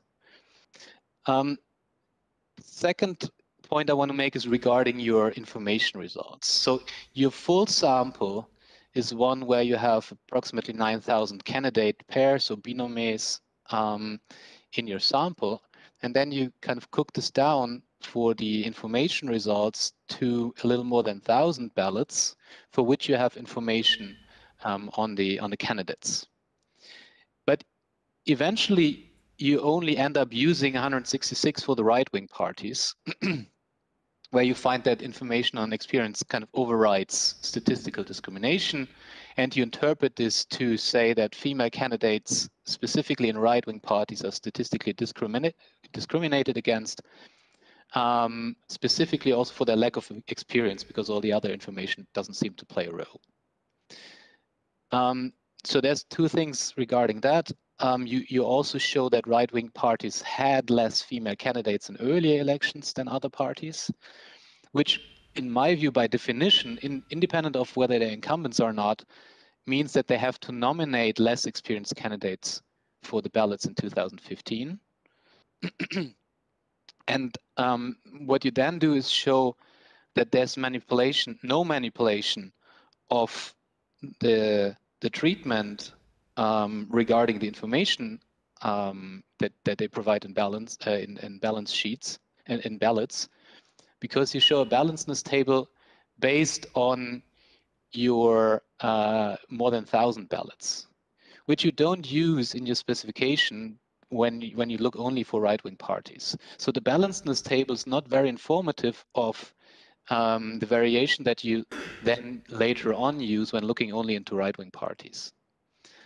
Um, so I would suggest either showing the balancedness for the right-wing sample too, so that we know whether it's information provided or not um, for the ballots that you end up using, or as I suggested uh, on the first point, use the uh, um, full sample of ballots for all parties and conduct a fully interactive model analysis on the full sample.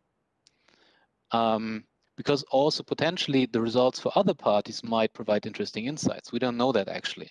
Uh, what happens with these parties when information is provide, provided? Does that, in, in when, when there's um, no statistical discrimination, does information also uh, improve women's um, outcomes in these um, cases?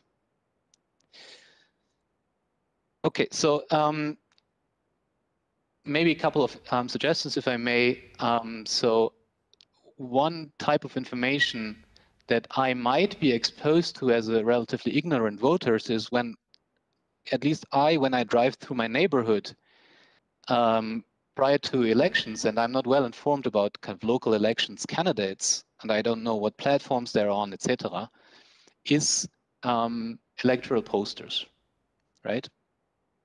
Um, and this is what everybody can see. They're quite salient, I guess, too. Um, and voters are, are, without acquiring this information, exposed to this information. So I went up on the internet and tried to find a couple of these posters, and um, they seem to be uh, abundantly available um, for a lot for the Front, National, that's clear, uh, but you probably may be able um, to find also for, for other parties um, that are in the right-wing um, category. And I found that they sometimes switch the order of candidates. So I, I brought here um, two electoral posters um, where Jesus or, or Jesus, I don't know exactly, and Judah uh, are switched, uh, even though their um, their alphabetical order with their female candidate would have been different. So they're put here in first place over the female candidate.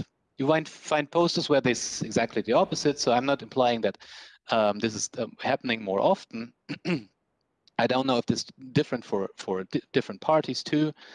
Uh, I also don't fully understand whether this is done by the Front National because this is um, um, a ticket or uh, a binum where there's another party involved. So there seem to be also kind of um, couples or pairs of candidates where um, they are from different parties. This might be a reason for that. I don't know. I don't fully understand this, to be honest.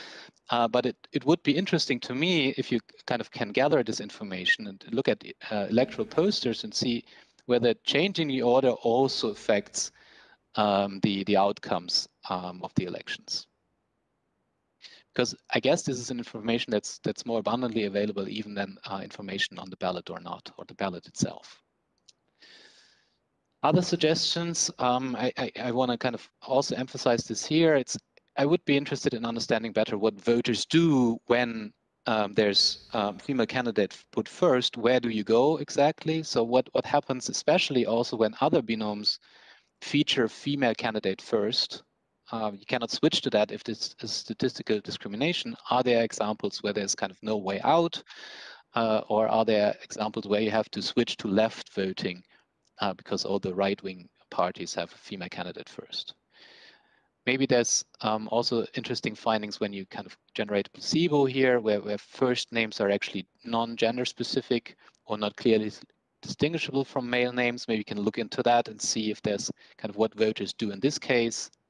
And then finally, maybe um, uh, also an important point, because when reading the conclusion, um, I didn't see too much of a policy implication yet. So I think for, for this journal, it would be interesting to kind of um, end on a kind of a bit stronger note on what to do actually. So what should we do? Should we make it mandatory to provide information?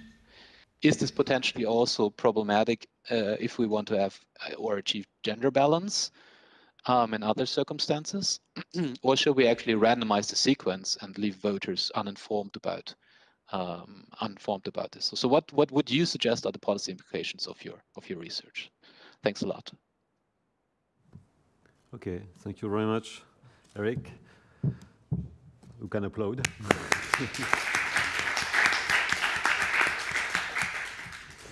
so, do you have any? Yes, you want to start?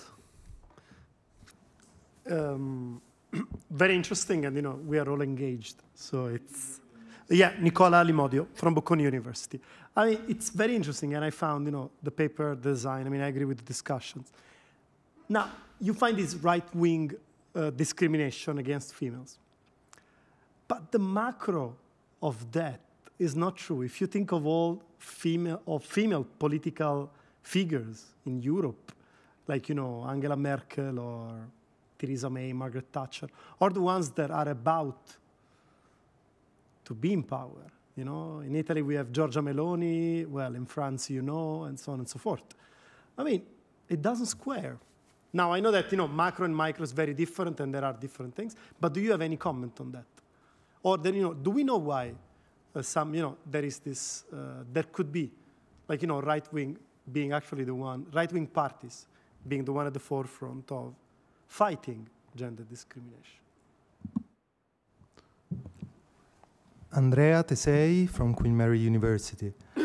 Um, so very interesting indeed. Um, so I have just a couple of minor comments. Uh, so the thing that surprises me is that, as you said, this name ordering affected the elections, and, and it's surprising that parties didn't internalize that. So they left votes on, on the table. And so I'm wondering whether an alternative is that, say that you do have, so you need to pair these two guys, and you have a best second guy there, so a best female pair, uh, but she'd need to go first, and you understand that it's gonna cost votes. And so I wonder whether there is an extent of manipulation in precinct or areas that, that were more closely contested. So in areas where you win by a landslide, then you still go with the, with the best candidate, irrespective of the name. In close margin uh, constituencies, then you, you sacrifice the potentially best candidate because it doesn't have a, a good last name. Um, another thing, it would be interesting, maybe it's in the paper, uh, having more background about what, what this pairing does. So is one the deputy of the other? Are they on, on at the same level? Uh, from the poster, it looked like there's one key guy, so Judah, and, and the other one, uh, I mean, it's vote Judah, although there is also the other one. Uh, but then really what I think is the, is the for me at least, is the key comment that is the one made by, by Emeric. Uh, you really want to show that um, the vote is not sacrificed, but, but you go to someone else, provided that the other pair is, is, is correct, so that the woman goes next. Otherwise, you're sacrificing your first best to get something that you equally dislike. Thank you.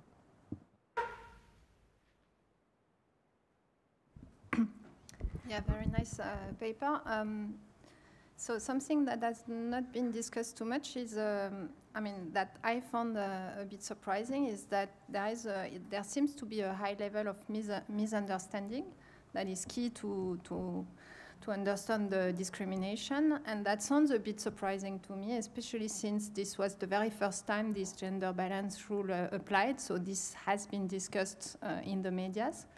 And also because, as you said, it's uh, an election in which the level of, of, abstention is very high, and thus you would expect that the best informed uh, electors are those that are coming. So I don't have a very good suggestion, perhaps at least to discuss this, because I think in the paper it, the, this aspect has not been discussed too much. Perhaps it's possible to exploit the level of abstention, the variance across uh, across uh, over space, but uh, I have no idea whether I, it can be useful. But at least I think it deserves a bit of a discussion because I don't know, I was a bit surprised about this. Thank you, Isabelle. You want to go? Thanks. Hello, my name is Ginevra uh, from the Ministry of Economic and Finance in Italy. So I have First, uh, a quick suggestion for a reference, but maybe you already know this paper by Cervellati and others, because there you can uh, use it as a reference to disentangle, uh, disentangling between uh, the saliency effect and the misunderstanding. So this goes back uh, to the previous comment. And then uh, I have a question about the interpretation of, of your results. So as far as I understand, um, it is true that women were already underrepresented, in, especially in the right-wing uh, party, and then you find an effect uh, of a woman being the first uh, in the ballot. So, and you also find an effect of information that uh, reduces this, this bias. So I was wondering, is it possible that people vote for more familiar names and men are in general more familiar to voters because they are well known and they are uh, they have more they are well known on the media and so on and so forth. Familiar names in the sense that are known to the people. They go on tv they are on the media uh, they have been there since a long time. And so when the when the woman is the first she is less familiar to people. People know her less, and therefore they go to another ballot. They, they switch somewhere else, not because of a pure gender bias, but because of lack of familiarity of the person.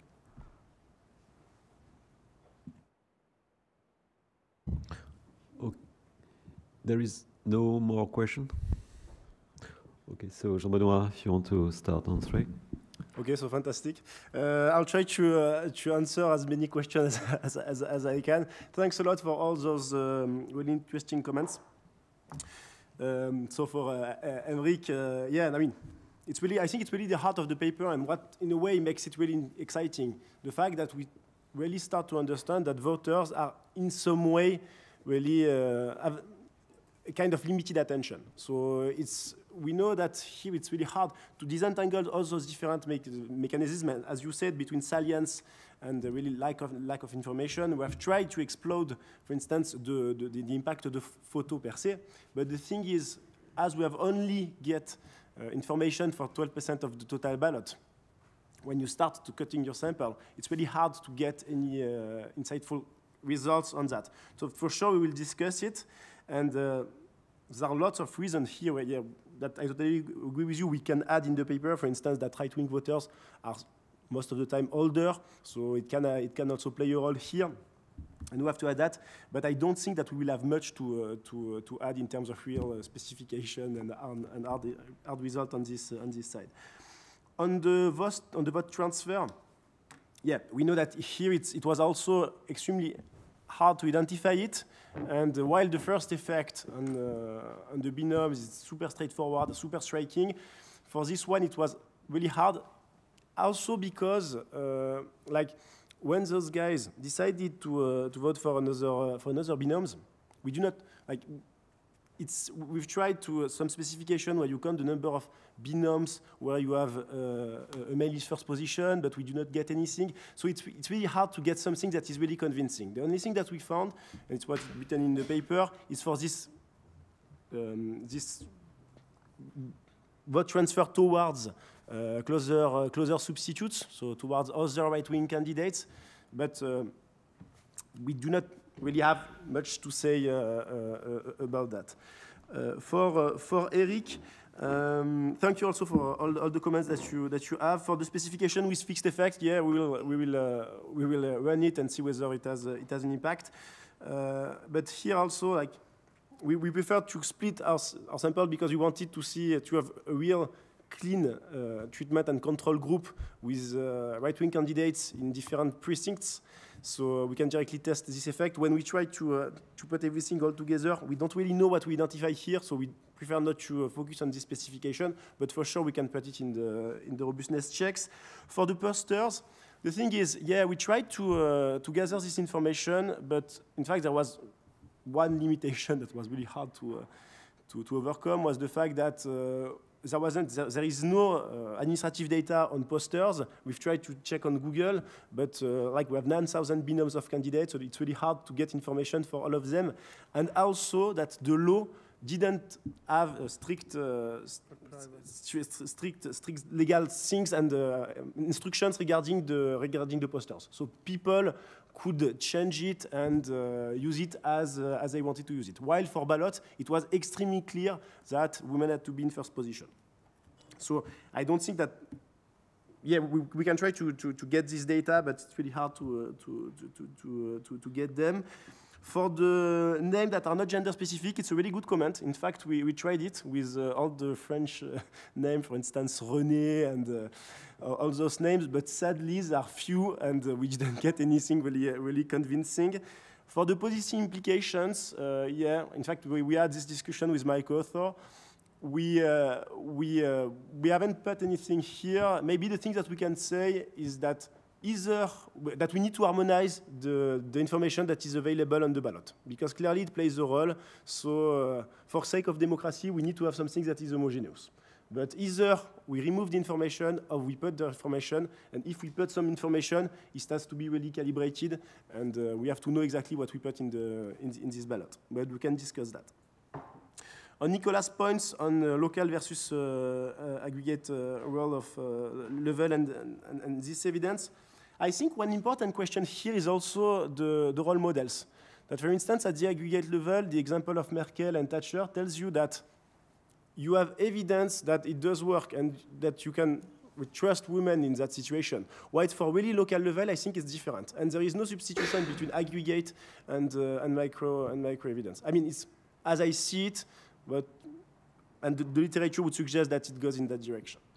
Uh, on, the, on Andrea, on the margin, uh, on the, the, the, margin of victory, in fact, we do not find anything. We tried to, uh, to test that. And in a way, it's kind of reassuring, meaning that there wasn't any manipulation here by the, by the party. So clearly, it's absolutely exogenous like my um, both my parents did politics and I talked with them and they both told me like no one expected to have an effect on that. Like even the candidates, they, they discovered the rules uh, a couple of weeks before the election. They didn't know that it would, uh, it would have an impact or that the, the, the, role on the electoral ballot would be like that. So, um, so I think it's, it's a way that yeah, it gives us power to say that it's absolutely exogenous. And for the other comments, um, for yeah, Isabel, I totally agree with you. So we need to, uh, to work on this misunderstanding of the rule of the election. And uh, yeah, it's something that is in a way quite surprising that, but that we also, um, I mean, can uh, intuitively feel that uh, there are some people that go voting, but some people that they might go voting, but they're not really also interested by politics. Just they they're here the day of the election, so they, they decide to go to go voting. And finally, on um, on Geneva. So your point was on. Um, uh, the fact that women ah. are uh, less well known to voters? Yeah, so here, I mean, it, it goes back to the, the discussion between uh, incumbent and, uh, and incumbency status that, yeah, of course, familiar names, uh, we expected to see something here because if you're incumbent, you're supposed to be, uh, to, to, to, be better known by voters. But it turns out that incumbency doesn't play a role. So as we, as we see it, it means that the incumbency status per se is not a signal that is powerful enough to, uh, to, give, to give you confidence. You need to have, on the day of the election, something that reminds you that this, uh, this girl or this man has been, uh, has been in power and is elected. So, yeah, so you reduce your discrimination. Okay.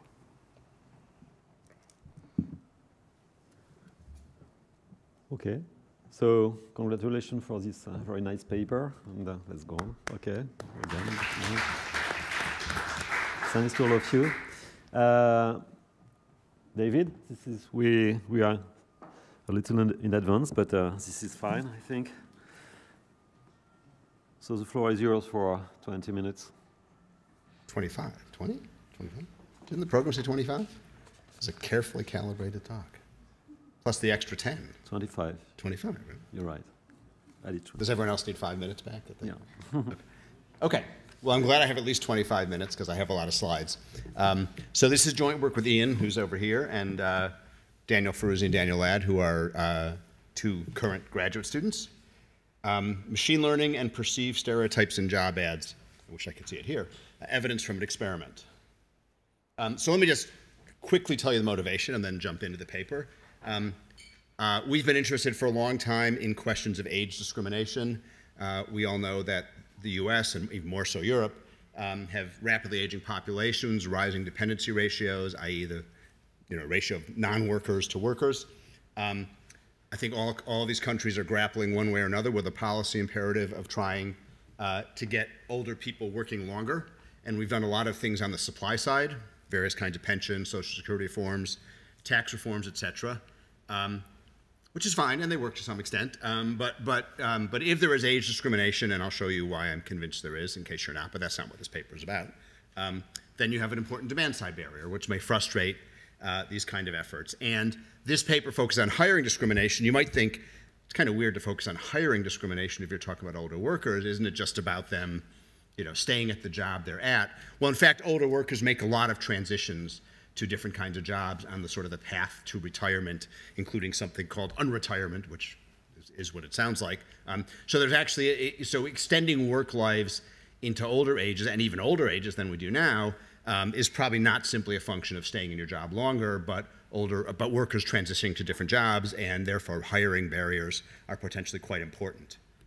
Um, let me just uh, tell you, about, I mean, this paper is not about discrimination per se. It's not about the evidence on discrimination. It's about uh, worker responses to discrimination. But let me just back up for a minute um, and tell you there are uh, a number of field experiments or correspondence studies or resume correspondence studies, whatever you want to call them, of discrimination against older workers. I cite a bunch of them here. And then this is this graph from the bottom is, is from a paper Ian and I and Patrick Button did.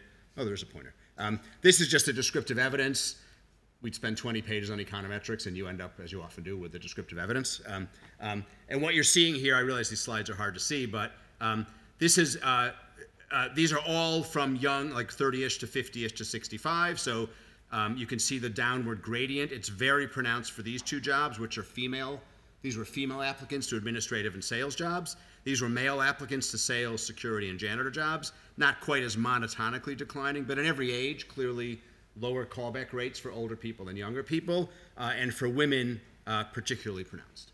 Um, so that's sort of one of the jumping off points. This is actually uh, the third, the, the, paper we're talking about today is kind of the third paper, and I think what will be a four part set of papers. So there's a lot of background. This is the first one. Um, okay.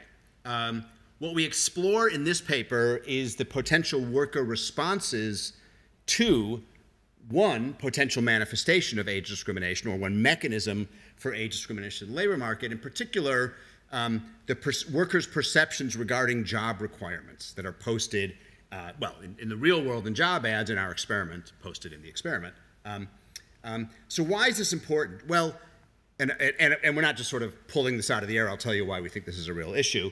But if there are ageist stereotypes in job ads, think about language, and I'll give you plenty of examples later. Um, uh, and if they discourage older workers from applying for jobs, that could have the exact same impact as discriminating against applicants, right? If you just, you know, it does make a difference, right? If older people looking for jobs, if they don't apply because they're discouraged by the ad, or they do apply and they're not hired because of their age, makes no difference. The, the net result is the same. Um, so let me give you an overview of the paper. Uh, we use machine learning methods that we develop in the second paper in the set, coming out in the Journal of Labor Economics. Um, to identify phrases in actual job ads. So we, we, in the first correspondent study I showed you the bar graph for, we applied to around 14,000 different jobs with triplets of job applicants, um, and we, we saved the text of those job ads. So we have 14,000 ads. Think of them as about 100 words per ad, roughly speaking, on average. Um, uh, we, we use these machine learning computational linguistics methods to identify the phrases in the job ads that are, that are what, what they call in this literature semantically similar, which is exactly what it sounds like. They have similar meaning to the, the words used to describe age stereotypes in the industrial psychology literature. They're the people who, who study stereotypes. We take the phrases from actual ads um, to construct sort of you know, typical, we, we, we, use those as examples and the ones that are highly stereotyped um, to construct job ad language that reflects specific age stereotypes we're interested in. I'll show you what we mean by that. Um, and then what the, the core of this paper is an MTurk experiment to see whether respondents perceive these phrases as ageist. So in some sense, we do this machine learning thing, which says, oh yeah, you know, this phrase is related to the stereotype, but you may say, well, oh, yeah, does it have anything to do with the real world or not? Um, and what we're doing in this paper is testing whether it does by basically running these phrases by people and asking them whether they perceive them. And it's an, you know, an incentivized sort of survey kind of thing. But um, you know, pretty clean evidence, we think, on whether they perceive certain phrases relative to other phrases that, that do not reflect ageist stereotypes as actually biased against older workers. So it's sort of a real world test, you might say, of this machine learning language. Um, um, and the finding is the job ad language that the machine learning techniques classify as semantically related to ageist stereotypes is quite strongly perceived by biased, as biased, I should say, against older workers. This is sort of a funny set of questions to ask, but I, I mean, I partly respond. You know, we've had two, two rounds of referee reports and all that, but these are actually pretty good questions that have come up. But I want to say these at the, at the outset in case I run out of time, which I almost surely will. Um, what does the evidence mean? Is it surprising or interesting? You might say, well, okay, you take phrases, they sound biased. You ask people if they're biased, they say they're biased. Like, what, what's the surprise here? You know, what didn't you know before you started? I'll, I'll explain what I mean by that. And then what are the policy implications? Okay, so what does the evidence mean? Well, first of all, um, you know, it, it, may be perfectly sensible for firms to put ageist language in job ads, right? Um, in the U.S., um, you know, one of the ways you get nailed for discriminating hiring is to hire disproportionately lower from whatever group we're talking about here, the old, um, out of your applicant pool. So if you can sort of shape the applicant pool to have fewer old people apply, then you don't have to hire disproportionately to hire fewer older workers.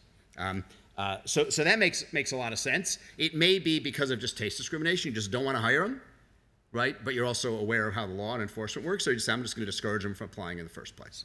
Um, uh, you know, it, there could be a more subtle mechanism going on. Job requirements may be real and may be correlated with age. I mean, some, some capacities obviously decline with age. They all do eventually when we die, but, you know, some, some well before that. Um, so job ad language may reflect uh, real requirements, um, uh, but if employers act on them by assuming, you know, basically assuming that if, you, if you're older, you don't meet those requirements, that's illegal. That's statistical discrimination. That's illegal too.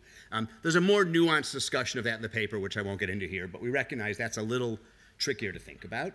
Um, uh, so I, I, already described the correspondence. Where does it fit in? I already described the correspondence study we did. In this paper, where we sort of first use these machine learning computational linguistics techniques, the interesting finding, which I think helps make this all interesting and real, is that so what, think what we have from the experiment, we have a measure of discrimination at the employer level because we sent them these triplets by age, and we see which employers called back the young and not the old applicant.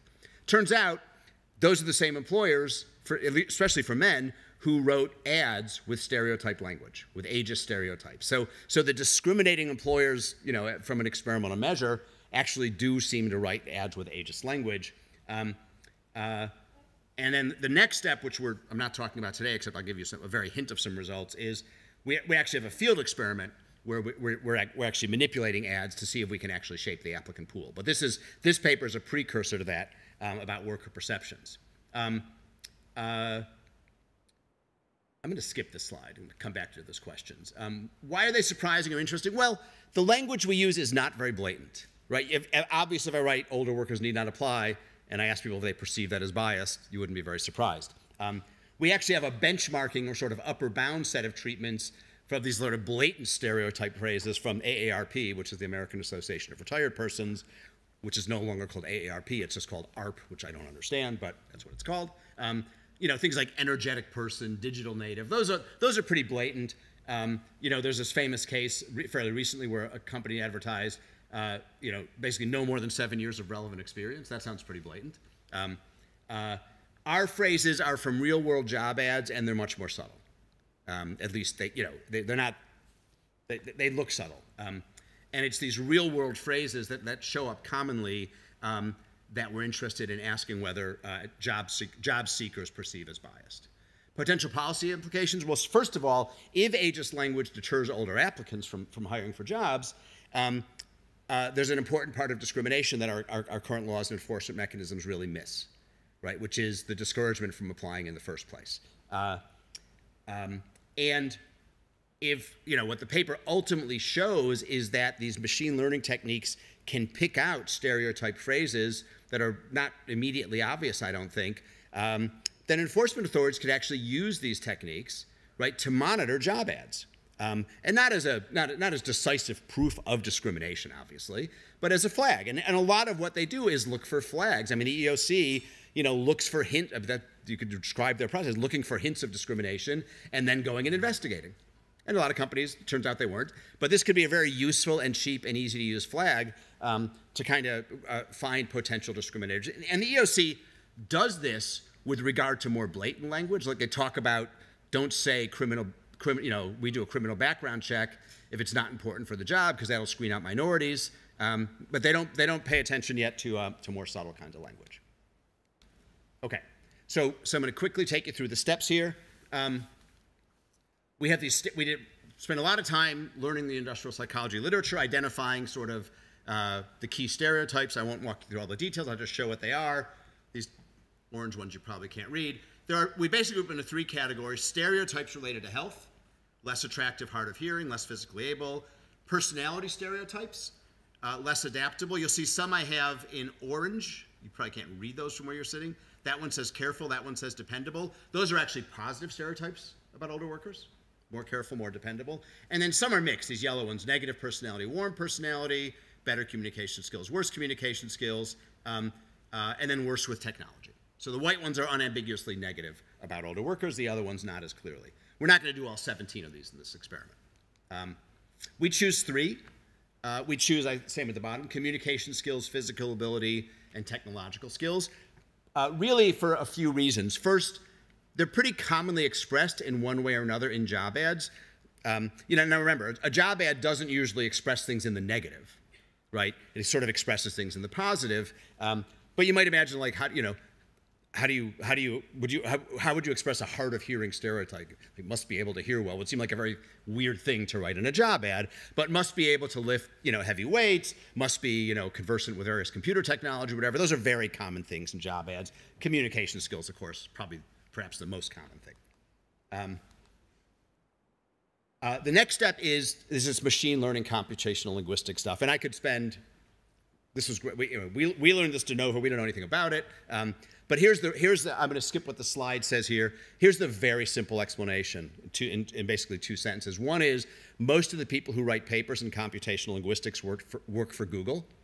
Um, and the second is you do computational linguistics many times a day. Some of you are probably even doing it while I'm talking. That's the people on their cell phones, um, but that's okay. Um, and that is you put in a phrase, a few word phrase, and Google returns a bunch of groups of words that, you know, some of them will mimic it exactly, most won't, but they're semantically related. And if Google just returned random things unrelated to the words you put in, it would be useless, right? Um, so Google is actually doing this essentially the same thing we do here, and we use the same methods they use, um, which is essentially to you take sort of our you, you, you train a model to say what words in all of the English language are semantically related to each other, which just means they show up near each other in Wikipedia or some other corpus. That's actually what that means. Um, so whales and dolphins are semantically similar because they're going to show up near each other in Wikipedia, and whales and barista are not because it's hard to imagine a sentence or a paragraph about whales and baristas.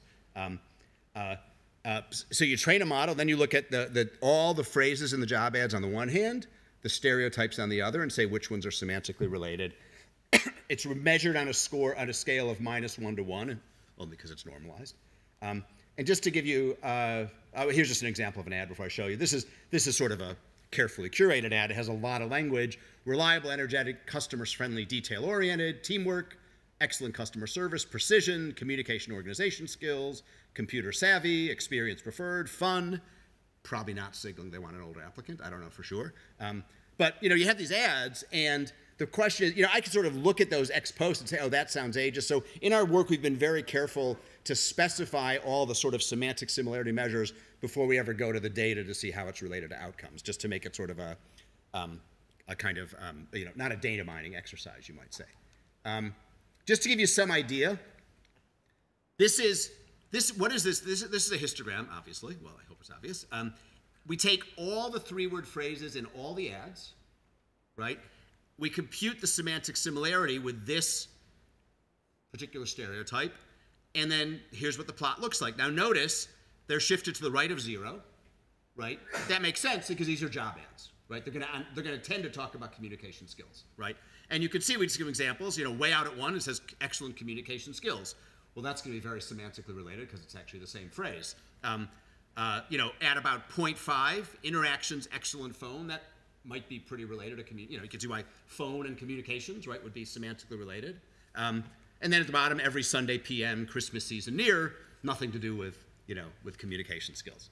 Um, one more example, then I'll, I'll skip a few. You know, physically fit able, way at the top, makes sense because the word physical is there. Must open flexible, you know, that may not be a great example of what's really meant by physical ability, but you can see why they're semantically related. Abil- you know, physical and flexible make, make, make sense. You know, lower down, take meeting minutes and include introduction letter unrelated. So that's kind of the game. You get these phrases from job ads, and you can say, what is the value of this, what they call the cosine similarity score?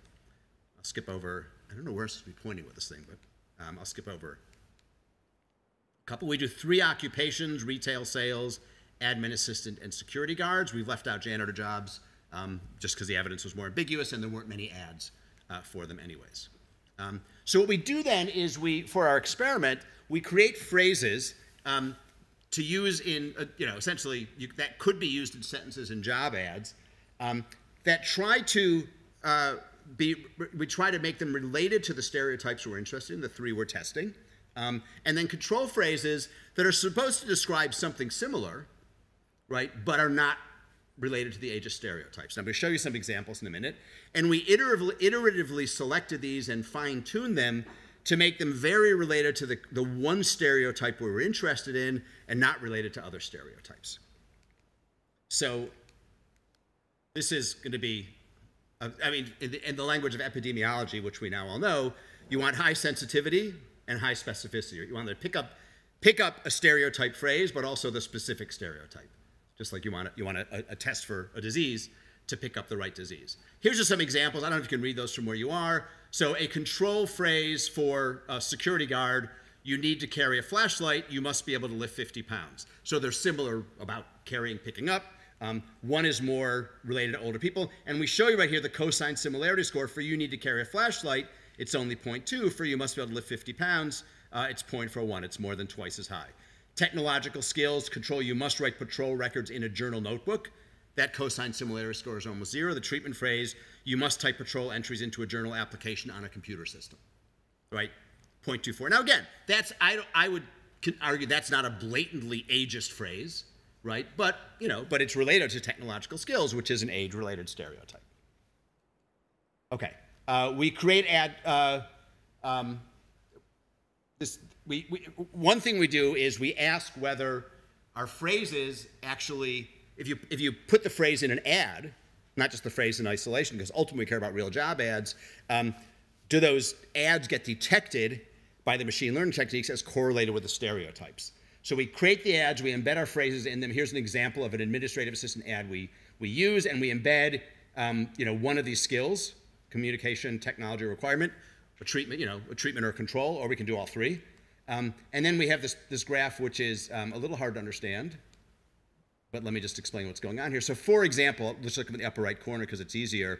So we take all our um, we take sort of our ads with our technology phrases, and the top bar here is for the treatment ads. So it's the ad in which we've embedded the stereotype phrase about technology. Here's the control ads, the, the middle bar there. I, I realize it's probably kind of light for you. Um, I couldn't read half the slides at this, at this conference. Um, um, and what we're doing here is showing the average of all the percentiles. And the bottom line is for the treatment phrases, it always goes way out to the right. Um, and what that means is uh, these, these, these ads that have the technology phrase embedded in it as opposed to the technology, uh, the, the, related control phrase, are actually, um, the, the, machine learning detects those ads and the language in those ads as more related to the stereotype. Um, the, the bottom lines, which you really can't see, are the actually collected ads. They're actually more stereotyped than the control ads, which makes sense because they're actual ads. They have, they have real language in them that employers use. So a bunch of versions of those, which I'll skip. Uh, okay. We have a secondary treatment, as I said, with these more, more sort of uh, uh, these less ambiguous phrases, cultural fit, energetic person, digital native, which we embed in these kind of sentences like you must be a digital native and have a background in social media, which sounds more you know, age related than, than sort of the, the more standard phrase. Um, we kind of do this to pin down an upper bound effect, or alternatively, we can't find anything for these. We're not going to find anything for our phrases. So we wanted to know what happened with those. Okay. And then the, the, core of this paper, I mean, the first part is important, but the, the core of the paper is this MTurk experiment where we asked whether the treatment phrases are perceived as biased relative to the control phrases. Um, we ask about, we basically do a survey initially asking you about your own beliefs, and then we ask people what other people in that survey would have predicted. Um, and we ask about uh, biased against older workers, um, um and then we, uh, uh, and, and, then um, uh, sorry, again, again, sorry, against workers over 50. Um, uh, and we ask what, what they think everyone would have, would have said about the biases and what workers over 50 would have said. And the idea here is to avoid social desirability biases. We actually find evidence of this, right? The, the own reports are less biased, are less perceived as biased than the what you think other people, how you think other people are going to perceive them. And we incentivize that, so you made more money if you, if you correctly predicted what others would have said. Uh, okay. So I'm going to jump to, um, I'm going to skip these things. That's just the incentivization. I'll skip that, not that important. Um, this is just a descriptive results. So if you look up here, um, uh, um, oh, so let, us look like at, let's look at the bottom one here. It's easy to see. This is what you how how participants think people over 50 would have perceived it. Um, these are the controls back here for communications, physical, and technology. You can see which ones. Um, uh, then here are the treatments for the phrases we used, right? And you can see for communications, we don't get much. The communications phrase is actually not perceived as that biased, which is not inconsistent with the fact that in the industrial psych literature, it wasn't clear which way that stereotype went, actually. Sort of, it, it was ambiguous. Um, but the technology and physical are way out here. The AARP ones are even further out here, um, which is not surprising because those are more blatantly ageist phrases. Um, when we run regression models, I'm going to, I'll just show you this one, others over 50, for example. Um, the treatment here is the three separate treatments for the machine learning generated phrases. I don't know if you can read this, but for the physical ability stereotype, And for the technology skills stereotype, these are minus two lower and minus one lower on a Likert scale of one to five. So these are huge effects, right? Um, standardized are in these square brackets, and, and, they're, and they're, pretty, they're, um, they're pretty much a standard deviation or more. When we do the AARP treatments, they're somewhat even stronger, which um, is, is well, that's the incremental effect of the AARP treatment. Those are even stronger. I have just a couple more graphs, I think. Um, this is a, a, this is sort of interesting graph. So what we do here is we plot here the stereotype rating based on the machine learning measure, this co cosine similarity score, and here the belief about discrimination. Um, but we've put it, we sort of reversed the axis, so up is higher because Likert scales just whatever that's what they are. Um, and what's interesting here is um, I think I have an arrow that's going to pop up right. So um, so these are kind of the controls. The controls have low cosine similarity scores. They're not related to the phrases, to, to stereotypes. We saw that. And low perceived discrimination. Um, these are the, uh, the machine learning generated phrases. Um, and these here are the, there's only one in this case, the AARP phrase. And what's interesting is you can see that our phrases are actually more semantically related to the stereotypes because we constructed them that way. Um, but not quite as biased as the AARP phrases, which uh, perhaps is not surprising. Um, this just tells you how the, this, I just, I'll just look, I wish I had blown up just, oops. Wrong way. I wish I'd blown up one of these. But this is, for example, for physical ability. This is like that graph I showed you before. That is the cosine similarity score for all the phrases and all the ads. So you can see the distribution. Um, this is essentially where the control phrase fits. This is where the treatment phrase fits, and that's how big the effect is. So you can see that we're, when I said we're, we're sort of studying phrases that are not, they're not way out there in terms of crazily blatant ageist phrases, they're kind of about the 75th percentile of the distribution. Um, but they have huge effects on perceived bias. And you see that for technology as well. And remember, communications, we didn't really find much, and that's why there's no, there's no vertical bar there. It is really raining now. Um, what, one minute? Okay. So I just want to show you for the field experiment, basically, we, we, this is in the, data, in the field now. This is just a sort of early run of some of the data. So what we do is we, we, we go back to the real ads with these phrases, we randomly manipulate them, and we see if actual job applicants, right, respond, not just perceived bias and MTurk. Um, this is the CDF. The light gray is the control. The dark black is the treated. Um, and you can see, for example, oops, that the implied effect on the proportion 40 plus it's actually pretty sizable, right? Um, it's, about, it's about sort of 0.0, 0.07, 0.08 um, on, on, on a not very high base. So our preliminary read of the data, uh, and this is something that's not going to be finished for a long time because um, we're still collecting data and then we have to analyze it more, is that not only are these things perceived as bias, but real, uh, this is done on a job board, real job applicants respond. You actually discourage older workers from applying. So just conclusion summary, i am just going to jump jump to the to the back here, the bottom here. Um, it's important um, because if you respond to these ageist stereotypes, and obviously the same could be applied to racist or sexist or gender normative or whatever you can reasonably put in a job ad, um, it could be the same as hiring discrimination. Um, and then the policy, that's a policy sort of broad implication. The practical implication is you could use these computational linguistics techniques on actual job ads to flag potential discriminators. Um, and you can see that from here, and you can see that from our other paper where, where that, that the language and the bias in the language is actually rated to an, related to an experimental measure of age discrimination. Thanks.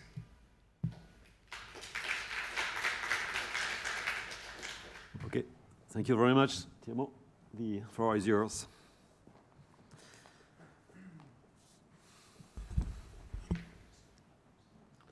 it will show up.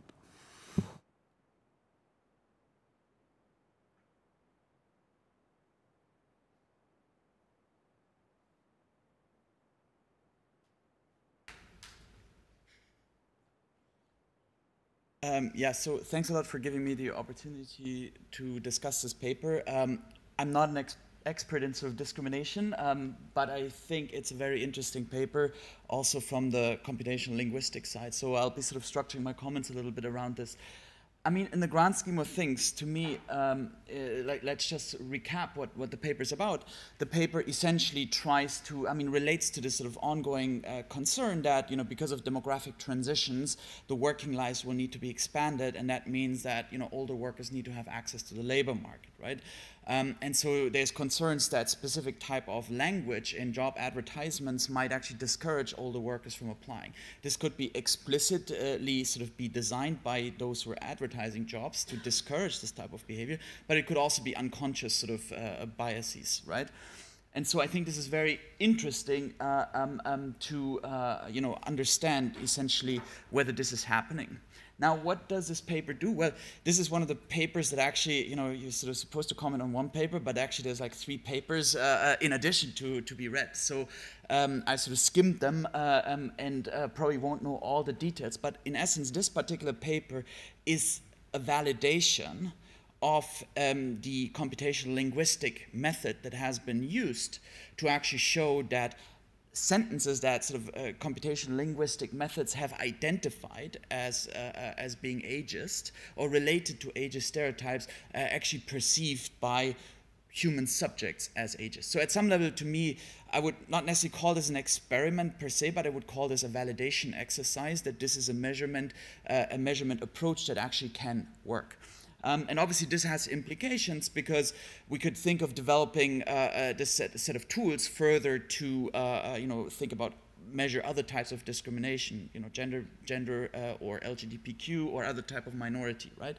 Uh, um, so I think this is really interesting from that perspective. So it, it's this validation approach. Now. Um, as I said, this method has the potential, you know, to actually be, you know, scaled, so to say. So at some level, there's a proof of concept here. Um, what I would like to uh, flag up here is again a little bit more about sort of the process, because obviously um, there would have been choices, there would have been potentially alternative choices on how to go on about actually flagging up what is ageist language. Um, the authors, I mean, drawing on their earlier work, essentially approached this in a three-step process. First of all, there was an extensive literature review um, that actually identified what is the population of stereotypes that have been discussed in the, in the literature. Now, obviously, this gives you a narrow set of words that are related to ageist stereotypes. But obviously, the way that you could Uh, uh, uh, sort of discriminate is, you know, the English language or any language typically has lots and lots of synonyms that are actually conveying the same type of information. So in the second step, what they're doing is essentially, eh, you know, blowing up the vocabulary uh, um, to actually cover and incorporate all those words that are semantically related to um, these terms that are captured by these 17 ageist stereotypes. So it's some of it, it's like a, I mean, we would potentially call this a feature expansion, where you're saying, well, okay, uh, uh, you know, uh, lift is, you know, able ability to, uh, uh, you know, uh, pick something up that might be heavy. Um, so the term heavy would be sort of a, another type of word that is related to that sort of concept that somebody needs to be physically able to lift something, right? Um, and then obviously in the last step, um, and this is uh, uh, what, what uh, is, is being done here, is we score the individual job ads based on this method using the cosine similarity, which is a measure of linear dependence uh, um, that essentially tells us how dependent is uh, uh, sort of a specific job ad, which might be a natural piece of text that is found somewhere on a job listing website or so. Um, how is that sort of correlated with this set of features that have been expanded? Now, this is a type of document scaling, and in sort of in political science, this has been used, for example, to uh, um, to scale party, uh, uh, you know, uh, sort of party manifestos, uh, um, um, or essentially classify in, in terms of a continuous uh, fashion. An alternative approach, and I mean, we spoke about this yesterday, so so I'm sort of with, with, your co-author David. Um, um, so an alternative approach could have been to just actually do the more conventional machine learning exercise, which is to get human coders to actually label um, and classify a set of job ads rather than approaching it through um, the uh, kind of three-step process where you where you uh, uh, go through this literature search and then scale up the literature search, right, to expand the feature set. Um, at some level, this has some desirable properties doing it sort of more conventionally, because obviously the word2vec, you know, the neural network and all of this stuff behind is, is very much a black box. Um, and uh, to some extent, uh, it would be interesting to see whether a more conventional classifier that has been trained uh, uh on, a, on, a, on, a, sort of human labeled training data set could actually, uh, you know, produce very similar results or, or, or, or not, right? Um, so in that sense, like in terms of benchmark, sort of to make the black box less black boxy, I think that could be uh, could have been a, an alternative approach. But I'm pretty sure there was good reasons why you choose uh, this approach as opposed to kind of uh, you know a more kind of uh, standard, uh, a supervised uh, machine learning approach rather than this unsupervised approach. Well, unsupervised insofar that the supervision part comes through the first step, which is the literature search. Um, so then there was this step about refining of the stereotypes. Now, this is done specifically for the purpose of the experiment, uh, which, as I said, I wouldn't necessarily call it an experiment, it's a validation exercise. And obviously, here you're designing that validation exercise in a way that maximizes your chances to be able to validate that this uh, computational approach is picking up something through this three-step refinement that you discussed. First of all, the uh, exclusion of stereotypes that are not, not often included. I mean, these are reasonable. Uh, this is this particular is reasonable. The second bit about focusing on stereotypes for which there is evidence of a correlation of discrimination, uh, which obviously means that obviously people who would be reading this sort of words you know, they might have prior beliefs about that being actually, uh, there being sort of evidence of uh, stereotypes, uh, sorry, there being discrimination.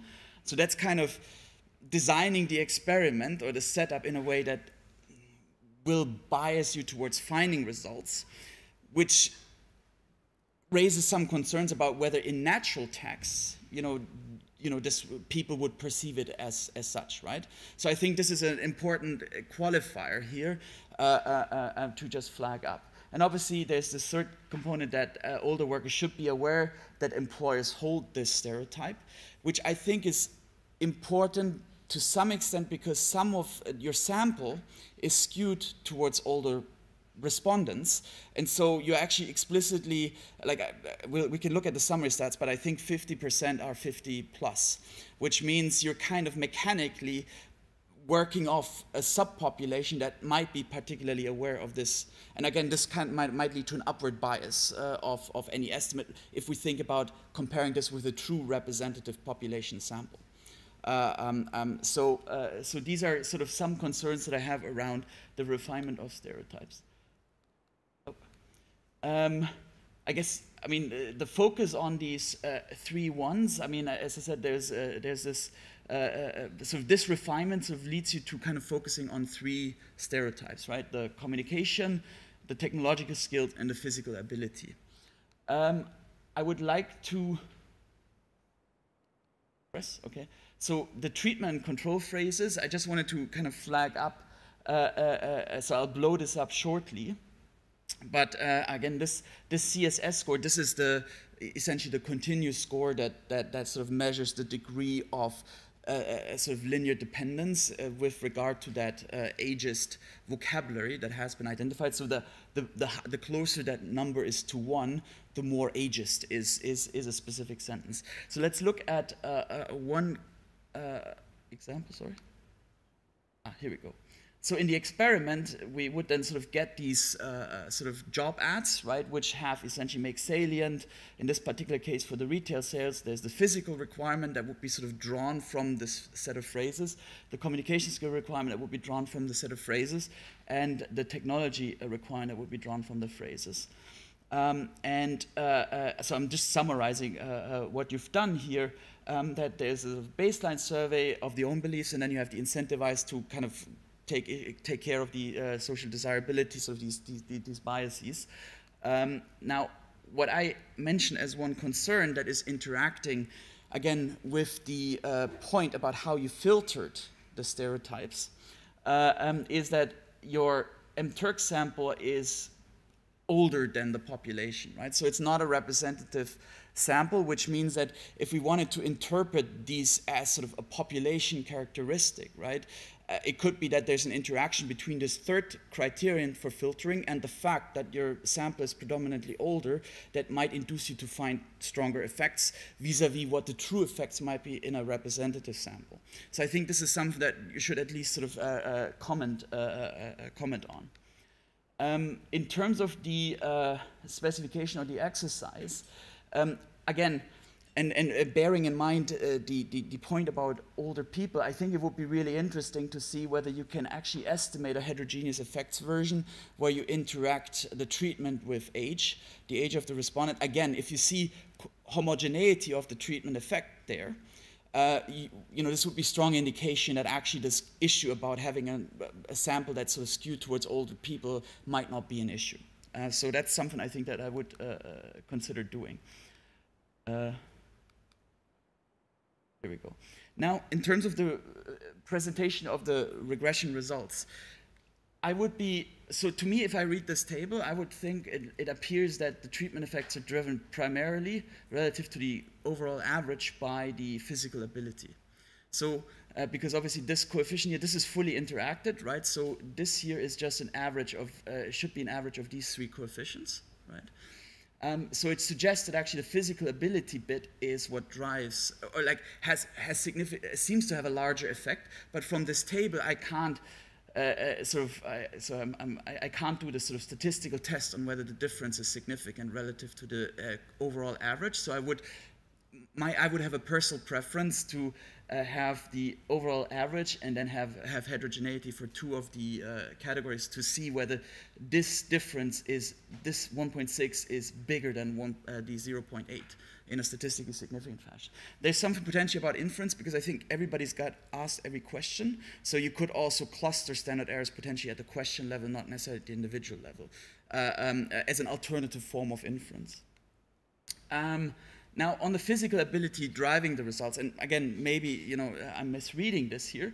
Um, I did have a bit of a concern around uh, the fact that the machine learning treatment, and again, this shows up very ageist, and actually more ageist relative to the AARP, which is kind of what you described as sort of the most extreme kind of language, right? Actually, is picking up potentially things about the job itself, not necessarily about uh, uh, what I would think ageist discrimination might be. You know, in certain jobs, you might simply have to carry stuff. Um, and even if you're old, you might be able to uh, carry certain stuff. So I'm, I'm, a bit concerned here about the interpretation, uh, um, especially if, you know, again, the control, you need to carry a flashlight, you need to lift 50 pounds, uh, um, uh, you need to be an energetic person. I mean, you know, energetic sounds less ageist here than, it would be scored as less ageist than the 50 pounds here. Actually, what's interesting, why is it 40 and 50 for the security guard? But I, maybe that's just a typo. Um, exactly, so, pardon? Okay, yeah, I'm, I'm, I'm almost done. Um, so, um, in terms of the, uh, the other bit, and again, this is just blowing up on the phrases to give an example, um, I, I wanted to flag up some more concerns or queries about uh, uh, some of the, the, the, the, language here. For example, uh, um, obviously, there's certain terms, right, that are very specific here, like there's references to certain pieces of software that you need to be able to use. To me, again, it's not necessarily ageist, it's just a reflection of that a job, a certain job, might require you to be able to work with a certain piece of software. Uh, and this is very specific software. It's accounting software um, that's being asked uh, here in the case of admin. Uh, I think it's accounting software. It's being asked here in the in the context of admin assistance. Uh, um, so I'm not sure again uh, vis-a-vis um, the uh, vis-a-vis the whether it's picking up something about the job itself rather than um, a task requirement associated with a job. I have a few smaller comments uh, uh, in terms of presentation. I think the style right now is focused exclusively on a US audience, so I think it would be great to kind of expand this a little bit, make it slightly more inclusive, because this is an issue across most of the Western, actually, not, not just the Western world, right? Um, it would be really interesting whether you can comment on the suitability of this kind of scaling method for non-English language. I've, I've done some papers working with non-English kind of computational linguistic sort of methods, so it's very, very interesting if you could comment on this. There's also a related recent literature, I mean, some of them are not necessarily circulating as working papers, that leverage this sort of Burning Glass uh, or indeed kind of job ads data.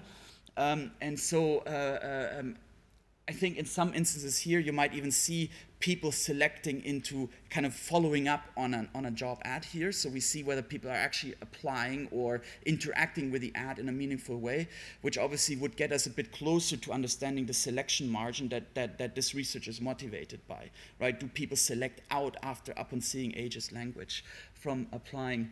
Um, there's a bit of like here and there about notation. I think could be, this could be a bit cleaned up uh, to make it easier to read, but I understand that the paper itself is part of a research agenda. Uh, and I, as I said, I, I was reading one paper uh, uh first uh, and, and, and looked at three uh, sort of more indirectly. Um, yeah, exactly. This was the point. We still did, would not know whether people would apply for the job. So thinking about maybe working with this Burning Glass data could be could be quite nice. And I think they're quite uh, uh, uh open about sharing and making this available for uh, uh, researchers. I think I'll just leave it here. Uh, thanks for giving me the opportunity to discuss this paper. And yeah, great work. Thank you very much.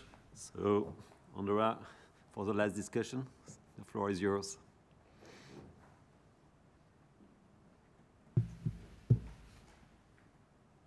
Okay, so first of all, thank you very much for giving me the opportunity to read this paper. Uh, so this is, as Thiemo was saying, part of a broader research agenda. Um, I very much liked uh, the paper, and I think it talks to an important issue, which I was personally kind of unaware of to some extent. So that's pretty distant from what I usually do. So some of my comments might be might sound very naive, but on the other hand, might look like from the point of view of, of an outsider. So the key research question in, in this paper is effectively whether workers do perceive that potentially discriminatory, discriminatory content in job ads is, they do perceive this discrimination.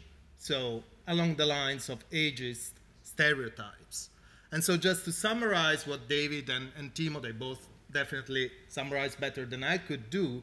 On the machine learning side, what the authors first do is to identify, based on the corpus of Wikipedia, uh, phrases that in job ads are linguistically related to ageist stereotypes as identified from the psychology literature, and the authors focus on three out of 15 or 17. And this is kind of key, and it's part of I guess, my main comment. So they focus on communication skills, physical ability, and technological skills. So they, they identify what is an ageist stereotype in job ads in these dimensions, and then they identify these phrases and they create treatment and controls where the only difference is based on this single different phrase. For the rest, the, the, the, the two ads are identical. And as a proof of concept that the machine learning is working, they go back and they show that machine learning is able to detect the ageist stereotype, and importantly, they can tweak one stereotype at a time. So they can uh, just alter the communication skill in one ad, the technological skill in another, and the machine learning algorithm is able to pick up that that ad, the treatment ad, is discriminatory towards uh, older individuals. The second part of the paper, which I think is probably the, the most novel compared to the rest of the research agenda, is then go and experiment on a sample of M. Turkers whether they can perceive these stereotypes, these ageist stereotypes. So M. Turkers are asked whether the treatment ad is discriminatory towards old individuals or the control uh, ad is. And there is a differential substantial effect and M-Turkers are able to perceive discrimination along ageist lines. So altogether, I think this, I'm, as I said, I'm not familiar very much with the literature, but it sounds to me like it's, this paper is making a, a novel point in this growing literature that uses information on job ads to study the labor demand side of the market. And here, the distinctive feature is that it focuses on the perceptions of the workers. So the applicant perception and the language that may deter some applicants from applying in the first place. And this is very important because as David was saying, we are in an aging society and people keep working until older. And so if one way or another an ad discriminate on older individuals and they refrain from applying in the first place, then this is kind of a harder to detect form of discrimination. So from the point of view of an employer that wants to discriminate, then it might make sense to use these subtle ways to prevent people from applying in the first place rather than being led to court afterwards because they didn't interview older individuals, uh, although there were as many applicants uh, that were old as many that there were young. Now, my first comment goes back to this, to this point about what, what are the, the, the, the, the three categories that, that are selected. So the authors are, sorry, I'm going, the authors are careful now in, in, in, in emphasizing that the focus here is really on the applicant's perception, that they cannot disentangle whether this reflects taste discrimination on the employer side or statistical discrimination. But my feeling as an outsider is that what if it, it reflects neither, neither taste nor statistical discrimination? So what if it's simply information that it's relevant the job ad? I mean, you need to, to tell that a social media manager is IT proficient. He needs to know how to use the software. A security guard needs to be fit if there are many shoplifters around. I'm not discriminating on the old guys. I need you to know. I mean, if I'm a clerk, I need to know that I need to carry 50 kilos. Maybe. Uh, so here, all the onus, I think, from the from my reading, is on is on the end of the of the firm.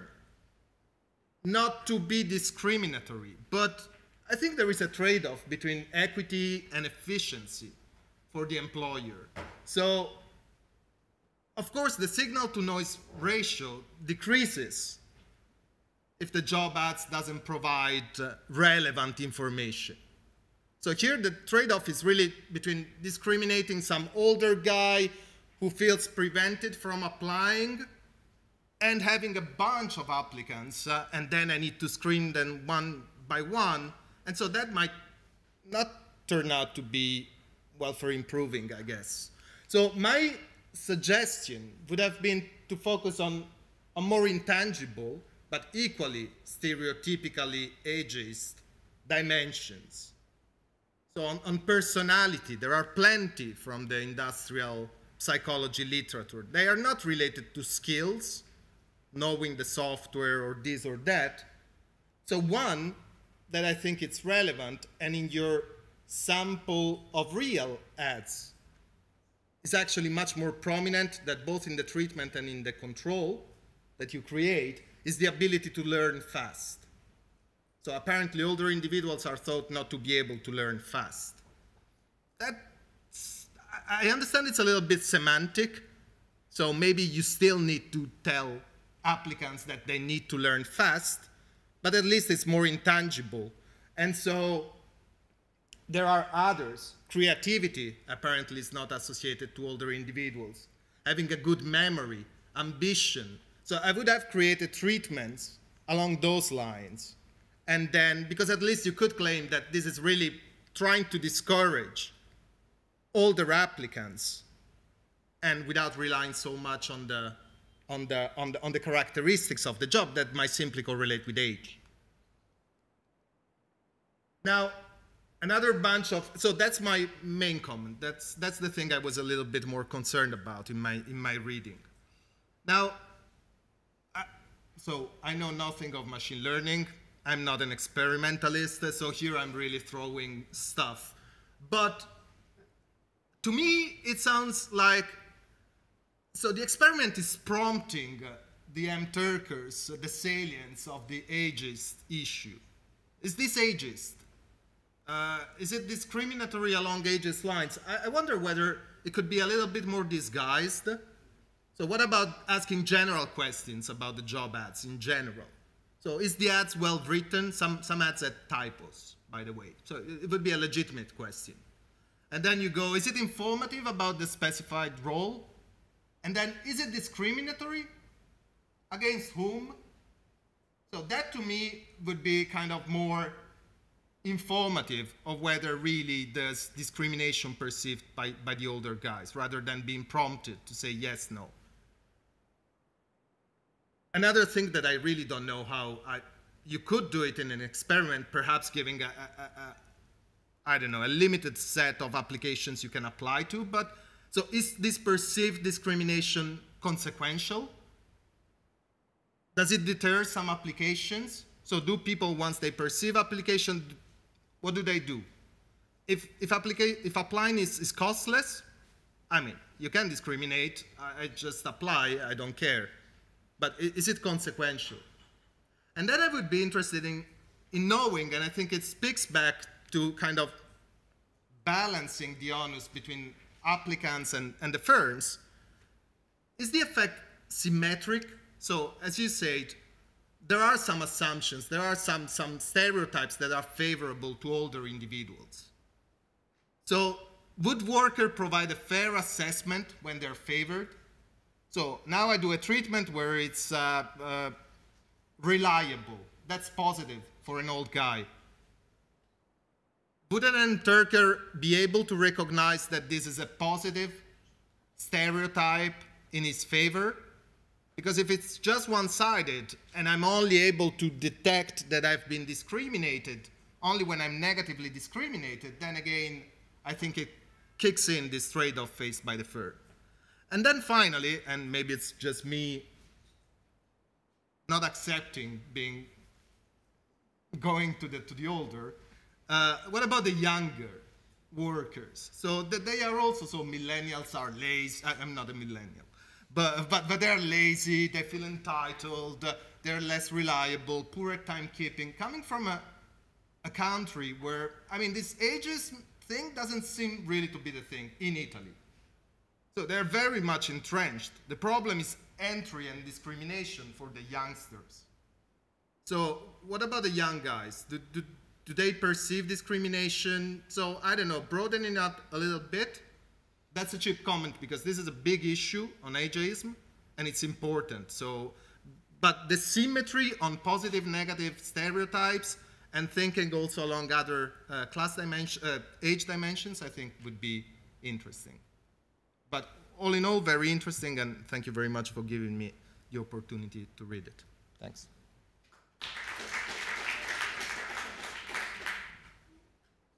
Thank you very much. Very complete discussion. So, do, do you have any comment? Yes, Moritz, I guess. Um, yeah, I, I, I, just want to follow up on more or less what, what Andrea just uh, brought up. So I, I would be curious about, so if, if I think about the, the labor market as a search market, then getting information about the job is something valuable. So now if I see, oh, they are looking for a worker with certain characteristics, although this might be discriminatory, if it were not discriminatory, I go there and then I, I know, I don't like the job, they don't treat me well and so on to make me maybe quit again. So the question is, if I ask these workers, okay, you say it's discriminatory, but if we took this information away from the um, from the ad, uh, would you would you prefer this? So because you could just say this is the occupation, full stop. That's the ad. And uh, would workers prefer a world like this where you can be sure that there's no discrimination because you just give the, the, the minimum information. So I think it's, it's exactly this trade-off between like equity and efficiency. Um, so we could have a, like a, a, world where we can avoid discrimination, but then the matching would be probably much, much worse. So the question is, uh, how should I trade off these things? And do I maybe want to have some discrimination, um, like at least from the individual perspective, where I can say, I, I find a job that like somehow fits much better to me than other jobs that are around. Emeric? So it's going a bit in the same direction, and uh, maybe I'm a bit old school, but I feel a bit bad that using the same language, stereotype, discrimination, for gender and race on the one side and age on the other. Uh, as sort of a, a, long history of the, the use of these words for these two groups. And here we're talking about, in particular, if I take stereotypes, the fact that the probability of hurting your back when you lift something goes up when you age. I can I can testify. Uh, so it's it's a fact. It's not a stereotype. So that's uh, the use of the language with these two uh, bothers me a bit. But maybe I need to evolve. It's just me. Uh. Barbara, you are around. I think you have a question. Thank you. So uh, th thanks for the presentation. So uh, we don't hear you, Barbara. Can you hear me? Can you speak loudly? Yes. Yes, good. Okay, put the volume. Can you hear me better? Okay. So uh, this is an important research question because if employer discrimination can effectively discourage minority applicants, this could be self-serving in two ways. First of all, by not hiring the minorities and by making discrimination almost undetectable because there wouldn't be minority candidates among the rejection. So the only way to make it detectable is really to think about how to analyze the text of the job advert. So there is a strong motivation behind this. Uh, other than this, I mean, this is a point that came up uh, in the in, in the discussions and in the comments there is a very fine line between what is discriminatory language and what is a legitimate job description that states the task to be carried out in a job. So, I mean, on the on the normative side of things, if somebody needs to hire a social media manager, is there a way of advertising that that is not discriminatory? So, especially when one thinks about the technology, what is the right, what would it be the right way to advertise for this position without being discriminatory? And then in particular, there is an issue of labeling here, perhaps. So if we think about technological skills, digital savviness, etc., I might label it as something that has to do with cohort effects as opposed to age effects, in the sense that those who are young today and are digital savvy, they will be probably still be digital savvy when they're older. So they wouldn't perceive an advert like one that requires, I don't know, uh, being uh, digital savvy as, as discriminatory. So some of the some of this is really a cohort effect rather than an age effect. So it might actually evolve and go away over time. Although, of course, one may argue that as technology also evolves, there would be other issues on which all generations that are young now would not be saved in the future. So there is a little bit of a sort of what is the normative side of thing and also the labeling of some of those uh, age discriminatory uh, languages. Okay, just a, a, a, last, a last, question, uh, if there is no other question. Okay, so, so you have many remarks about uh, how to really identify the job requirements and the discrimination, so which is particularly controversial for uh, senior older people. Uh, so for some minority, it would be perhaps less controversial. For specific minority, did you did you try to look at whether you could get results looking at I don't know people from, from some minority in the, in the US for which you don't observe uh, productivity differences. And so, yeah. Okay, I think we, we can go to, if you want to answer. Perfect. Well, thank you so much for everyone for all the comments. Um, I'll start with Thiemo's. I think it is fair to sort of describe this a bit more as a validation exercise because I think it's really important when you have this black box of cosine similarity score, which is starting to crop up in various forms across the economics literature, that we're really able to say something meaningful about you know, what we're measuring there. So to, to form that link between a machine learning measure of something that's supposedly ageist and the perceptions of real people, I think that's, you know, I'm, I'm glad that that came across as our key contribution for that. Um, for why we didn't do supervised learning, um, we really tried hard, as David was saying, to avoid ex post rationalization. Um, we, we tried, going to your comment on benchmarking as well, a couple of different things at the beginning before we found our way. Um, like we, we tried Lasso for a while, and Lasso tends to get obsessed with like a couple small phrases. So the one that sticks out in my memory is if we looked at older women over the age of 65 in administrative assistants, and the machine learning kept getting stuck as the only thing that ever predicts discrimination is please send in your resume. So that was the most predictive phrase you could find in like 7,000 ads for discrimination against older women. And so the, the, the ways of doing it um, when you do it, you, you sort of start seeing these phrases that matter, and then the ex post rationalization is quite prominent. So we really took a step back when we um, decided to do the semantic similarity to tie our hands and do it in an unsupervised way to avoid um, this rationalization. Um, and then there was conversation about why do we pick these, and I think uh, why these three stereotypes. Um, and it, this is very much proof of concept. Um, I think there's so much you can do with it that we really wanted to make sure that we were picking stereotypes that had clear evidence that they mattered in the literature um, and which were quite common. For some other ones that would be really interesting to look at, such as creativity, um, it actually doesn't show up that often in some of the job ads. So we, we, we tried to pick things where we would have, they're quite common for people to see them, um, as well as evidence from the previous literature that they matter for discrimination.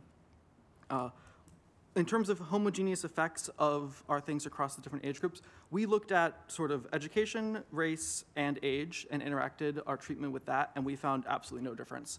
Um, people's perceptions of ageism were independent of their individual characteristics.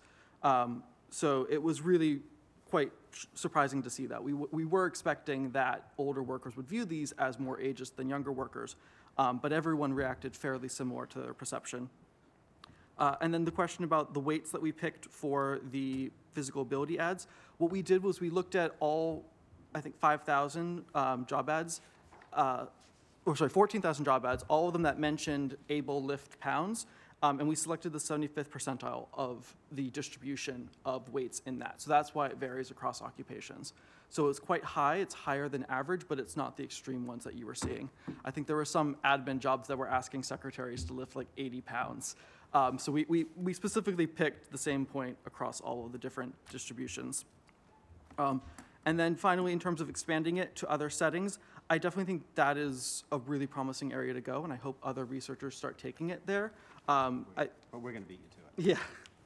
Well, at least in the English, we'll, we'll do the English, but if other people want to do other languages, um, I think because we did the unsupervised way of doing it, uh, it is extremely flexible to these other settings, to these other languages. Um, and the process is quite well easily to adapt to race, gender, sexual orientation, or any of these things. And that was something that we kept in mind when developing it. Um, no, you're done. oh, no, it- Okay. I was just going to, I was going to just chime in on the job requirements thing. So I don't know if the discussants were the referees or not, but there, has been a lot of back and forth about this, um, and the paper has a, a pretty complicated discussion, and it, it's very subtle. So, you know, we, economists may think we should allow some statistical discrimination, right, for, for the efficiency, equity reason you say. The, the fact of the matter is the law doesn't, right? The U- U.S. law, at least, and is, it, EU law is never quite as clear, but as far as I can tell, also. But the U.S. law literally says, you know, you can't you can't make decisions based on assumptions about a, about a group, and it, that's exactly what you know you might think you want to you want to rule out. So you may have a job if all we had was this paper, and we said, okay, there's a job requirement like must lift 40 pounds, and older people perceive that as biased. You might say, well, we don't we don't know what to make of that, right? But we know from the other paper we did that that actually predicts discrimination. So what that means is presumably employers are statistically discriminating. So it may be a real requirement, but they're actually not hiring or not calling back, 'cause that's what we measured in the experiment. They're actually calling back at a lower rate the older workers if they do apply. And that's despite perhaps, you know, some selection out. So, um, so uh, you know, once you combine, and we, and we say that paper, once you combine it with that evidence, um, it is discrimination, you know, as defined by economists, although maybe you think it should be allowed, or and certainly as defined by the law. There is this vague, it's not vague. There's this there's this complicated discussion in a U.S. discrimination law about what they call reasonable factors other than age. So when is it when is it actually legitimate to make a, an assumption based on age? And sometimes it is. So there's this famous case, Greyhound bus case, where um, they would test drivers at 65, right? And they were sued under the ADEA, um, and th- the company actually prevailed because the basic argument was we know driving abilities decline with age eventually. It would be great if we could test people after we knew abilities were declining, but by that point there might be 50 dead people, right? Because it's after the bus accident. So, you know, this was a case where the court said I, I have the language here. It says, it says a reasonable factor of age is defined as, quote, a non-age factor that is objectively reasonable when viewed from the position, this is hard to parse, of a prudent employer mindful of its responsibilities under the Age Discrimination in Employment Act. So, so sort of, you recognize you can't discriminate on age, you've tried to come up with some other mechanism, like, okay, lift 40 pounds. Come to the interview, can you lift 40 pounds without, you know, hurting your back, like you would do? Um, try yoga, it'll solve the problem. Um, uh, you know, so you can do it, but the, the, the, the sort of, the rules are very strict. Um, so, uh, but we don't, we don't claim that we're sorting out statistical from taste discrimination um, by any means. And again, the other thing to keep in mind is we're not saying that like a high cosine similarity score means you're discriminating, right? It's only a potential flag, something the EEOC could look at. So if a company is actually putting this in its ads, right? But then the EEOC gets the data and finds that even when older people apply, right, they're not hiring them, right? Well, then presumably there's been selection, as our data would suggest, on which older people apply, but they're still assuming the older applicants can't do it, and that would be illegal under the law, even if it might be efficient. So then, another, uh, Andrea's other comment was about why not younger people. Um, I think this also relates to Barbara's comment about how age stereotypes are changing over time, and these cohort effects of how we think about things um, will adapt in the future. I think we, when reading the industrial psychology literature, we did notice that they do shift. Um, the literature goes back to the 1960s and 70s, um, and the stereotypes that people were talking about then are, are slightly different from what they're talking about in the 90s and the 2000s. Um, and so when we did it, what we said it, we only included papers in the literature review that referred to boomers um, or the greatest generation. So people who were old either in the 90s or 2000s, um, but still in their working ages. Um, that was the groups that we, we were excluding people from the silent generation um, who were born just after World War One. Uh, and so I think you're going to have to update things because when you get to the millennials, there are these discussions about the stereotypes of millennials um, and how are these changing over time. Um, I think what's interesting is that in the industrial psychology literature, this idea of technology is actually still relevant in the papers that are being published in the 20 in the teens because you know the people that they're talking about have had computers for 20 years. Um, and so, as Barbara was saying, you know, just because te- technology is always changing, we're always going to assume that older people are typically worse, and that's that's what we found in the industrial psychology literature. Um, but I think you will need to be updating these over time. Um, I think it'll be really interesting to flip it and look at younger. Um, and typically, though, in many many countries, discrimination against younger people is allowed. Um, it's they're not typically a protected characteristic. Most age discrimination laws set a specific age profile. Not, whi- in, not in the EU. not in the EU, m- not in the EU, but in the US it does. Um, and then millennials are now at least covered um, for the ver- the oldest of the oldest millennials are now covered by age discrimination laws. So we will need to start updating the literature in the next couple of years to include stereotypes of older millennials um, who, who are now reached uh, coverage age. Um, yeah, a lot of the discussions about uh, RFOAs. I'll, I'll just sort of echo David's point that I think the way we view the reasonable factors other than age is that this is a flagging exercise. As you can see from the figures, when you have these ages statements, they jump out in the machine learning um, measures. Um, and that's sort of a clue for enf- enforcement um, to go look at it. Um, like, because RFOAs are so subtle, though, it does require judgment. You have, you can't just assume that because you have high cosine similarity score that you know you must be discriminating. It, it does mean th- that you have to actually look at it and judge: is this reasonable? Is this actually a valid job requirement? Um, but when you're reading the job ads that people are posting, especially the ones that we were observing that you actually discriminate, you do see some of the job requirements that just aren't reasonable. Um, and so people will throw them in, and they have no business being on there. Um, going back to the one about the um, typos and stuff, yeah, real job ads are awful. I mean, shockingly bad. So we, we kept the typos uh, that were real from the original job ads. So any typos that are in there were actually there when we saved the job ad after applying to it. Um, yeah, the language is bad. It, it's very vague. They're, they're not well written because you know most people writing them are not necessarily highly educated. Um, and then yes, I think the RFOAs though are, are something that is very subtle that uh, really needs to be sort of discussed and, and massaged a lot more, especially with enforcement. But yes, thank you so much. Thank you. Any other remark, question? No. Okay. So I think we are at the end almost. So, and uh, let me let me just uh, thank uh, the CEPR team for your splendid work, for the organization, Mariolina, Mandy, Alexander, Tessa, and uh, for the choice of the restaurant yesterday night, very good. yeah. And uh, also Barbara for uh, putting together this piece of paper and the managing editors for the very nice selection of papers. And uh, also, uh, I wish you now a nice uh, walk in Paris with your umbrella. So let's uh, see us next time. Bye-bye.